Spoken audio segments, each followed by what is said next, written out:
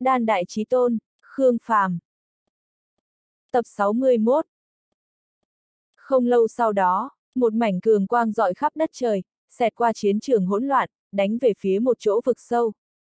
Nơi đó, đại trưởng lão mới vừa từ hư không lui về tới, còn chưa kịp lau đi vết máu trên mặt, bị sát sinh tiễn đối diện lao tới bạo thể. Chiến trường hỗn loạn thoáng an tĩnh, vấn đề lập tức chính là vạn đạo thần giáo đều chửi ầm. Cường giả các tộc khác cũng đều tức giận, vào lúc này lại phát ra sát sinh tiến, thật sự là có chút không đạo đức, cũng rõ ràng có hiểm nghi trợ giúp Khương Phàm, chẳng lẽ Tổ Sơn là cố ý sao? Khương Phàm từ hư không dung nhập xí thiên giới, vòng vào luân hồi bí cảnh, liên chiến ba khu chiến trường, thông báo chuyện xảy ra ở bên ngoài, giảm bớt áp lực của bọn hắn, để chấn lòng tin. Thương vong như thế nào? Khương Phàm đi đến vết nứt có chiến sự thảm thiết nhất. Nơi này trước đó là một phiến sa mạc, bây giờ.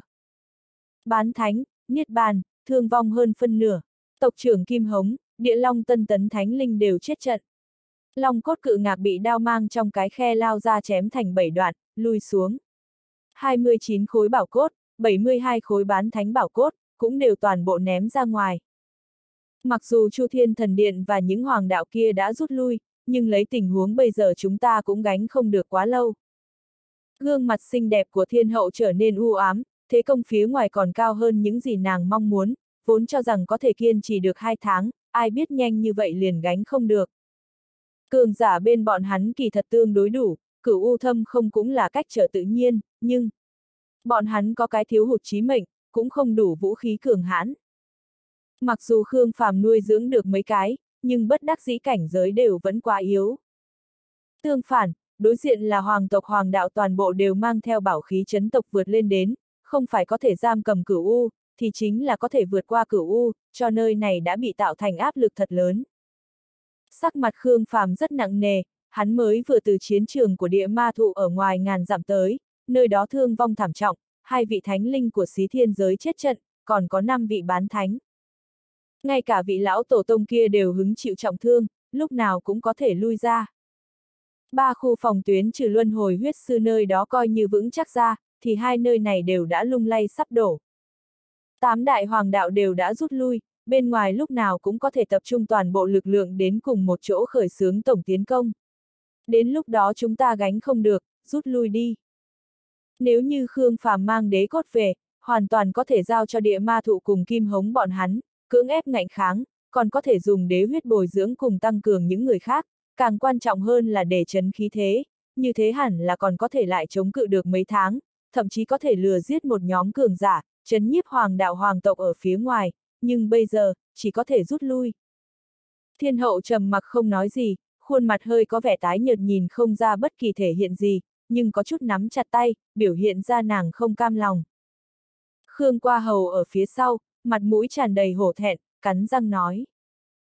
Bên trong trái tim của còn lưu lại đế uy, nếu như tự bạo, hẳn là có thể phóng xuất ra năng lượng thánh vương, lại liên hợp Khương Quỳ cùng địa ma thụ, có thể để thời điểm kẻ thù đợi ở bên ngoài khởi xướng tổng tiến công liều chết chiến một trận. Khương Phàm đưa tay ngăn Khương qua lại, nhìn trời lại nói. Đừng lại kiên trì, một khi bên ngoài ngừng tấn công lại liền mang ý nghĩa bọn hắn muốn cử hành hội minh, chuẩn bị khởi xướng tổng tiến công, đến lúc đó không cần do dự, dẫn người rút lui. Hai ngày sau, vạn đạo thần giáo đang tức giận cực lực hiệu triệu, các phương lần lượt ngừng tấn công lại, rút về đến xích chi đại liệt gốc. Lập tức, lần đầu tiên các thống soái hoàng tộc hoàng đạo cử hành hội minh từ khi khai chiến đến nay. Sau khi trải qua nửa ngày thảo luận, các phương đã quyết định liên thủ tấn công mạnh chỗ vết nứt thứ ba. Bởi vì luân hồi huyết sư khống chế vết nứt quá nguy hiểm, thực sự không thích hợp tiến công. Địa ma thụ nơi đó cũng nguy hiểm, không chỉ là có uy lực thánh vương, mà quá thế công mãnh liệt còn có thể khiến cho cửu u thâm không dung chuyển luân hồi, cái giá xông vào quá lớn. Chỗ thứ ba mặc dù đóng giữ nhiều cường giả nhất, nhưng kỳ thực lại càng dễ đột phá. Nếu bọn hắn quyết định liên hợp lại, phải lấy cái giá nhỏ nhất, lấy được chiến quả lớn nhất. Sau đó, cửu lê thần cung, đại quang mang thần điện, vạn đạo thần giáo cùng thái cổ thần miếu, tứ đại hoàng đạo cầm đầu, những hoàng tộc khác phối hợp, do ba vị thánh vương thống lĩnh hơn 10 vị thánh linh, cùng số lượng lớn bán thánh và niết bàn, vượt qua cửu u thâm không, lao thẳng đến vết nứt thứ ba. Nhưng, bọn hắn không có lọt vào trận đánh điên cuồng như dự đoán, ngược lại còn rất thuận lợi vượt qua, giáng lâm đến nội bộ luân hồi bí cảnh. Bọn hắn rút lui, rút về xí thiên giới.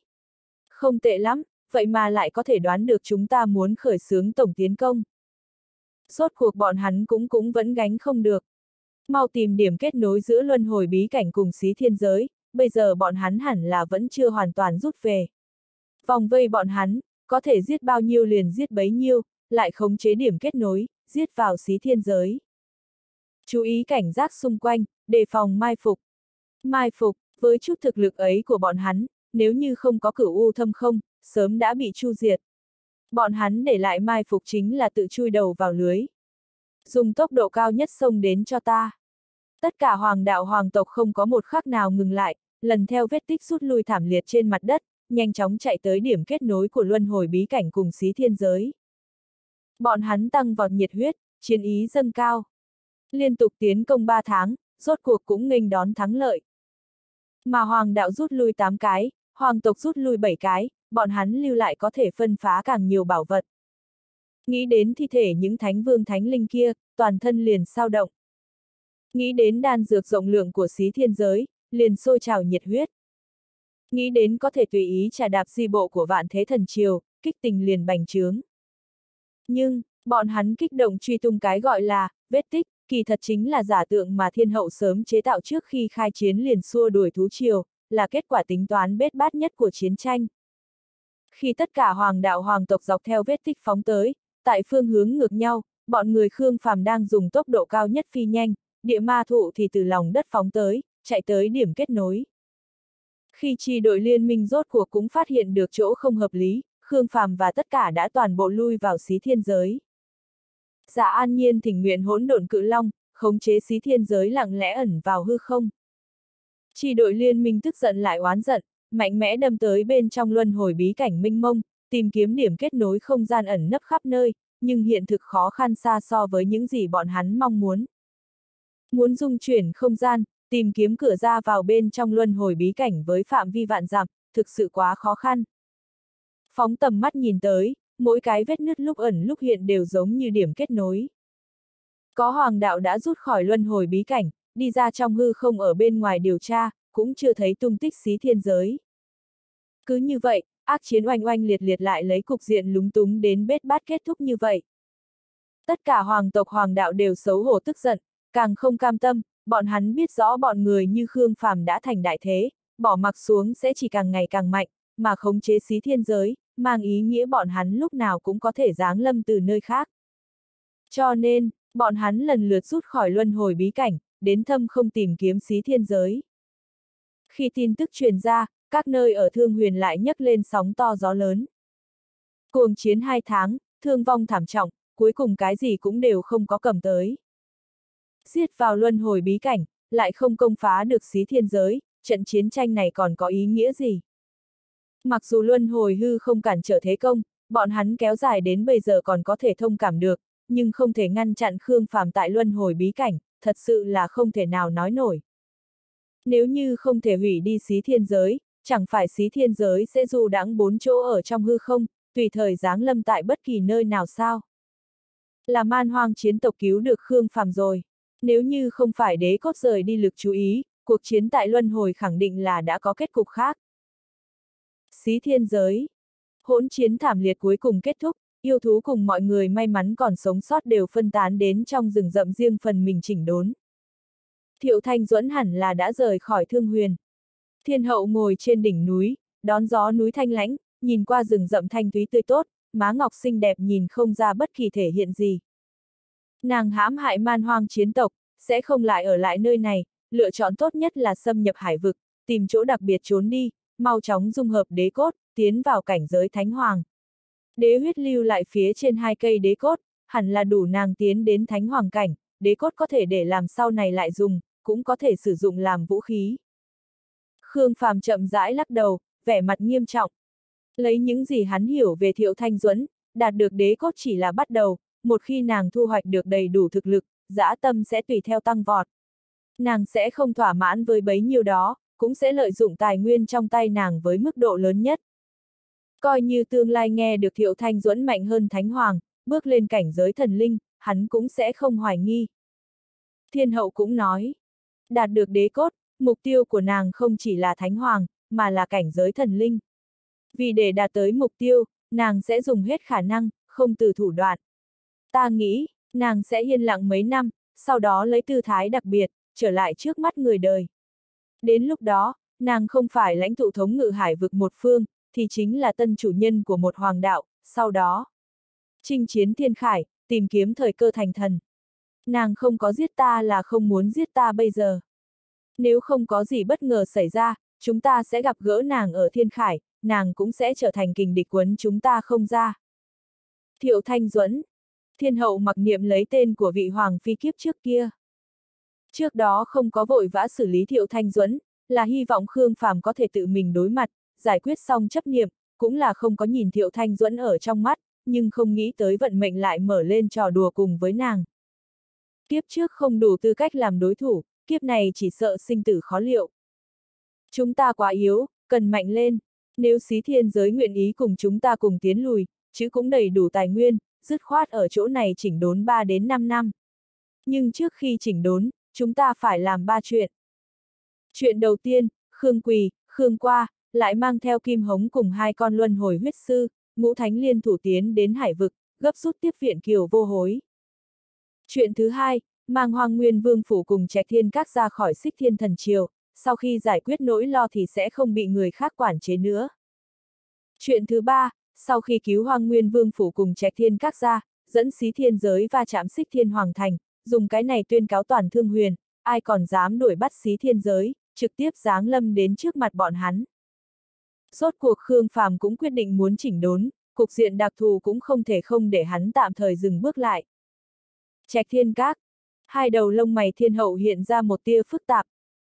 Chúng ta có thể quyết tâm bỏ mặc hoang nguyên vương phủ cùng trạch thiên các, nhưng xích thiên thần triều cũng mặc kệ chúng ta nghĩ như thế nào, nơi đó sẽ từ đầu đến cuối coi bọn họ là làm con tin, một khi khai chiến, nhẹ thì tra tấn, nặng thì trực tiếp xử tử.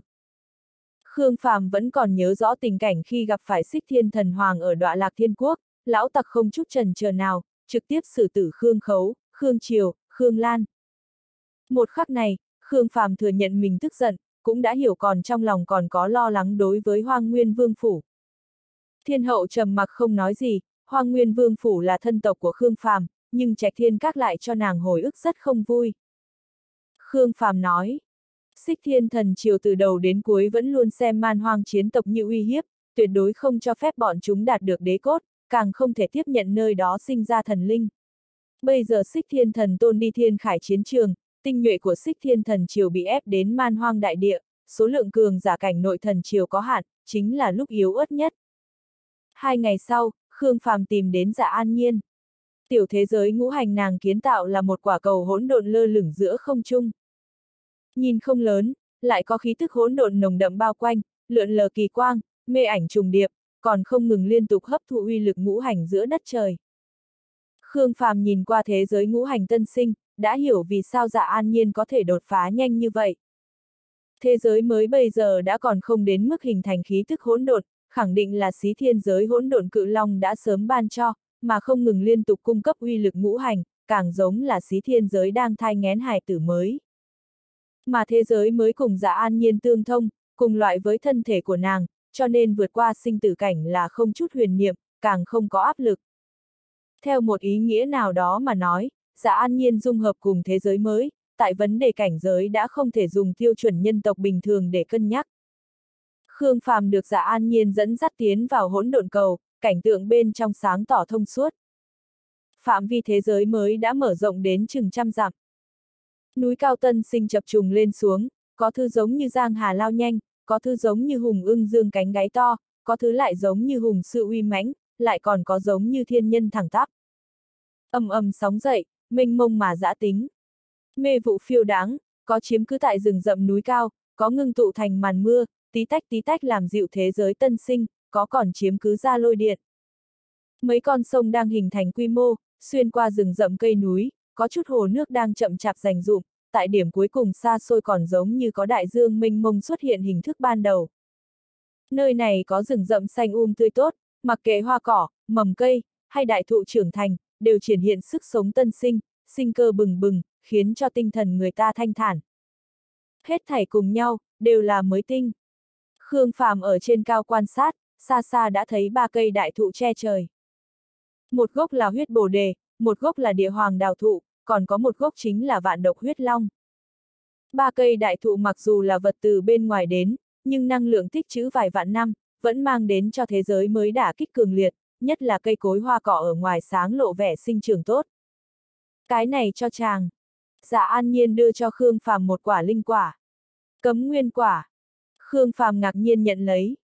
Cấm nguyên quả thụ sinh trưởng ở chỗ này rất tốt, vài ngày trước vừa thành thục một quả. Nơi này thật sự có thể rút ngắn thời gian sinh trưởng. Viên linh quả này trước đó cũng đã nhanh thành thục, tuy nhiên sau khi tiến vào nơi này xác thực có nhanh một chút. Chú trọng chiếu cố cho vạn độc huyết long, phía trên kia có mấy quả sắp thành thục, sau này nói không chừng có thể có tác dụng lớn. Đây chính là độc thụ, khống chế không tốt, sẽ xâm hại thế giới mới của ta. Thế giới mới cần cân đối phát triển, các mặt đều phải chiếu cố, độc cũng là một loại nguyên lực của thế giới. Khương Phàm ngượng ngùng cười nói, hài lòng thu hồi cấm nguyên quả. Cơ Lăng Huyên, Tiêu Phượng Ngô, Thương Hàn Nguyệt, Phượng Bảo Nam, còn có Du Cảnh Chiến, hôm qua đều đã đến, chuẩn bị ở chỗ này bế quan vượt qua sinh tử cảnh. Tài nguyên đều chuẩn bị đầy đủ. Thánh huyết siêu tập từ chiến trường, xí thiên giới cung cấp đan dược, hẳn là có thể đủ để bọn họ đột phá. Tình huống của bọn hắn. Cơ Lăng Huyên, Tiêu Phượng Ngô đều là trí tôn thánh phẩm. Thương Hàn Nguyệt, Phượng Bảo Nam đều là đại thừa thánh phẩm.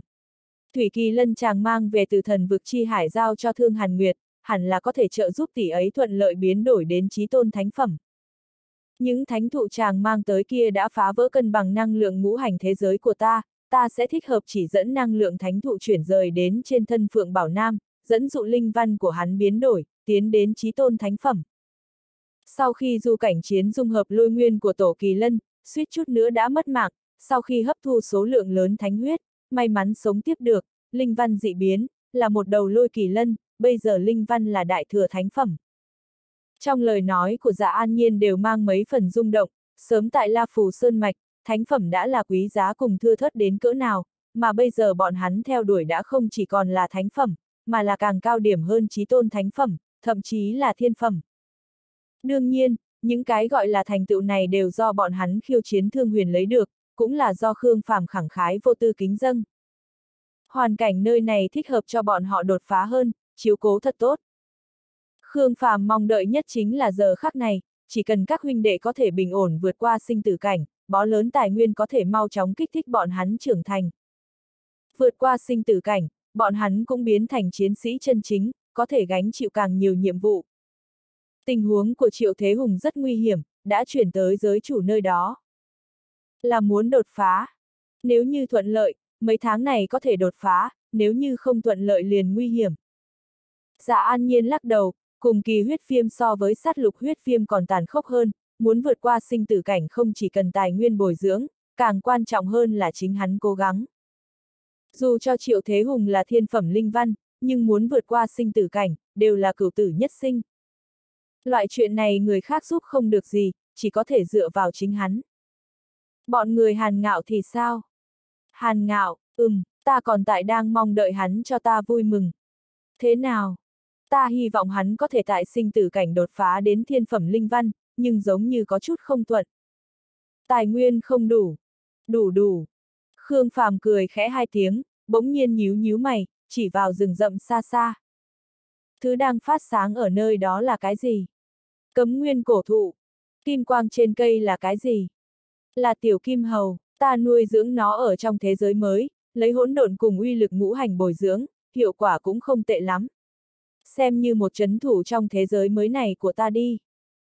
Dạ an nhiên lộ ra nụ cười ngọt ngào, từ khi bắt đầu sáng tạo thế giới ngũ hành đến nay, tiểu kim hầu đã ở lại nơi này, tương đương với nương theo thế giới ngũ hành trưởng thành mà nó cũng trưởng thành theo. Thế giới ngũ hành mỗi ngày đều đang thay đổi, tiểu kim hầu mỗi ngày cũng đều có vui mừng mới. Ồ! Khương Phàm thoáng có phản ứng, yêu thú nương theo thế giới mới sinh trưởng. Đây có được coi là linh thú đầu tiên khai thiên tích địa không? Mấy năm không thấy, tiểu kim hầu nghiêu bức đại phát. Dạ an nhiên bỗng nhiên hạ giọng nói. Thiên hậu cần tiến vào bế quan không? Ta thấy cảnh giới của nàng tựa như là linh hồn cảnh cửu trọng thiên, trong này có khí tức hỗn độn, rất thích hợp qua sinh tử cảnh. Ta, không tiện mời lắm, chàng tự mình đi hỏi một chút. Khương Phàm cười. Có ý tốt ta thay nàng nhận, nhưng nàng không cần. Cũng đúng, phẩm cấp linh văn của nàng rất cao, sinh tử cảnh hẳn không có áp lực, không cần nơi này. Đừng hiểu lầm, nàng không phải không cần nơi này, nàng không cần tu luyện. Có ý gì? Nàng là ngự thiên linh văn, có thể cùng yêu thú ký kết khế ước đặc thù, sau đó từ khế ước thú nơi đó không ngừng liên tục hấp thu năng lượng, không cần tu luyện liền không thể không ngừng mạnh lên, nàng cũng không cần nghiên cứu võ pháp, bởi vì khế ước thú có tất cả truyền thừa, nàng đều có thể cùng hưởng, tùy tiện sử dụng. Dạ an nhiên kinh ngạc dương lông mày lên. Còn có linh văn như thế này. Không chỉ có như vậy, yêu thú ký kết khế ước cùng với nàng còn có thể từ nơi nàng đạt được một loại ban ân thần bí, kích phát ra tổ mạch. Loại linh văn này thuộc về đặc thù linh văn dị biến, là cái đầu tiên từ xưa đến nay, tiềm lực vô cùng lớn. Đáng sợ thật. Dạ an nhiên rung động khẽ nói. Đúng vậy, đáng sợ thật. Khương Phàm nhìn thế giới ngũ hành minh mông, trong lòng âm thầm oán thầm. Linh văn của thiên hậu xác thực đáng sợ, nhưng linh văn này của an nhiên cũng tương xứng. Thiên hậu, an nhiên.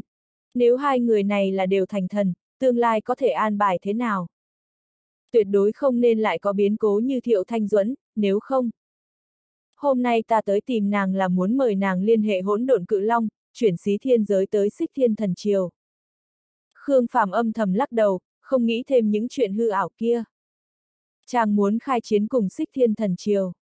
Dạ an nhiên kinh ngạc giơ đôi lông mày nhỏ nhắn xinh đẹp lên. Ta trà trộn vào thần triều trước, điều tra tình huống hoang nguyên vương phủ cùng trẻ thiên các, tốt nhất là thừa dịp trước khi xích thiên kịp phản ứng liền di chuyển người đi ra trước tiên. Sau đó, xí thiên giới dùng thiên nhãn tỏa liên trực tiếp đánh đến dưới chân hoàng thành. Cục diện chúng ta bây giờ, càng không phải nên chỉnh đốn sao. Man hoang kéo lại số lượng lớn tinh lực của Sích thiên, Sích thiên càng đương nhiên nhận định chúng ta đang chạy trốn, bây giờ chính là cơ hội tốt để ta chui vào hoàng thành. Đây cũng rất có thể là cơ hội duy nhất để ta cứu bọn họ. Ta sẽ nói chuyện cùng hỗn độn cự long, hẳn là ngài ấy sẽ phối hợp. Nhưng bọn hắn hẳn là bị bảo vệ nghiêm mật, chàng muốn cứu người như thế nào đây? Lãnh tuyền và ngư cung tại một năm trước đã ẩn núp tiến vào, nên điều tra hầu như đều đã điều tra tốt, sau khi ta tiến vào sẽ nhìn tình huống chỉ định kế hoạch hành động, nàng chỉ cần ở lại hư không chờ tin tức của ta. Khương Phàm thở sâu, trên mặt lộ ra nụ cười thản nhiên. Mấy năm gần đây hắn trải qua rất khó, không phải trốn đông trốn tây, chính là chật vật bỏ mạng, bây giờ rốt cuộc cũng đến phiên hắn chủ động đánh ra.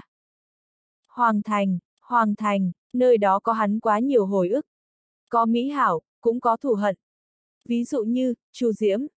Đại hoàng tử Xích Thiên năm đó, tình địch số một của hắn, không biết còn sống không.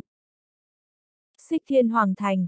Đại thành rộng rãi nhất cũng là khổng lồ nhất thương huyền đại lục. Bên ngoài có 9 con sông lớn vần quanh, từng con sông kéo dài mấy ngàn dặm, nước sông lao nhanh, ầm ầm dậy sóng, giống như 9 con cự long chiếm cứ. Nội bộ cùng chia ra thành khu ngoại thành cùng khu nội thành. Khu ngoại thành tổng cộng có 8 bộ thành khu, mỗi bộ thành khu đều có thể so với hoàng đô hoàng triều khác, trải rộng cửa hàng nơi ở, náo nhiệt phồn hoa, nhân khẩu có từ ngàn vạn người trở lên. Khu nội thành thì là cự nhạc đột ngột nhảy lên che trời, từ dưới lên trên chia làm 8 đại tầng, tổng thể cao tới 3 vạn mét, càng là đi lên, thân phận địa vị của người ở càng là tôn quý. Hoang Nguyên Vương Phủ, Vương Phủ tôn quý, theo lý mà nói hẳn là ở tại tầng thứ 6 của khu nội thành, cũng là nơi tiếp cận hoàng tộc. Nhưng, Hoang Nguyên Vương Phủ hết lần này tới lần khác đều bị an trí tại khu ngoại thành, lại còn là nơi hẻo lánh. Nói là Vương Phủ, nhưng kỳ thật chỉ là một trang viên rách nát, trống rỗng, không sức sống. Nơi này quanh năm chỉ có 5 người ở, ra vào đều cần thông báo, tình huống tu luyện cũng đều cần báo cáo. Khương Dương, Khương Hách, nghe lệnh. Một tên nam tử mập mạp, dưới sự chen chúc của các thị vệ, cao ngạo đi tới trang viên rách nát. Hai nam tử gầy gò bộ dáng tương tự, từ sâu trong trang viên đi tới, lạnh lùng nhìn tên mập mạp. Tên mập mạp lung lay thánh chỉ trong tay, trong mắt nhỏ hiện lên mấy tia ý lạnh. Điếc sao, Nghe lệnh, quỳ xuống. Thị vệ ở hai bên quát lớn. Khương Dương, Khương Hách dùng sức nắm chặt nắm đấm, chậm rãi quỳ xuống, nhưng vẫn cuột cường ưỡn ngực thân, ngẩng đầu. Làm dáng kiêu ngạo này cho ai nhìn, đều đã quỳ xuống, làm sao cho quỷ khác nhau ở chỗ nào sao? Ngây thơ, tên mập mạp khô cằn cười lạnh hai tiếng. Hôm nay là ngày vận may của các ngươi, do nội vụ phủ đề nghị hôn sự, hoàng thất bên kia ân chuẩn. Bảy ngày sau, chính là ngày đại hôn của các ngươi. Đến lúc đó nữ tử sẽ đưa đến trong phủ cho các ngươi, kỳ hạn một tháng để các nàng mang thai. Quy củ cũ, sau khi mang thai, mang nữ tử đi. Đợi sau khi sinh ra, nếu như là nữ hài, xử tử, trả lại nữ tử cho các ngươi, tiếp tục tạo ra con người. Nếu như là nam hài nhi, do hoàng thất bồi dưỡng, sau 10 tuổi, đưa về hoang nguyên vương phủ. Gương mặt gầy gò của Khương Dương lập tức giữ tợn. Chúng ta còn đang giữ đạo hiếu. Không thể nào đón dâu. Sai bành, người cố ý. Giữ đạo hiếu, trong mộ có thi cốt sao, cũng chỉ là một ngôi mộ chôn y phục và di vật mà thôi, giữ đạo hiếu nửa năm là đủ rồi, còn không phải thủ ba năm. Đứng lên đi, quét dọn sân nhỏ một chút, nhìn nơi này bẩn như thế, không biết còn tưởng rằng là ổ chó đấy. Bảy ngày sau nhớ kỹ đổi y phục sạch sẽ, tắm rửa sạch sẽ, nữ tử chọn lần này đều là từ trong thanh lâu. Mặc dù tuổi đã già sắc suy, dung nhan không còn nữa, nhưng... Ha ha, kinh nghiệm phong phú, phục vụ đúng chỗ. Các ngươi ngay cả tay của nữ tử đều không có kéo qua, hãy hưởng dụng cho tốt, không cần hoang phế. Hắc hắc, bọn thị vệ đều nở nụ cười tà ác. Đám hỗn đản các ngươi. Khương Hách tức giận hét lên. Hai nữ tử lầu xanh. Đây là đang lăng mạ hoang nguyên vương phủ bọn hắn sao? Nếu như phụ thân vẫn còn, há lại cho xài bành làm càn như vậy. Ha ha, không có tùy tiện tìm cho các người hai nữ nô từ thị trường nô lệ đã là đặc biệt khai ân, đừng cho mặt mà không biết xấu hổ. Ta nhổ vào, thật xem mình làm vương tử rồi. Ta cảnh cáo các ngươi, trong vòng một tháng nếu như không thể để cho các nàng mang thai, thiến các ngươi, lại chiêu cáo hoàng thành, ta xem các ngươi có dám lười biếng hay không. Sai bành hừ lạnh hai tiếng, mang theo bọn thị vệ nghênh ngang rời khỏi. A, à, Khương Dương, Khương Hách tức giận gào thét, đầy ngập lửa giận, gương mặt dữ tợn, nhưng cuối cùng lại không có chỗ phát tiết. Vương phủ cái gì, vương tử cái gì, bọn hắn xưa nay không quan tâm. Bọn hắn tình nguyện làm người bình thường, cũng không nguyện ý bị nuôi nhốt giống như súc sinh thế này. Ngay cả ăn cơm, tu luyện, thậm chí quan hệ nam nữ đều bị người khác khống chế. Nếu như không có chuyện ngoài ý muốn đặc thù, chỉ sợ cả đời cũng không thể rời khỏi tòa trang viên này. Đại ca! Khương Hách ngồi ở trên tảng đá bên cạnh, chán nản nói. Huynh nói phụ thân cùng ra ra thật giống như xài bành nói là Khương phạm giết sao. Nếu kiếp trước Khương Phàm từ bỏ vương phủ liền không có nơi coi sinh dưỡng hắn ra gì. Bây giờ sau khi gặp lại, cũng hẳn là không nguyện ý nhận bức hiếp, tự tay xử tử bọn hắn. Ha ha, người làm đại sự, đương nhiên phải không từ thủ đoạn. Khương Dương Anh Tuấn nổi lên một vòng dữ tợn. Thần hoàng cái gì, ta xem thường hắn. Chính hắn huy hoàng phóng khoáng, không để ý thân tộc sống chết, đáng đời chết tại Đăng Thiên Kiều. Đại ca, ta nói sai sao, năm đó đều là chủ nhân thương huyền, vì sao còn để thân tộc ở lại xích thiên thần triều? Là hắn không thể nào sao? Là hắn không muốn, hắn chính là xem chúng ta làm con tin để cho xích thiên thần triều an tâm. Cái gì thân tình huyết mạch, trong mắt hắn chỉ là thẻ đánh bạc mà thôi. Ông trời không có mắt, vậy mà lại để hắn luân hồi trùng sinh. Ta nguyền rủa đời này của hắn ngay cả thiên khải chiến trường đều không lên được, ta nguyền rủa hắn bị các hoàng đạo thương huyền ăn tươi nuốt sống, ta nguyền rủa nữ tử của hắn đều biến thành đồ chơi cho nam tử thiên hạ. Ta nguyền rủa toàn bộ bọn hắn đều không được chết tử tế, chết không yên lành. Khương Dương đầy ngập lửa giận, thân thể thẳng tắp đều đang run rẩy. Khương Hách có chút há mồm, nhưng lại không biết nói cái gì, chán nản cúi đầu xuống, vẻ mặt ảm đạm. Hắn chết thì chết, vì sao còn muốn trở về? Tại sao lại hại chết phụ thân và gia gia? Nếu thật sự để cho ta đụng phải, ta liều mạng tự bạo đều muốn giết cái tên bại hoại gia tộc hắn kia. Khương Dương khàn giọng gầm nhẹ, giận dữ rời khỏi. Đụng phải, chúng ta có tài đức gì, có thể đụng tới thần hoàng. Khương Hách buồn bã cười một tiếng, chống thân thể gầy yếu lên, yên lặng đi đến mộ hậu viện chôn y phục và di vật. Sau hai ngày khi Hoang Nguyên Vương Phủ đạt được tin tức thành hôn, Khương Phàm đã đứng ở trong hoang dã náo nhiệt, nhìn ra chín con sông xa xa kia. Muốn tiến vào xích thiên thần triều, cần theo thứ tự đi qua chín con sông lớn. Mỗi con sông đều là rộng chừng ngàn mét, phía trên mắc lấy một cây cầu đá rộng rãi hùng vĩ, cũng đều có vệ đội hoàng thành tinh nhuệ đóng giữ. Đám người tới lui cùng đội xe kết đội thành quần, số lượng khổng lồ, náo nhiệt hỗn loạn, nhưng trước khi đi đến cầu đá đều sẽ tự giác an tĩnh lại. Không dám ồn ào, không dám gây sự, thành thành thật thật từ đi qua trên cầu. Nếu không, vệ đội đóng giữ sẽ giáng lâm đến trước mặt ngươi trước tiên, mặc kệ ngươi có nguyên nhân gì, trực tiếp ném xuống sông cho mãnh thú ăn. Mà mặc kệ là ai, tại trước mặt tòa đại thành bao la hùng vĩ này đều sẽ không tự chủ được mà lòng sinh kính sợ. Dù sao tại toàn bộ xích thiên thần triều, thậm chí đại địa trung vực đông bộ, tòa thành lớn này không thể nghi ngờ chính là nơi tôn quý nhất, cũng là chỗ ở của thần linh, trong lòng dân chúng. Một ngàn năm, không biết đều đã có thay đổi gì. Khương Phàm đi theo biển người đi đến cầu đá trước mặt, cũng lặng lẽ kích ra thiên mệnh chiến giới, che giấu khí tức của mình. Thiên mệnh chiến giới không chỉ có thể áp chế cảnh giới xung quanh, còn có thể phong ấn năng lượng của mình rất tốt, bao gồm cả linh văn cùng cảnh giới. Hắn không thể không cẩn thận, bởi vì 9 tầng cầu đá không chỉ đơn giản là con đường vào thành như vậy, phía trên còn bố trí pháp trận đặc biệt, có thể tinh chuẩn khóa chặt cường giả cao giai niết bàn cảnh, có thể cảnh giác đến vũ khí đặc thù, còn có thể phát giác được khí tức thánh phẩm thậm chí thiên phẩm linh văn. Một khi khóa chặt, không phải trực tiếp đề ra nghi vấn, thì chính là bí mật tiếp cận. Khương Phàm cẩn thận từng ly từng tí khống chế thiên mệnh chiến giới, thuận lợi thông qua 9 vòng sông lớn. Thiên mệnh chiến giới không hổ là chuẩn thần khí, không có để hắn phóng thích, từ đầu đến cuối đều không có để cho ai cảnh giác. Sau khi đi xuyên qua cửa thành, lại hỏi thăm đơn giản, hắn đi tới Hoang Nguyên Vương Phủ ở vào một nơi hẻo lánh ở thành khu thứ ba. Nơi này có phiến hồ nhỏ, Vương Phủ đang giữ hồ.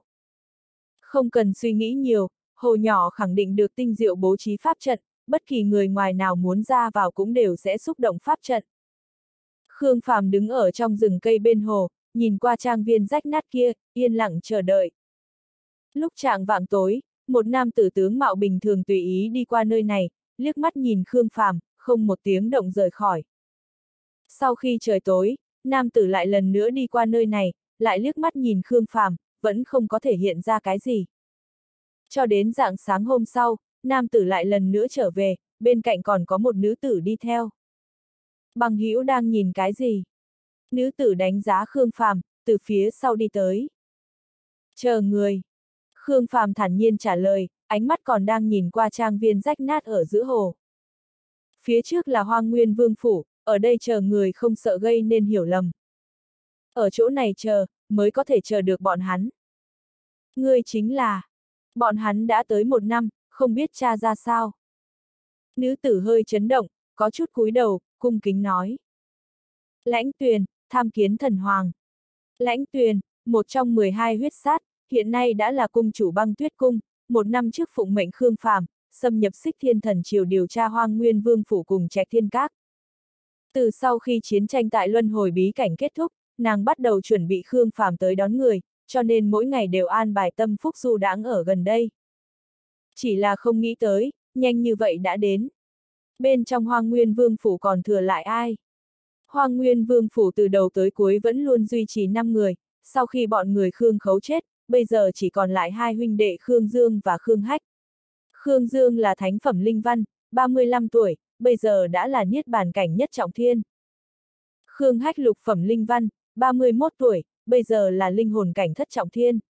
Hai ngày trước, Hoàng thất tứ hôn, tìm hai nữ tử lầu xanh cho bọn hắn, sau năm ngày nữa sẽ là đại hôn. Nói là đại hôn, nhưng kỳ thật chính là đưa hai nữ tử đi đến, sau một tháng lại mang đi. Chờ sau khi sinh dục, nếu như là nam hài liền nuôi đến 10 tuổi rồi trả lại, nếu như là nữ hải nhi liền. Liền như thế nào? Trực tiếp xử tử, trả lại nữ tử tiếp tục thụ thai. Mỗi một thời đại đều như vậy. Lãnh tuyền có chút cúi đầu. Đây là truyền thống của hoang nguyên vương phủ, bọn hắn tựa như súc vật bị chăn nuôi. Khương phàm cau mày. Mảnh hồ nhỏ này là dạng pháp trận gì? Không gian pháp trận, bảo vệ nghiêm mật bên trong, muốn ra vào, cần có chìa khóa đặc biệt. Một khi bị kích thích, cả tòa vương phủ sẽ trực tiếp chuyển rời đến trong hoàng cung. Có thể xác định sao? Liên quan tới pháp trận của Hồ, trong thành có rất nhiều truyền ngôn, nhưng sau khi chúng thần trải qua cẩn thận điều tra, xác định hẳn là không gian pháp trận. Địa điểm di chuyển cuối cùng, cũng là Hoàng Cung. Mà, mà cái gì? Sau sự kiện thiên đáng sơn, nhân hoàng đã tự mình hạ mật lệnh, một lần nữa tu sửa pháp trận của Hồ. Bây giờ pháp trận hẳn là vô cùng mẫn cảm, bất kỳ vấn đề gì cũng có thể di chuyển hoang nguyên vương phủ. Lãnh tuyền lắc đầu, hoang nguyên vương phủ tựa như một cái bẫy bắt thú, chỉ cần xúc động cơ quan, trong nháy mắt sẽ thu lưới cuốn đi. Đây chính là xích thiên nhân hoàng chuẩn bị đề phòng Khương Phàm đến đây cứu người. Lúc đó xác thực đã khẩn trương một thời gian, chỉ là ai không nghĩ tới Khương Phàm không có tới. Các ngươi đã nghĩ được biện pháp giải quyết chưa? Trước đó vẫn không nghĩ tới, nhưng đại hôn năm ngày sau hẳn là một cơ hội. Do hai vị nữ đệ tử băng tuyết cùng đánh cháo tân nương, dùng ngọc khí không gian mang theo hai tử sĩ dịch dung trà trộn vào vương phủ. Sau một tháng, để lại hai vị tử sĩ, bí mật mang Khương Dương, Khương Hách ra. Đây là chủ ý mà lãnh tuyền vừa nghĩ đến, dù sao Khương Phàm không đến, bọn hắn không dám tự tiện quyết định cứu người. Một tháng, ta không chờ được lâu như vậy. Khương Phàm lắc đầu, chuyển hỏi. Trạch thiên các nơi đó thì sao? Trạch thiên các tại tầng đầu tiên nội thành, đối với người ngoài chúng thần mà nói, nơi đó thuộc về cấm khu. Nửa năm trước, chúng thần đã mời phu thê Hoàng Lâm Cẩm Tú đến nơi này, sau một phen cố gắng của bọn hắn, lấy thân phận các chủ lâm lang các, thành công xâm nhập vào nội thành, chỉ là... Lãnh tuyền nói cúi đầu, vẻ mặt ảm đạm. Thế nào? Khương Phàm quay đầu nhìn lãnh tuyền. Cẩm tú mỹ mạo, phong vận mê người, mà còn giỏi về giao tế, tập trung vào thương hội huyền hương trong tầng đầu tiên, ý đồ từ nơi đó điều tra tình huống nội bộ trẻ thiên các, kết quả.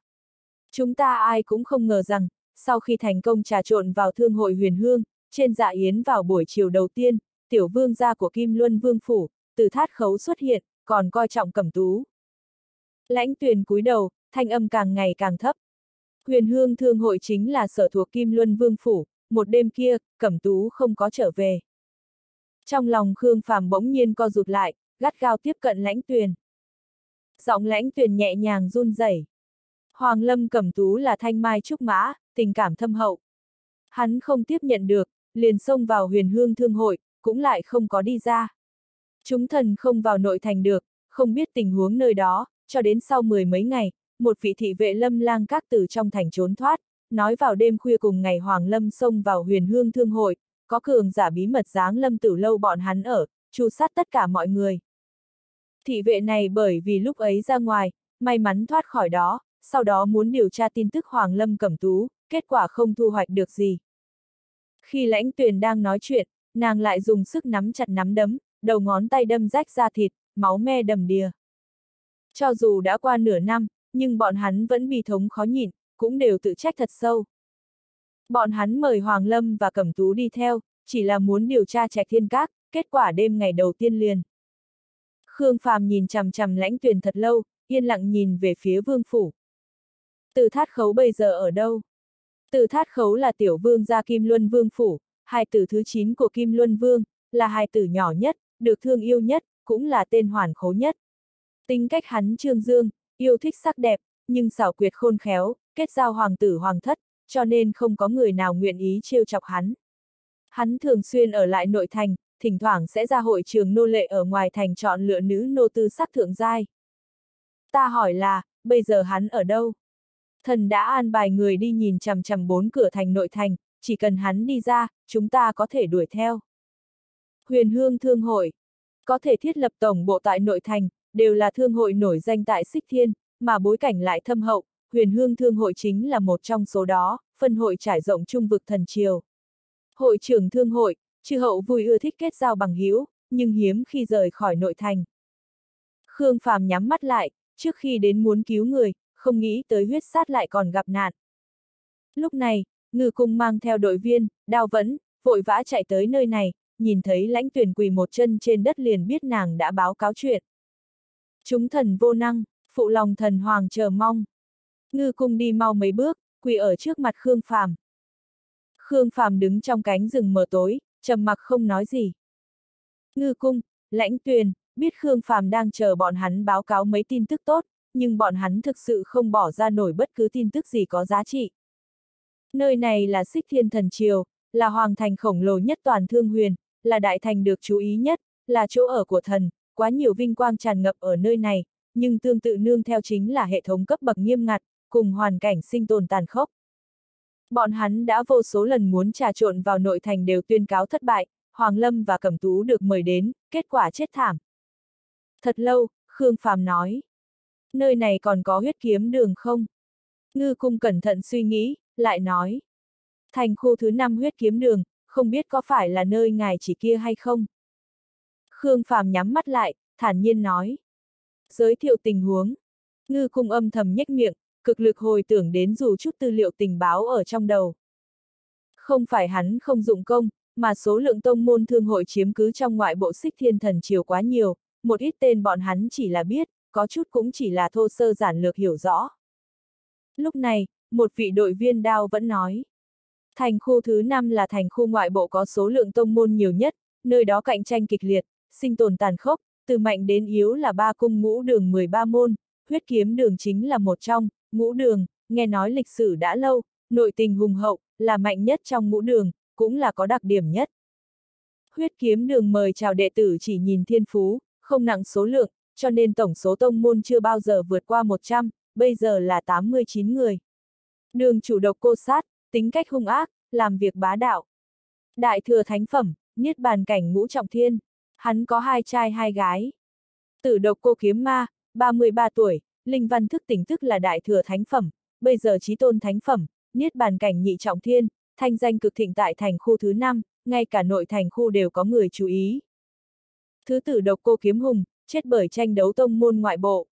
Trưởng nữ chết hiểu, thứ nữ độc cô kiếm linh, 23 tuổi, càn nguyên thánh phẩm, linh hồn cảnh thất trọng thiên, mỹ mạo tính liệt, cũng cực được chú ý. Vị này đội viên nói xong, lãnh tuyền, ngư cung đều âm thầm thở phào, cảm kích nhìn hắn một cái. Khương Phàm mở hai mắt ra, đáy mắt tinh mang lóe lên. Chính là nơi đó, dẫn đường, huyết kiếm đường. Đó là tông môn cực kỳ ngoan cố ở các mặt. Ví dụ như chọn lựa đệ tử chỉ nhìn tư chất, không nặng số lượng, ví dụ như nữ nhi từ trước tới giờ không gả ra ngoài, chỉ chọn lựa giữa đệ tử trong đường mà không giống những tông môn khác liều mạng muốn mở rộng quy mô, còn muốn thông qua thông gia ký kết minh hữu. Dù vậy, huyết kiếm đường còn có thể hưng thịnh không suy, từ đầu đến cuối luôn đứng hàng đầu, ngũ đường. Nhưng trong mấy tháng gần đây, người đến huyết kiếm đường cầu thân dần dần nhiều hơn, bởi vì đường chủ độc cô sát xưa nay chưa thấy ý tứ muốn gả nữ nhi ra ngoài. Bởi vì, là vì trưởng tử độc cô kiếm ma. Độc cô kiếm ma thiên phú bất phàm, thức tỉnh chính là đại thừa thánh phẩm, 20 tuổi đã thuế biến thăng hoa đến trí tôn thánh phẩm, trong các tinh anh khắp nơi trên đất xích thiên thần triều là thuộc về vấn đề thiên tài. Độc cô sát dùng hết khả năng bồi dưỡng độc cô kiếm ma, nhưng, tài nguyên huyết kiếm đường có hạn, bồi dưỡng lên càng ngày càng lực bất tòng tâm. Nếu như độc cô sát muốn nhi tử vượt xa mình, bước lên cao giai niết bàn, nhất định phải có tài nguyên bên ngoài đến đỡ, cho nên.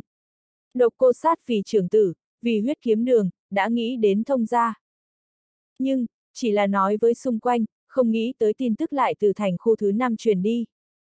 Lúc bắt đầu hắn còn tức giận quát tháo, lặp đi lặp lại làm sáng tỏ, nhưng khi càng ngày càng nhiều người đến cầu thân, điều kiện càng ngày càng hậu đãi, hắn lại dao động. Đêm đã khuya, độc cô sát đưa tiến đợt đại biểu thứ ba cầu thân trong hôm nay, mệt mỏi ngồi trên ghế mây. Ánh nến chập chờn, gian phòng lờ mờ thanh lãnh.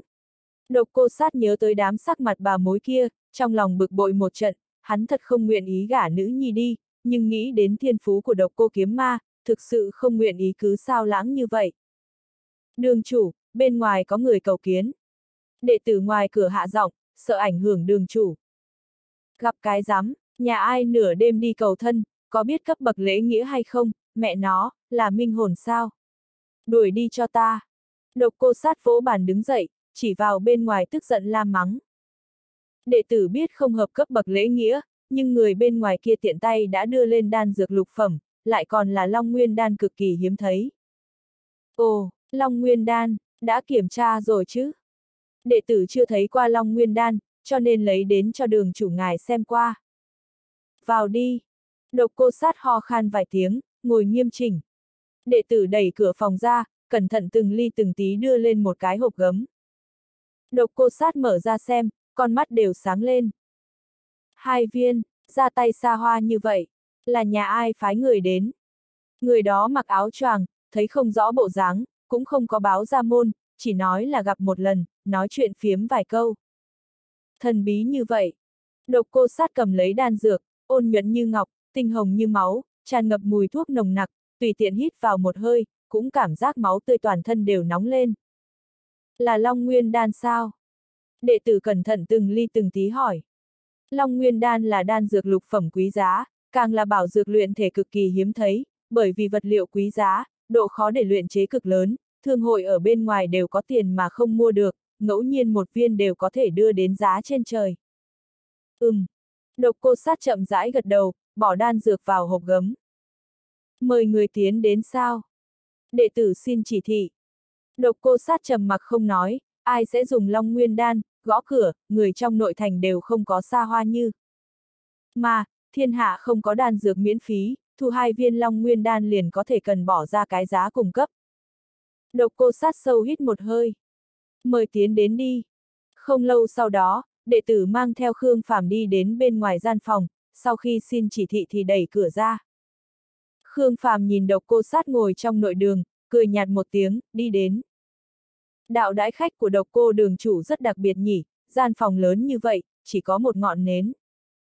Người tại nửa đêm tới chơi, không phải không tiện gặp người sao. Chỉ chọn một cây, người có thể nhìn thấy ta, ta không cần thấy rõ ngươi. Độc cô sát phất tay, ra hiệu đệ tử đóng cửa phòng. Đã nếm long nguyên đan chưa? Phẩm chất cũng không tệ lắm phải không? Khương Phàm đi đến đại đường, tìm cái ghế ở trong bóng tối ngồi xuống. Còn là thứ không thuộc về mình, sao có thể tùy tiện dừng? Nếm thử đi, ta chỗ này còn có rất nhiều. Ngươi là luyện đan sư. Xem như thế đi, dù sao cũng không thiếu đan dược, nếu như ngài nguyện ý, ngài không cần lại che giấu lương tâm gả nữ nhi. Độc cô sát nhìn chằm chằm Khương Phàm. Ngươi là ai? Không cần khẩn trương, ta không phải đến đòi nữ nhi của các ngươi. Ngươi muốn cái gì? Muốn huyết kiếm đường các ngươi. Làm càn, chẳng cần biết ngươi là ai, ngươi lại đại biểu ai, đều không được vọng tưởng khống chế huyết kiếm đường ta. Ha ha, độc cô đường chủ cốt khí tốt. Huyết kiếm đường ta truyền thừa ngàn năm, chưa bao giờ khuất phục qua trước bất kỳ ai. Nếu như các đời đường chủ có bất kỳ một ai khuất phục, huyết kiếm đường đã sớm lên như diều gặp gió, nhưng chúng ta không có, chúng ta khinh thường những kẻ mời chào kia. Đừng tưởng rằng ta cân nhắc gả nữ, chính là muốn bán huyết kiếm đường, các ngươi. Sai. Độc cô sát hung tợn nhìn chằm chằm Khương Phàm, đoán xem là nhà ai muốn khống chế huyết kiếm đường, chẳng lẽ là thành khu khác, hay là vương hầu nội thành bọn họ. Cốt khí tốt, thật sự làm cho người khâm phục. Khương Phàm khô cằn cười lạnh hai tiếng. Ngươi đang cười nhạo ta. Ta muốn xin hỏi độc cô đường chủ, huyết kiếm đường các ngươi tồn tại với ý nghĩa gì? Các ngươi thân ở hoàng thành cạnh tranh kịch liệt này, cũng không leo lên quyền quý, mưu cầu phát triển, lại không cải thiện hình thức, mở rộng ảnh hưởng, chỉ là căn nhà nhỏ bé không nóng không lạnh phát triển tại thành khu thứ năm này. Chẳng lẽ là nghiên cứu kiếm thuật, cũng không thấy các ngươi có thành tựu gì đặc biệt. Một ngàn năm, ý nghĩa của các ngươi ở đâu? Độc cô sát có chút há mồm, lại bị hỏi ngược. Ta hỏi lại độc cô đường chủ, người biết huyết kiếm đường các ngươi ban đầu là do ai sáng lập không? Lại khai sáng huyết kiếm đường ở chỗ này là có nguyên nhân gì? Nếu như ngươi chỉ đến thảo luận những thứ này với ta, tha thứ không phụng bồi. Đêm đã khuya, mời đi. Đừng có gấp, ngươi không hiểu rõ chuyện, ta ngược lại thật ra rất rõ ràng. Khương Phàm ngửa tựa ở trên ghế mây, nhìn sắc mặt âm trầm của độc cô sát, tự mình nói ra. Đường chủ ban sơ của huyết kiếm đường, tên là độc cô hàn kiếm, là một tán tu lang thang trung vực. Cảnh giới của hắn cao thâm, hành hiệp trượng nghĩa, bất luận là thế giới sát thủ dưới đất, hay là bên trong quần thể tán tu đều có thanh danh cực cao. Nguyên nhân chủ yếu, là linh văn của hắn, thiên phẩm, huyết kiếm. Bên trong tán tu sinh ra thiên phẩm, hiếm thấy đến cực điểm, cũng nhận rất nhiều thế lực mời chào. Nhưng tính cách hắn quái gở, không muốn trói buộc, từ chối tất cả những lời mời chào, cuối cùng mang theo một nhóm kiếm tu, đi đến xích thiên thần triều, sáng lập huyết kiếm đường. Đương nhiên, đây chỉ là độc cô hàn kiếm trong mắt người ngoài.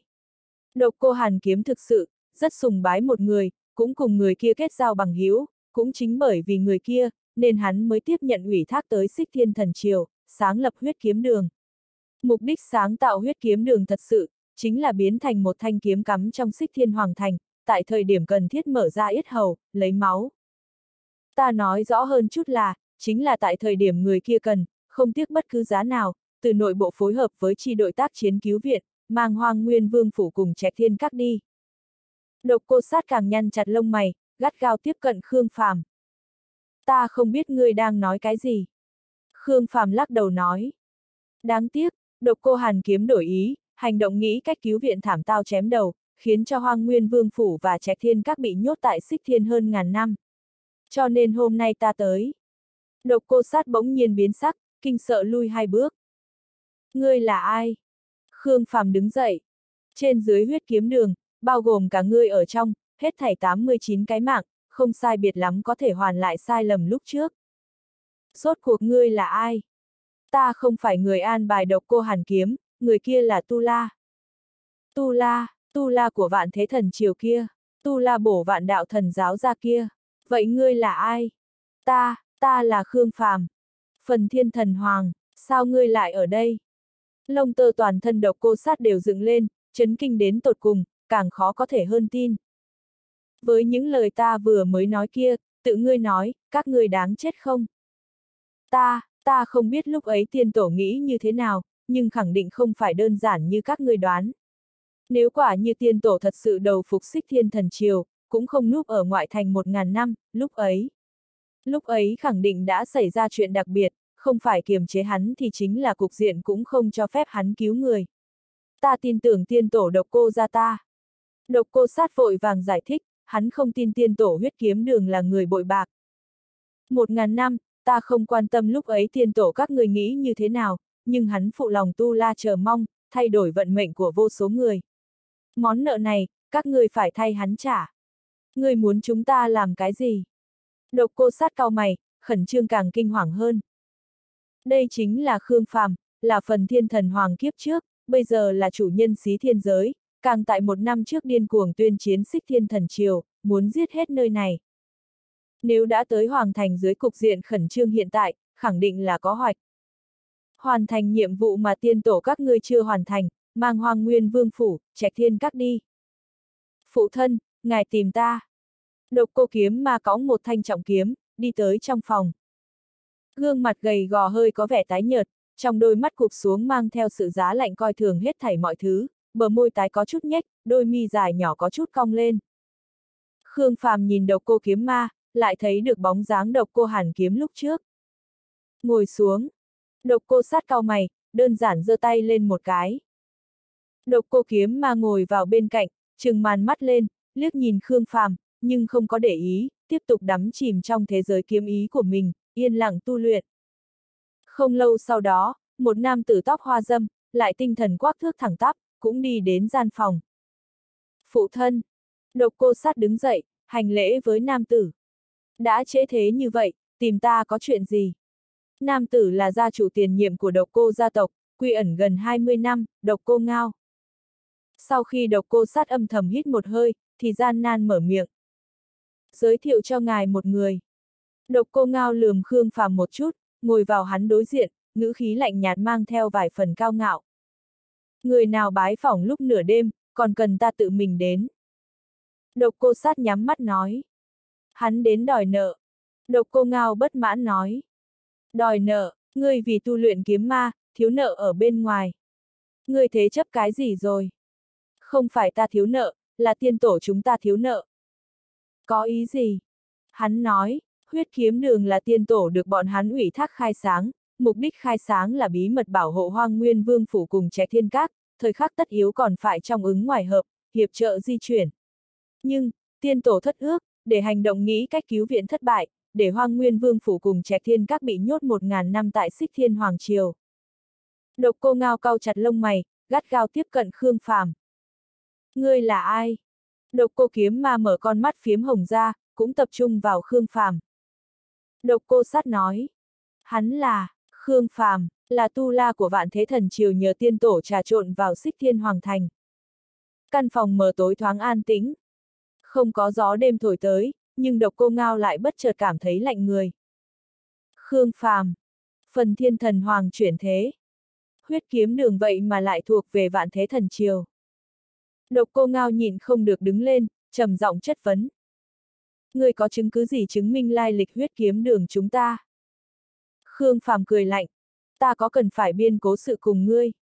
Độc cô ngao há hốc mồm, vậy mà lại nói không phản bác được. Khương Phàm nói.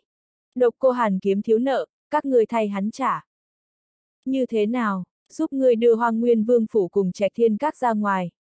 Ngươi quá để mắt huyết kiếm đường chúng ta. Ta không phải đang cùng các ngươi đàm phán, là đang nói nợ rõ ràng. Bắt đầu từ đêm nay, độc cô ngao ngươi cùng độc cô kiếm ma, tiến vào trong thông thiên tháp của ta làm con tin, huyết kiếm đường toàn lực phối hợp ta di chuyển hoang nguyên vương phủ cùng trẻ thiên các. Nếu như ta xảy ra chuyện ngoài ý muốn, hai người các ngươi chôn cùng. Nếu như có thể thuận lợi mang đi ra ngoài, hai người các ngươi cũng có thể sống tiếp. Những người khác của huyết kiếm đường thì sao? Ở lại nơi này chờ chết? Là theo chân rời khỏi, hay là ở lại nơi này chờ chết, nhìn biểu hiện của chính các ngươi? Đầu ngón tay Khương Phàm sờ nhẹ thông thiên tháp, hắc vụ cuồn cuộn, minh quang như sấm, hai sợi xiềng xích u minh rầm rầm lao ra, cuốn lấy độc cô ngao cùng độc cô kiếm ma. Độc cô sát muốn ngăn cản, nhưng chỉ có thể trơ mắt nhìn xiềng xích cuốn lấy phụ thân cùng trưởng tử của hắn, lôi vào bên trong tòa bảo tháp kia. Khương Phàm vẫn ngồi ở trên ghế mây. Đầu tiên, tâm sự chuyện trạch thiên các. Huyết kiếm đường mưu sinh ở ngoại thành, chỉ biết là chuyện ngoại thành. Nếu như ngươi có thái độ này, ta còn chưa nói xong. Nội tâm độc cô sát phùng vẫy hồi lâu, cuối cùng vẫn thỏa hiệp. Ta không hiểu nhiều đối chuyện nội thành, nhưng tình huống trạch thiên các cũng coi như có hơi nghe thấy. Biết bao nhiêu nói bấy nhiêu. Trạch Thiên Các đã từng là võ viện đặc biệt trực tiếp lệ thuộc Xích Thiên Hoàng thất, phụ trách các nơi trong thần triều, thậm chí siêu tập thiên tài đứng đầu trung vực minh mông, sàng lọc chọn lựa bồi dưỡng chuyên vì phục vụ hoàng thất. Nơi đó đã từng bồi dưỡng được rất nhiều vương hầu thống soái, giống như người thành lập của vô thượng vương phủ, kim luân vương phủ, thiên thư vương phủ, đều là xuất từ trẻ Thiên Các, còn có người thành lập quân đoàn dạ lang, quân đoàn thánh thuẫn, đều là xuất từ trẻ Thiên Các, còn có rất nhiều mãnh tướng, hoàng thất cung phụng các loại, cũng là xuất thân từ trẻ thiên các. Nơi đó đã từng là thiên tài doanh được chú ý nhất hoàng thất xích thiên thần triều, hoàng thất nể trọng, các phương nhìn lên. Độc cô sát nói, ký ức Khương Phàm cũng trôi giạt đến ngàn năm trước. Một năm kia, trạch thiên các từ bên ngoài thần triều chiêu mộ một kỳ nữ, chính là thiên hậu vạn thế thần triều sau này. Nàng chiếu sáng xích thiên, thiên phú tuyệt luân, thức tỉnh chính là thánh vương thiên phẩm, oanh động thần triều, phấn chấn trạch thiên các. Tất cả hoàng tử của hoàng thất đều tập trung vào nàng, không chỉ có thèm nhỏ dãi sắc đẹp của nàng, càng biết rõ hơn ai có thể có được nàng liền có thể được trạch thiên các duy trì, càng có thể mượn nhờ ảnh hưởng cùng linh văn của nàng vững chắc địa vị mình. Cho nên không chờ nàng làm lễ trưởng thành hoàng trưởng tử đã liền công khai tỏ thái độ muốn đặt vào hoàng thất. Nhưng, Khương Phàm sớm đã bắt lấy thiên hậu, còn tại trước hôm hoàng trưởng tử cưỡng ép đính hôn, dắt tay thoát khỏi hoàng thành. Độc cô sát tiếp tục nói. Trạch thiên các huy hoàng kéo dài mấy ngàn năm, cho đến sau khi những chuyện kia phát sinh, hoàng thất bắt đầu vắng vẻ trạch thiên các, đều lần nữa sáng lập hoàng thất võ viện mới, chân thiên các. Cũng là ý tứ chân tuyển, nhưng phát âm giống như chấn, cho nên bên ngoài càng muốn xưng là chấn thiên các. Trạch thiên các từ tầng thứ bảy trong thành, dần dần di chuyển đến tầng đầu tiên. Địa vị đương nhiên cũng là vừa giảm lại hàng. Hoàng thất mặc dù không có thủ tiêu trạch thiên các, nhưng cũng không có lại trọng dụng, nơi đó đã không còn tư cách chiêu thu đệ tử, chẳng qua là ban đầu giữ lại những người kia ở bên trong tự thân sinh sôi, bản thân truyền thừa. Tuy nhiên, tuy nhiên cái gì, có cái gì thì nói cái đó, đừng lề mề. Ta chỉ nghe nói, hoàng thất nhìn như vắng vẻ trạch thiên các, nhưng thật ra đang cầm tù trạch thiên các. Không cho phép người ở bên trong đi ra, cũng không cho phép người bên ngoài đi đến thăm viếng, nhưng đủ loại linh bảo chưa bao giờ từng đứt đoạn, thường thường đưa đến bên trong. Còn đi đưa linh bảo. Ta chỉ nghe người khác nói qua tình huống như thế, cụ thể không phải rất hiểu rõ. Bây giờ ở trong đó bao nhiêu người? Trạch thiên các tựa như là cấm kỵ bên trong nội thành, không có người nào dám điều tra, cũng không có ai dám đi đến, cho nên tình huống nơi đó, người biết ít càng thêm ít. Sau khi độc cô sát nói xong, tranh thủ thời gian bổ sung thêm một câu. Ta thật sự chỉ biết nhiều như vậy. Khương Phàm trầm mặc thật lâu, nói. Thành khu thứ năm có chợ giao dịch nô lệ không? Bên trong tám bộ thành khu, mỗi thành khu đều có. Ngươi muốn tuyển chọn nô lệ. Ta mặc kệ ngươi dùng cách gì, phải giải tin tức vào phía trong thành khu, liền nói. Thành khu thứ năm tới một nhóm mới nô lệ, trong đó có nhóm nữ nô, có được Ngọc Hồ Linh Văn. Ngươi muốn làm gì? Câu cá Kim Luân Vương Phủ. Kim Luân Vương Phủ, ngươi chỉ là từ thát khấu. Sợ sao? Từ thát khấu là hài tử Kim Luân Vương sủng ái nhất, nếu như hắn có cái gì ngoài ý muốn. Ngươi cứ việc làm theo. Độc cô sát liên tục trần chờ, nói. Giải tin tức giả rất dễ bị người khác hoài nghi, kỳ thật gần đây thật đúng là có tới một nhóm nô lệ đặc biệt, nhưng không ở thành khu thứ 5, mà là phần khu thứ 8. Bọn hắn là Hồng Vân Thương hội của Tiết Gia ở Tây Cương. Tiết Gia có bối cảnh hầu phủ, trước mắt lại còn là thương viêm hầu phủ cường thịnh, thương hội kinh doanh cũng vô cùng khổng lồ, phụ trách vận chuyển vật tư cho quân đoàn dạ lang ở biên cương. Nhưng không biết gia chủ Tiết Gia nghĩ như thế nào, lại thừa dịp quân đoàn dạ lang ở thời kỳ nhạy cảm mệt mỏi trước mắt, lại tăng giá lên. Sau sự kiện thiên đáng sơn, quân đoàn dạ lang nhận mật lệnh của Hoàng thất, cần tăng cường pháp trận cho phòng tuyến biên cương, cho nên nơi đó có nhu cầu cấp bách số lượng lớn vật tư. Đối với một ít yêu cầu của tiết gia bọn hắn có thể nhịn được thì nhịn, nhưng tiết gia được một tấc lại muốn tiến một thước, báo giá càng ngày càng quá phận, cuối cùng bị người phụ trách mời chào vật liệu của quân đoàn báo cáo đến thống soái nơi đó. Quân đoàn dạ lang tổn thất nặng nề tại Thiên Đãng Sơn, thống soái từ đầu đến cuối vẫn đang kìm nén cơn tức giận, cho nên quân đoàn dã lang trực tiếp sai khiến một bộ 10 vạn người, trong vòng 10 ngày, càn quét đại địa Tây Cương, tiến hành niêm phong tất cả phân hội của Hồng Vân Thương hội, cưỡng ép giam toàn tộc tiết ra. Chuyện nháo đến hoàng thất nơi này, thương viêm hầu phủ phía sau tiết ra, còn có thế gia kết giao, đều nhao nhao thỉnh nguyện nghiêm trị dạ lang thống soái nhưng hoàng thất cuối cùng lại có khuynh hướng nghiêng về dạ lang thống soái dù sao bây giờ là thời kỳ chiến tranh, cần ổn định quân tâm. Cuối cùng, tất cả vật tư của Hồng Vân Thương hội, phong phú cho dạ lang quân đoàn, để chấn khí thế. Toàn tộc tiết ra mấy ngàn người, toàn bộ bị biếm thành nô lệ, răn đe. Đám chủ nô phần khu thứ 8 là nghênh hợp một ít nhu cầu đặc thù của nội thành, tự mình chạy đến Tây Cương chia cắt một nhóm nữ quyến tiết ra, mấy ngày nay sắp vào thành. Bằng vào những gì ta hiểu về từ thát khấu, chỉ sợ hắn đều đã cấm dục hơn 10 ngày, chờ nữ quyến tiết ra tới tay ăn mặn. Đối với hắn loại công tử hoàn khố duyệt vô số nữ tử kia mà nói, bộ dáng, dáng người sớm đã không thể nào hấp dẫn hắn, thân phận mới là chủ yếu, cho nên. Người hãy chịu đựng, mấy ngày nay hắn sẽ từ trong thành đi ra. Khương Phạm hài lòng gật đầu. Rất tốt, sau này đều như vậy, cố gắng mà phối hợp với ta. Phối hợp. Chết tiệt, ta đang hãm hại hài tử Kim Luân Vương. Sắc mặt độc cô sát âm trầm khó coi. Khương Phàm ngồi trên ghế mây cười nhạt nói. Độc cô đường chủ, nghĩ thoáng chút, huyết kiếm đường ngươi thật muốn đời đời kiếp kiếp sống uất ức dưới chân hoàng thành này sao? Vì mấy viên đan dược còn phải uất ức cân nhắc bán nữ nhi. Nếu như ta là ngươi, sẽ bắt lấy cơ hội này thật tốt, đánh cược hết thảy, thay đổi độc cô gia tộc, cùng vận mệnh huyết kiếm đường. Thuận tiện, thay rửa sạch tội danh cho tiên tổ các ngươi. Phụ thân, hài Nhi đã nghĩ kỹ. Độc cô kiếm linh không đợi hừng đông đã đẩy cửa phòng ra, sắc mặt hơi trắng, khóe mắt rưng rưng, hai tay nắm thật chặt, dùng hết sức lực toàn thân, nói ra hai chữ. Con gà. Ừm. Độc cô sát dương mắt nhìn, từ trong suy nghĩ bể bộn xoắn suýt lấy lại tinh thần. Ngài không cần đau đớn, con gà. Chỉ cần có thể cam đoan huynh trưởng tiến đến cao giai niết bàn, chỉ cần huyết kiếm đường có thể ổn định địa vị, độc cô kiếm linh. Nguyện ý xuất giá. Trước đó độc cô kiếm linh vô cùng kháng cự cái gọi là thông gia, không chỉ bởi vì muốn ủy thân cho nam tử mà mình hoàn toàn không có tình cảm, càng là bởi vì thông gia để nàng giống như một vật phẩm tùy tiện giao dịch không có chút giá trị bản thân nào. Nhưng, huynh trưởng thiên phú phi phàm, trầm ngâm ở bên trong kiếm đạo, ngay cả Gia Gia đều nói hắn là truyền nhân ưu tú nhất huyết kiếm đường mấy trăm năm qua, nàng thực sự không nguyện ý nhìn huynh trưởng bởi vì vấn đề tài nguyên mà dừng bước không tiến. Con nói chuyện thành thân sao, không cần. Không, Hải Nhi đã nghĩ thông suốt, con gả. Nhưng Hải Nhi có 8 điều kiện. Độc cô sát sở khóc sở cười. tám điều kiện. Độc cô kiếm linh cắn chặt hai hàm răng trắng ngà nói. tám cái, Chỉ cần đồng ý với con, ngày mai con có thể xuất giá. Độc cô sát thô cuồng hung hãn, chỉ có khi nhìn đến nữ nhi, vẻ mặt mới có thể thư giãn.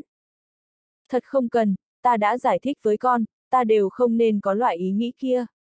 Con đã một đêm không ngủ, đi về nghỉ. Hải Nhi đã nghĩ thông suốt, Hải Nhi nguyện ý vì huyết kiếm đường mà hy sinh. Sao lại bướng bỉnh như thế chứ, ta đều đã nói là không cần. Phụ thân không cần cân nhắc vì con, con đã nghĩ thông suốt, con nhất định phải gả. Thật không cần, chúng ta đã cùng người khác làm khác giao dịch, không cần thông ra. Giao dịch gì, cái này dính đến bí mật gia tộc, con không cần phải để ý đến. Hải Nhi là một thành viên của gia tộc, sao con có thể? Độc cô Kiếm Linh nói, đột nhiên phát giác trong góc lại còn có một người khác đang ngồi. Kiếm Linh cô nương, hân hạnh. Khương Phàm lung lay ngón tay, tỉ mỉ quan sát lấy độc cô Kiếm Linh. Cô nương này so với ca ca cùng lão phụ thân nàng đều nén lòng mà nhìn nhiều, ngũ quan rất đẹp, mỹ cảm rõ ràng, để cho người ta nhìn qua đều khó mà quên được. Mặc dù nàng trông hơi gầy, nhưng cũng rất khỏe đẹp cân đối, dáng người thẳng tắp 1m8 mang đến cho người ta cảm giác tư thế hiên ngang, nhất là cặp đùi đôi thon dài kia, cho dù là được bao bọc bởi chiếc váy dài, nhưng cũng không che giấu được loại mỹ cảm đáng chú ý kia. Hắn là ai? Độc cô kiếm linh đứng ở nơi đó giống như lợi kiếm ra khỏi vỏ, thẳng dáng người hoàn mỹ triển hiện trước sau lồi lõm, cùng cặp đùi đẹp tròn trịa, vừa hợp nhau lại càng tăng thêm sức mạnh. Khó trách sẽ có nhiều người đến cầu thân như vậy, không chỉ là coi trọng nguồn lực lượng huyết kiếm đường này, cũng bởi vì vẻ mỹ lệ lại kiệt ngạo báo phụ mẫu này. Hắn là... Độc cô sát trần chờ không biết giới thiệu làm sao. Là ai, có cái gì không thể nói sao? Ngươi, ai phái tới?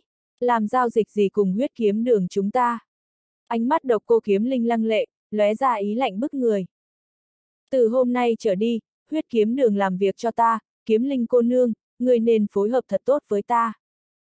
Làm việc cho ngươi, khẩu khí thật lớn. Độc cô kiếm linh kiêu ngạo quát tháo. Phụ thân, đánh hắn ra ngoài, huyết kiếm đường chúng ta truyền thừa ngàn năm, chưa bao giờ thỏa hiệp trước bất kỳ ai, chúng ta càng không cần biến thành chó săn của ai cả.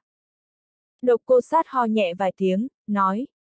Chúng ta không phải thỏa hiệp với ai, mà là... Là cái gì? Phụ thân, ngài làm sao thế, sao lại ấp úng? Bị hắn khống chế rồi. Huyết kiếm đường là hắn khai sáng. Cái gì? Hắn, là Khương Phàm, huyết kiếm đường, là năm đó bọn hắn sáng tạo cũng đặt ở lại Hoàng Thành. Độc cô sát nhìn Khương Phàm một chút, không để lại dấu vết lắc đầu, ra hiệu Khương Phàm không nên nói chuyện tổ tiên bọn họ bội bạc nữa. Khương Phàm, tên này nghe rất quen thuộc. Độc cô kiếm linh bỗng nhiên thay đổi sắc mặt, con người cũng hơi phóng đại. Khương Phàm, phần thiên thần hoàng chuyển thế. Cái người điên oanh động thương huyền kia. Không phải hắn đang ở xí thiên giới sao, không phải hắn đang bị tất cả hoàng tộc hoàng đạo vây công sao. Hắn, tại sao lại ở chỗ này? Huyết kiếm đường lại là do bọn hắn bí mật khai sáng. Nội ứng. Trong đầu độc cô kiếm linh bất chợt hiện lên vô số suy nghĩ. Lúc này, đệ tử phía ngoài bước nhanh tiến đến. Đường chủ, tin tức ngài muốn đã tra được. Đám nô tiết ra lệ kia, dự tính buổi tối hôm nay có thể đến phần khu thứ 8, đến lúc đó sẽ có thịnh hội bán đấu giá. Bóng đêm dần tối, cửa thành khu nội thành phía tây ẩm ẩm rộng mở, bọn công tử hoàn khố cùng từng đội xe kéo xa hoa đi vào nội thành, lao tới phần khu thứ 8. Trong đám hoàn khố này phổ biến đều là ngang ngược càn rỡ, bất học vô thuật, có chút còn việc ác bất tận, nhưng bọn hắn đều ra thế hiển hách, thân phận tôn quý, các tổ tiên đời đời kiếp kiếp góp nhặt gia nghiệp, vững chắc địa vị, đầy đủ để trèo chống bọn hắn phóng túng trong cố đô vạn năm này. Đội xe mạnh mẽ đâm tới, phóng tới trên trên đường phố rộng rãi náo nhiệt không chút kiêng kỵ. Phần khu thứ 8 tại Đông Nam Bộ, nơi này có 18 con phố răng khắp nơi, tất cả đều là chỗ ăn chơi đặc thù. Hội đấu giá, đấu thú trường, giác đấu trường, hoa lâu, chợ giao dịch nô lệ các loại, cái gì cần có đều có. Chợ giao dịch cuồng sa nô lệ, là một trong tam đại chợ giao dịch của phần khu thứ 8, chuyên buôn bán nô lệ. Bởi vì sự kiện tiết ra ở Tây Cương, nơi này thành tiêu điểm đêm nay tại phần khu thứ 8. Không chỉ có đám công tử bột khu nội thành chen chúc tới, mà thế lực phe phái các thành khu khác, cũng đều tụ tập tới nơi này. Có nữ quyến tiết ra đến, cũng có những cường giả tiết ra kia. Đến rồi, Trên vải mảnh xe kéo theo Kim Luân, chính là đội xe Kim Luân Vương Phủ. Độc cô kiếm linh bồi Khương Phàm đứng trong một con ngõ hẻm đối diện chợ giao dịch, cõng trọng kiếm, vẻ mặt khẩn trương. Đây chính là đội xe Vương Phủ. Đối với những người sinh ra và lớn lên ở Hoàng Thành mà nói, Vương Phủ không thể nghi ngờ chính là cấm kỵ không thể khiêu khích, mà đêm nay nàng lại phải đến cướp giết công tử Vương Phủ, muốn ổn định tinh thần thực sự rất khó khăn. Trong một con ngõ hẻm khác gần đó, độc cô sát mang theo tinh nhuệ tâm phúc bí mật ẩn núp, cũng đều vô cùng khẩn trương. Tên heo mập kia chính là từ thát khấu. Khương Phàm tựa ở phố nhỏ trên tường, nhìn đội xe Kim Luân Vương Phủ đang đi đến. Sau khi bọn thị vệ dừng xong đội xe, hai nữ tử tuyệt lệ mặc hở hang, đỡ lấy một tên nam tử to béo đi tới. Bất luận là thương gia bên trong chợ giao dịch, hay là những người ở gần đó, đều nhao nhao hành lễ đối với nam tử. Nam tử kiêu căng, cũng chưa từng nhìn đến những người kia, đọ thị nữ nâng đỡ, đi đến chợ giao dịch ồn ào náo nhiệt. Người muốn làm thế nào? Độc cô kiếm linh cẩn thận từng ly từng tí hỏi. Chờ đợi. Khương Phàm nhìn đội xe cùng biển người lui tới, âm thầm rung động.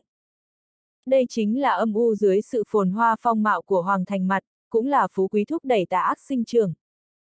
Nhưng bất kỳ một tòa hoàng đô phồn hoa nào cũng đều tránh không được vấn đề như vậy, bao gồm cả vạn thế thần triều đã từng của hắn.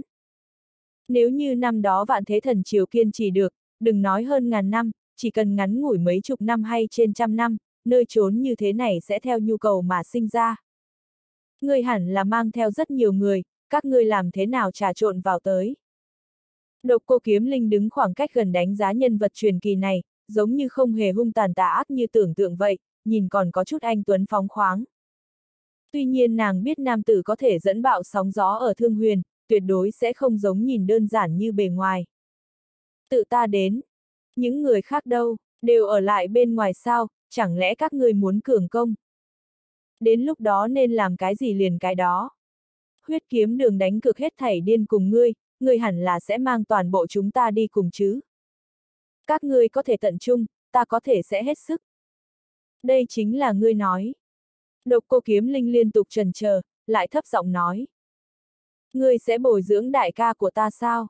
Mặc dù huynh ấy đối nhân xử thế kém một chút, nhưng toàn bộ tâm tư đều đặt ở trên tu luyện kiếm thuật, huynh ấy lại là trí tôn thánh phẩm, đợi một thời gian, khẳng định là có hy vọng tiến lên cao giai niết bàn. Nói không chừng đều có thể tu luyện đến niết bàn cảnh cửu trọng thiên. Khương Phàm liếc mắt nhìn đầu cô kiếm linh, không nói gì thêm, tiếp tục nhìn qua chợ giao dịch nô lệ càng ngày càng náo nhiệt. Mặc dù các ngươi có rất nhiều cường giả, nhưng trí tôn thánh phẩm khẳng định cũng không có nhiều đi, đại ca của ta lại là kiếm tu, tiềm lực rất lớn. Độc cô kiếm linh không biết huyết kiếm đường là bị Khương Phàm bức hiếp, chỉ nghĩ là Khương Phàm bắt đầu đến dùng quân cờ ngàn năm, đương nhiên cho là tương lai huyết kiếm đường khẳng định phải tiến đến xí thiên giới, nơi đó chính là hoàng tộc đan đạo, khắp nơi đều có đan dược, cho nên muốn sớm tranh thủ chút cơ hội cho huynh trưởng. Cho đến đêm khuya, giao dịch bên trong nô đãi chàng cơ bản đã định. Có kẻ hài lòng mang theo nô lệ của mình rời khỏi, có kẻ bỏ mất nô lệ mình ngưỡng mộ trong lòng, ở bên trong cái vã. Khương Phàm rất kiên nhẫn đứng ở trong ngõ hẻm, nhìn biển người liên tiếp đi ra. Nơi đó, đến rồi, người muốn làm thế nào? Là phục kích ở trên đường, hay là... Độc cô kiếm linh còn chưa nói xong, Khương Phàm đã đi qua. Ha ha, chúc mừng từ công tử, đã bắt lại chính thê của lão tiết tặc. Khẩu vị của từ công tử càng ngày càng kích thích. Từ công tử, đêm nay người thật quá mức, cướp được chính thê của lão tiết tặc còn không đủ, lại còn đoạt cả ba vị tiểu thiếp, người không sợ ăn bể bụng. Số lượng lớn công tử hoàn khố vây quanh từ thát khấu, lấy lòng, cười đùa, bầu không khí sốt ruột. Từ thát khấu tươi cười, tinh thần phấn chấn, hiển nhiên đêm nay thu hoạch rất tốt. Kỳ thật dựa vào thân phận vương tử của hắn, thật đúng là không có mấy người dám cùng hắn cạnh tranh. Từ thát khấu, chúng ta làm giao dịch, thế nào? Một công tử hoàn khố đến từ hầu phủ chen đến phía trước, ngăn cản từ thát khấu. Người tỉnh lại đi, người, ta chắc chắn phải có được, bao nhiêu tiền ta đều không bán. Từ thát khấu sầm mặt lại, hừ một tiếng, đó chính là hỗn đản cùng hắn tranh đoạt ở trong, đi ra còn không hết hy vọng. Ta không phải muốn đoạt cùng ngươi bây giờ, là chờ ngươi chơi chán, lại chuyển cho ta. Một năm, liền một năm, thế nào? Cái tên công tử hoàn khố kia không tranh nổi, chỉ có thể lùi lại mà cầu việc khác, mặc dù không thể uống chén canh, nhưng chỉ cần có thể nhấm chút cũng được. Loại giao dịch nô lệ như vật phẩm này, mặc dù để cho người ta buồn nôn sinh chán ghét, nhưng ở trên chợ giao dịch lại hết sức bình thường. Nô lệ, vốn là dân đen. Một năm, từ thát khấu đảo con mắt đi lòng vòng, đêm nay chơi quá mức, tiền riêng toàn ném ra, nếu như có thể thu về chút lợi tức, còn rất khá. Liền một năm, nhưng người phải bảo đảm các nàng đều hoàn chỉnh. Cái tên công tử hoàn khố kia cười. Từ thát khấu liếm môi một cái. Một năm, nửa giá cho ngươi. Nửa giá, ngươi quá mức. Muốn hay không, nửa giá. Tốt, liền nửa giá, nhưng đến lúc đó ta muốn kiểm hàng, nếu có vấn đề, ta sẽ không đưa tiền. Ha ha, ngươi cứ chậm rãi chờ đi. Từ thát khấu vung tay lên, ra hiệu chủ nô theo ở phía sau. Mang người cho ta tới, đêm nay ta không trở về vương phủ, ở lại phần khu thứ 8 này qua đêm. Đám người cười vang, nhao nhao khuyên từ thát khấu đừng quá sức. Lúc này, Khương Phàm đi tới trước mặt đám người này, nói với thị vệ ở phía ngoài. nhưng cái, tránh ra một chút. Ngươi làm gì? Bọn thị vệ khẽ nhíu mày. Ngươi là ai chứ? Tránh ra. Ngữ khí Khương Phàm hơi trầm xuống. Bọn thị vệ sửng sốt một chút, không đợi kịp phản ứng liền bị đẩy sang hai bên. Khương Phàm đi xuyên qua thị vệ, đẩy mấy tên hoàn khố đang muốn nịnh nọt ra. Ai vậy, mắt bị mù sao? Đám công tử bột lảo đảo ngã xuống đất, chửi ầm lên. Từ thát khấu đúng không? Khương Phàm đi đến trước mặt từ thát khấu, không trần chờ chút nào, liền nâng một chân đánh vào trên đầu gối của hắn. Răng rác, hai cốt vỡ vụn, huyết nhục vẩy ra, đùi phải từ thát lỗ bỗng nhiên hất lên về sau, cơ thể to béo quỳ xuống trước Khương Phàm. A! À, từ thát lỗ kêu thảm, sau khi quỳ xuống đất liền nhào về phía Khương Phàm. Đi! Khương Phàm ra tay như điện, cầm lấy cổ từ thát khấu đang ngả vào trước mặt mình một cái, toàn thân cuồn cuộn kinh khí, kéo lấy từ thát khấu đang gào thảm phóng lên tận trời, biến mất ở trên nóc nhà. Chợ giao dịch yên tĩnh như chết, tất cả mọi người giật mình đứng nguyên tại chỗ. A! À, trong ngõ hẻm, độc cô kiếm linh nghẹn ngào kêu lên đầy sợ hãi, lại tranh thủ thời gian che môi đỏ, ánh mắt lắc lư, gương mặt xinh đẹp chấn kinh. Cứ bắt như vậy, cứ như vậy, đi đến trước mặt, trực tiếp bắt. Thần hoàng này làm việc, chính là mạch suy nghĩ không giống với người bình thường như bọn hắn sao. Bọn người độc cô sát tiềm phục tại chỗ tối tê dần ra đầu, nhanh chóng biến mất trong bóng đen. Công tử! Đám cận vệ của từ thát khấu giật mình, rốt cuộc cũng kịp phản ứng, bọn hắn đấm ngực dậm chân, bối rối lo lắng, vọt tới phía người thần bí kia biến mất. Ngoạ tào, đó là ai a? À? Từ thát khấu chọc tới ai sao? Ai ác như vậy, một chân liền đá phế đầu gối đi rồi. Tiểu tổ tông của ta ơi, bắt người ở trước mặt mọi người. Đây là đang miệt thị Kim Luân Vương phủ sao? Bọn công tử hoàn khố kinh hô gọi bậy, tranh thủ thời gian trốn đến trong nhóm thị vệ của mình, sợ lại nhận tập kích. Chủ nô càng ngồi liệt trên mặt đất, sắc mặt tái nhợt, mồ hôi lớn như hạt đậu trượt xuống gương mặt như mưa. Từ thát khấu bị bắt trong chợ giao dịch của hắn. Kim Luân Vương Phủ truy cứu tới, hắn sẽ đứng mũi chịu sào chịu trừng phạt. Lúc này, trong chợ giao dịch truyền đến tiếng thét chói tai, đưa tới hỗn loạn. Lại làm sao? Chủ nô lộn nhào sông vào chợ giao dịch hỗn loạn. Ở bên trong khu vận chuyển nô lệ của chợ giao dịch, các nô lệ vừa mới bị mua xuống đang bị chỉnh lý từng nhóm, chuẩn bị đưa cho người mua. Nhưng, bọn người lãnh tuyền, ngư cung sớm đã trà trộn đi đến, tại thời điểm Khương Phàm bắt từ thát lỗ đi, bọn hắn đã quả quyết ra tay xử tử toàn bộ bọn thị vệ đang vận chuyển trong chợ giao dịch, cũng mang theo đám nô lệ tiết ra kia nhanh chóng rời khỏi. Người đâu, nhóm người tiết ra kia đâu? Chủ nô muốn hỏng mất, thật vất vả mới tranh thủ được đến nhóm nô lệ tiết ra này, cũng thành công gây nên oanh động, vậy mà. Vậy mà. Những người khác theo sát tiến vào nhìn đầy đất thi thể, ra đầu tê dại một hồi. Toàn bộ đều bị chém đầu, thi thể tách rời, máu chảy như sông, trên mặt đất bừa bộn nhìn thấy mà giật mình. Bắt sống từ thát khấu, nghĩ cách cứu viện tiết ra nô lệ, chẳng lẽ là thương viêm hầu phủ. Thương viêm hầu phủ là bối cảnh của tiết gia, càng cùng tiết gia làm thông gia, chắc chắn sẽ không ngồi nhìn con cháu tiết gia bị trà đạp đùa bỡn. Thật đúng là có thể là thương viêm hầu phủ. T. Chuyện muốn ồn ào lớn. Bởi vì chuyện của tiết gia, lão tổ của thương viêm hầu phủ đều từ chối hoàng thất điều động, vẻ bất mãn mọi người trên dưới hoàng thành đều biết. Từ thát khấu là hài tử Kim Luân Vương sủng ái nhất, nếu có chuyện bất chắc, Kim Luân Vương khẳng định sẽ cùng thương viêm hầu náo đứng lên. Chợ giao dịch triệt để oanh động, theo biển người đang nhanh chóng rời khỏi, tin tức điên cuồng khuếch tán tại phần khu thứ 8. Vương Phủ Công Tử bị bắt. Đây quả thực là chuyện trăm năm khó được nghe một lần. Ngư cung và lãnh tuyển đã sớm an bài đệ tử xen lẫn trong bên trong thêm mắm thêm muối, đầu mâu dư luận dẫn hướng đến thương viêm hầu phủ. Không đến hừng đông, tin tức đã lan tràn tới khu nội thành, oanh động Kim Luân Vương Phủ. Cánh cửa nội thành rộng mở, số lượng lớn cường giả Vương Phủ lao tới chợ giao dịch cuồng xa. Niêm phong nô đãi chàng, truy nã chủ nô. Đầu người chất đống, máu nhuộm cả phố dài. Bọn thị vệ của từ thát khấu sau khi gặp phải thẩm vấn nghiêm khắc, thì đều bị đương chúng xử trảm. Sau khi thương viêm hầu phủ nhận được tin tức, liền lập tức phong tỏa cửa phủ, nội bộ điều tra là ai ra tay. Đột nhiên xuất hiện tin tức, để bọn hắn cũng tự mình hoài nghi có phải trong nhà có ai không nhìn được hay không. Một cử động kia không thể nghi ngờ đã kích thích Kim Luân Vương Phủ, càng hoài nghi là thương viêm hầu phủ âm thầm ra tay. Huyết kiếm đường.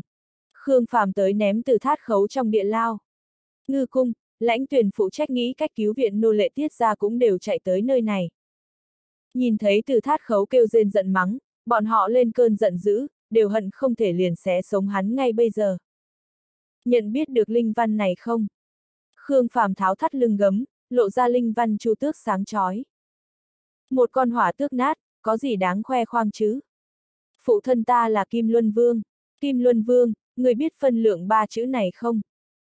Từ thát khấu ôm lấy cái đầu gối rách dưới lăn lộn đầy đất, từ nhỏ đến lớn sống an nhàn sung sướng, bình thường mà suốt chút ra đều muốn an dưỡng ba ngày, chưa từng nhận qua loại đau đớn này. Khương Phàm ngồi xổm ở trước mặt hắn. Ngươi không có kiến thức, ta không trách ngươi. Giới thiệu sơ lược chút, cái này gọi là chu tước. Chu tước là cái gì? Từ thát khấu đột nhiên ngây ngẩn cả người, mặc dù hoàn khố, nhưng lại không ngốc, hắn trực nhìn chằm chằm trên trán nam tử trước mặt mình.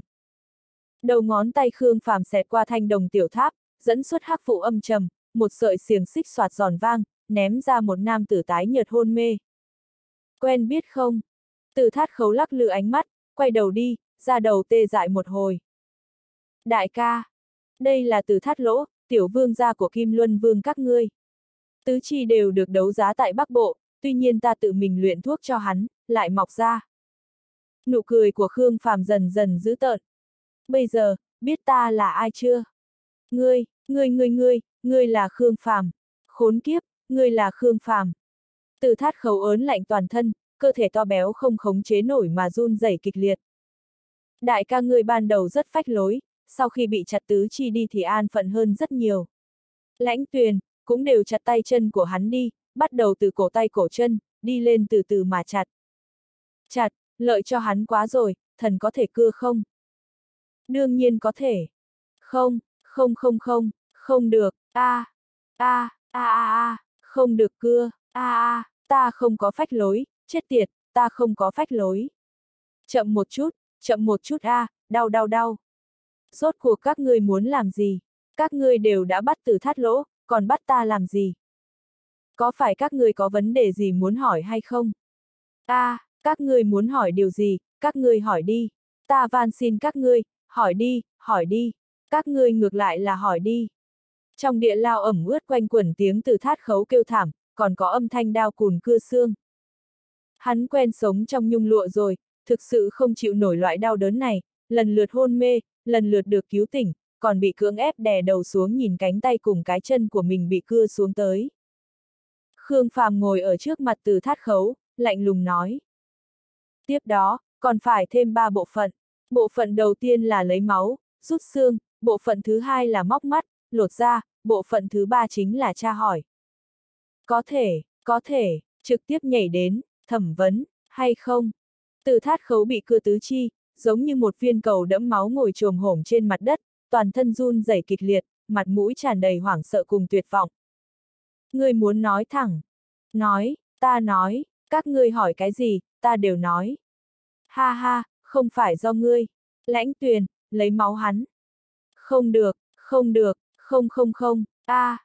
Tiếng kêu đau đớn thảm thiết lại lần nữa vang vọng trong địa lao, từ thát khấu to béo bị tươi sống thả ra một nửa máu tươi, suýt chút nữa chết ở trong địa lao. Nhưng trong tay Khương Phàm tất cả đều là đan dược, có thể khống chế tính mạng của hắn rất tốt. Từ thát khấu không chỉ không chết được, mà còn sau khi hôn mê thì liền thức tỉnh, càng kinh khủng hơn chính là, trong miệng hắn còn đút lấy đan dược kích phát độ mẫn cảm, để hắn rõ ràng hơn cảm nhận đau đớn mãnh liệt hơn. Khương Phàm ngồi ở trước mặt hắn, tàn nhẫn nói. Tiếp theo, ta hỏi, người đáp, ta muốn nghe lời thật, nếu có nửa câu nói dối, có nửa điểm trần chờ, ta sẽ cho ngươi một lần nữa tạo nên tứ chi, sau đó lột ra rút xương, để cho ngươi sống không bằng chết. Tin tưởng ta, ta so với những lời đồn ngươi nghe được, còn rất tàn nhẫn. Hỏi, ngươi hỏi. Từ thát khấu run rẩy, ý thức đều hoảng hốt. Còn nhớ rõ cẩm tú sao? Nhớ kỹ, nhớ kỹ, nữ chủ nhân lâm lang các bắc bộ. Nàng là chết thế nào? Nàng không chết. Không chết. Vì sao các ngươi lại hỏi nàng? Các ngươi là tới vì nàng sao? Ta oan uổng quá.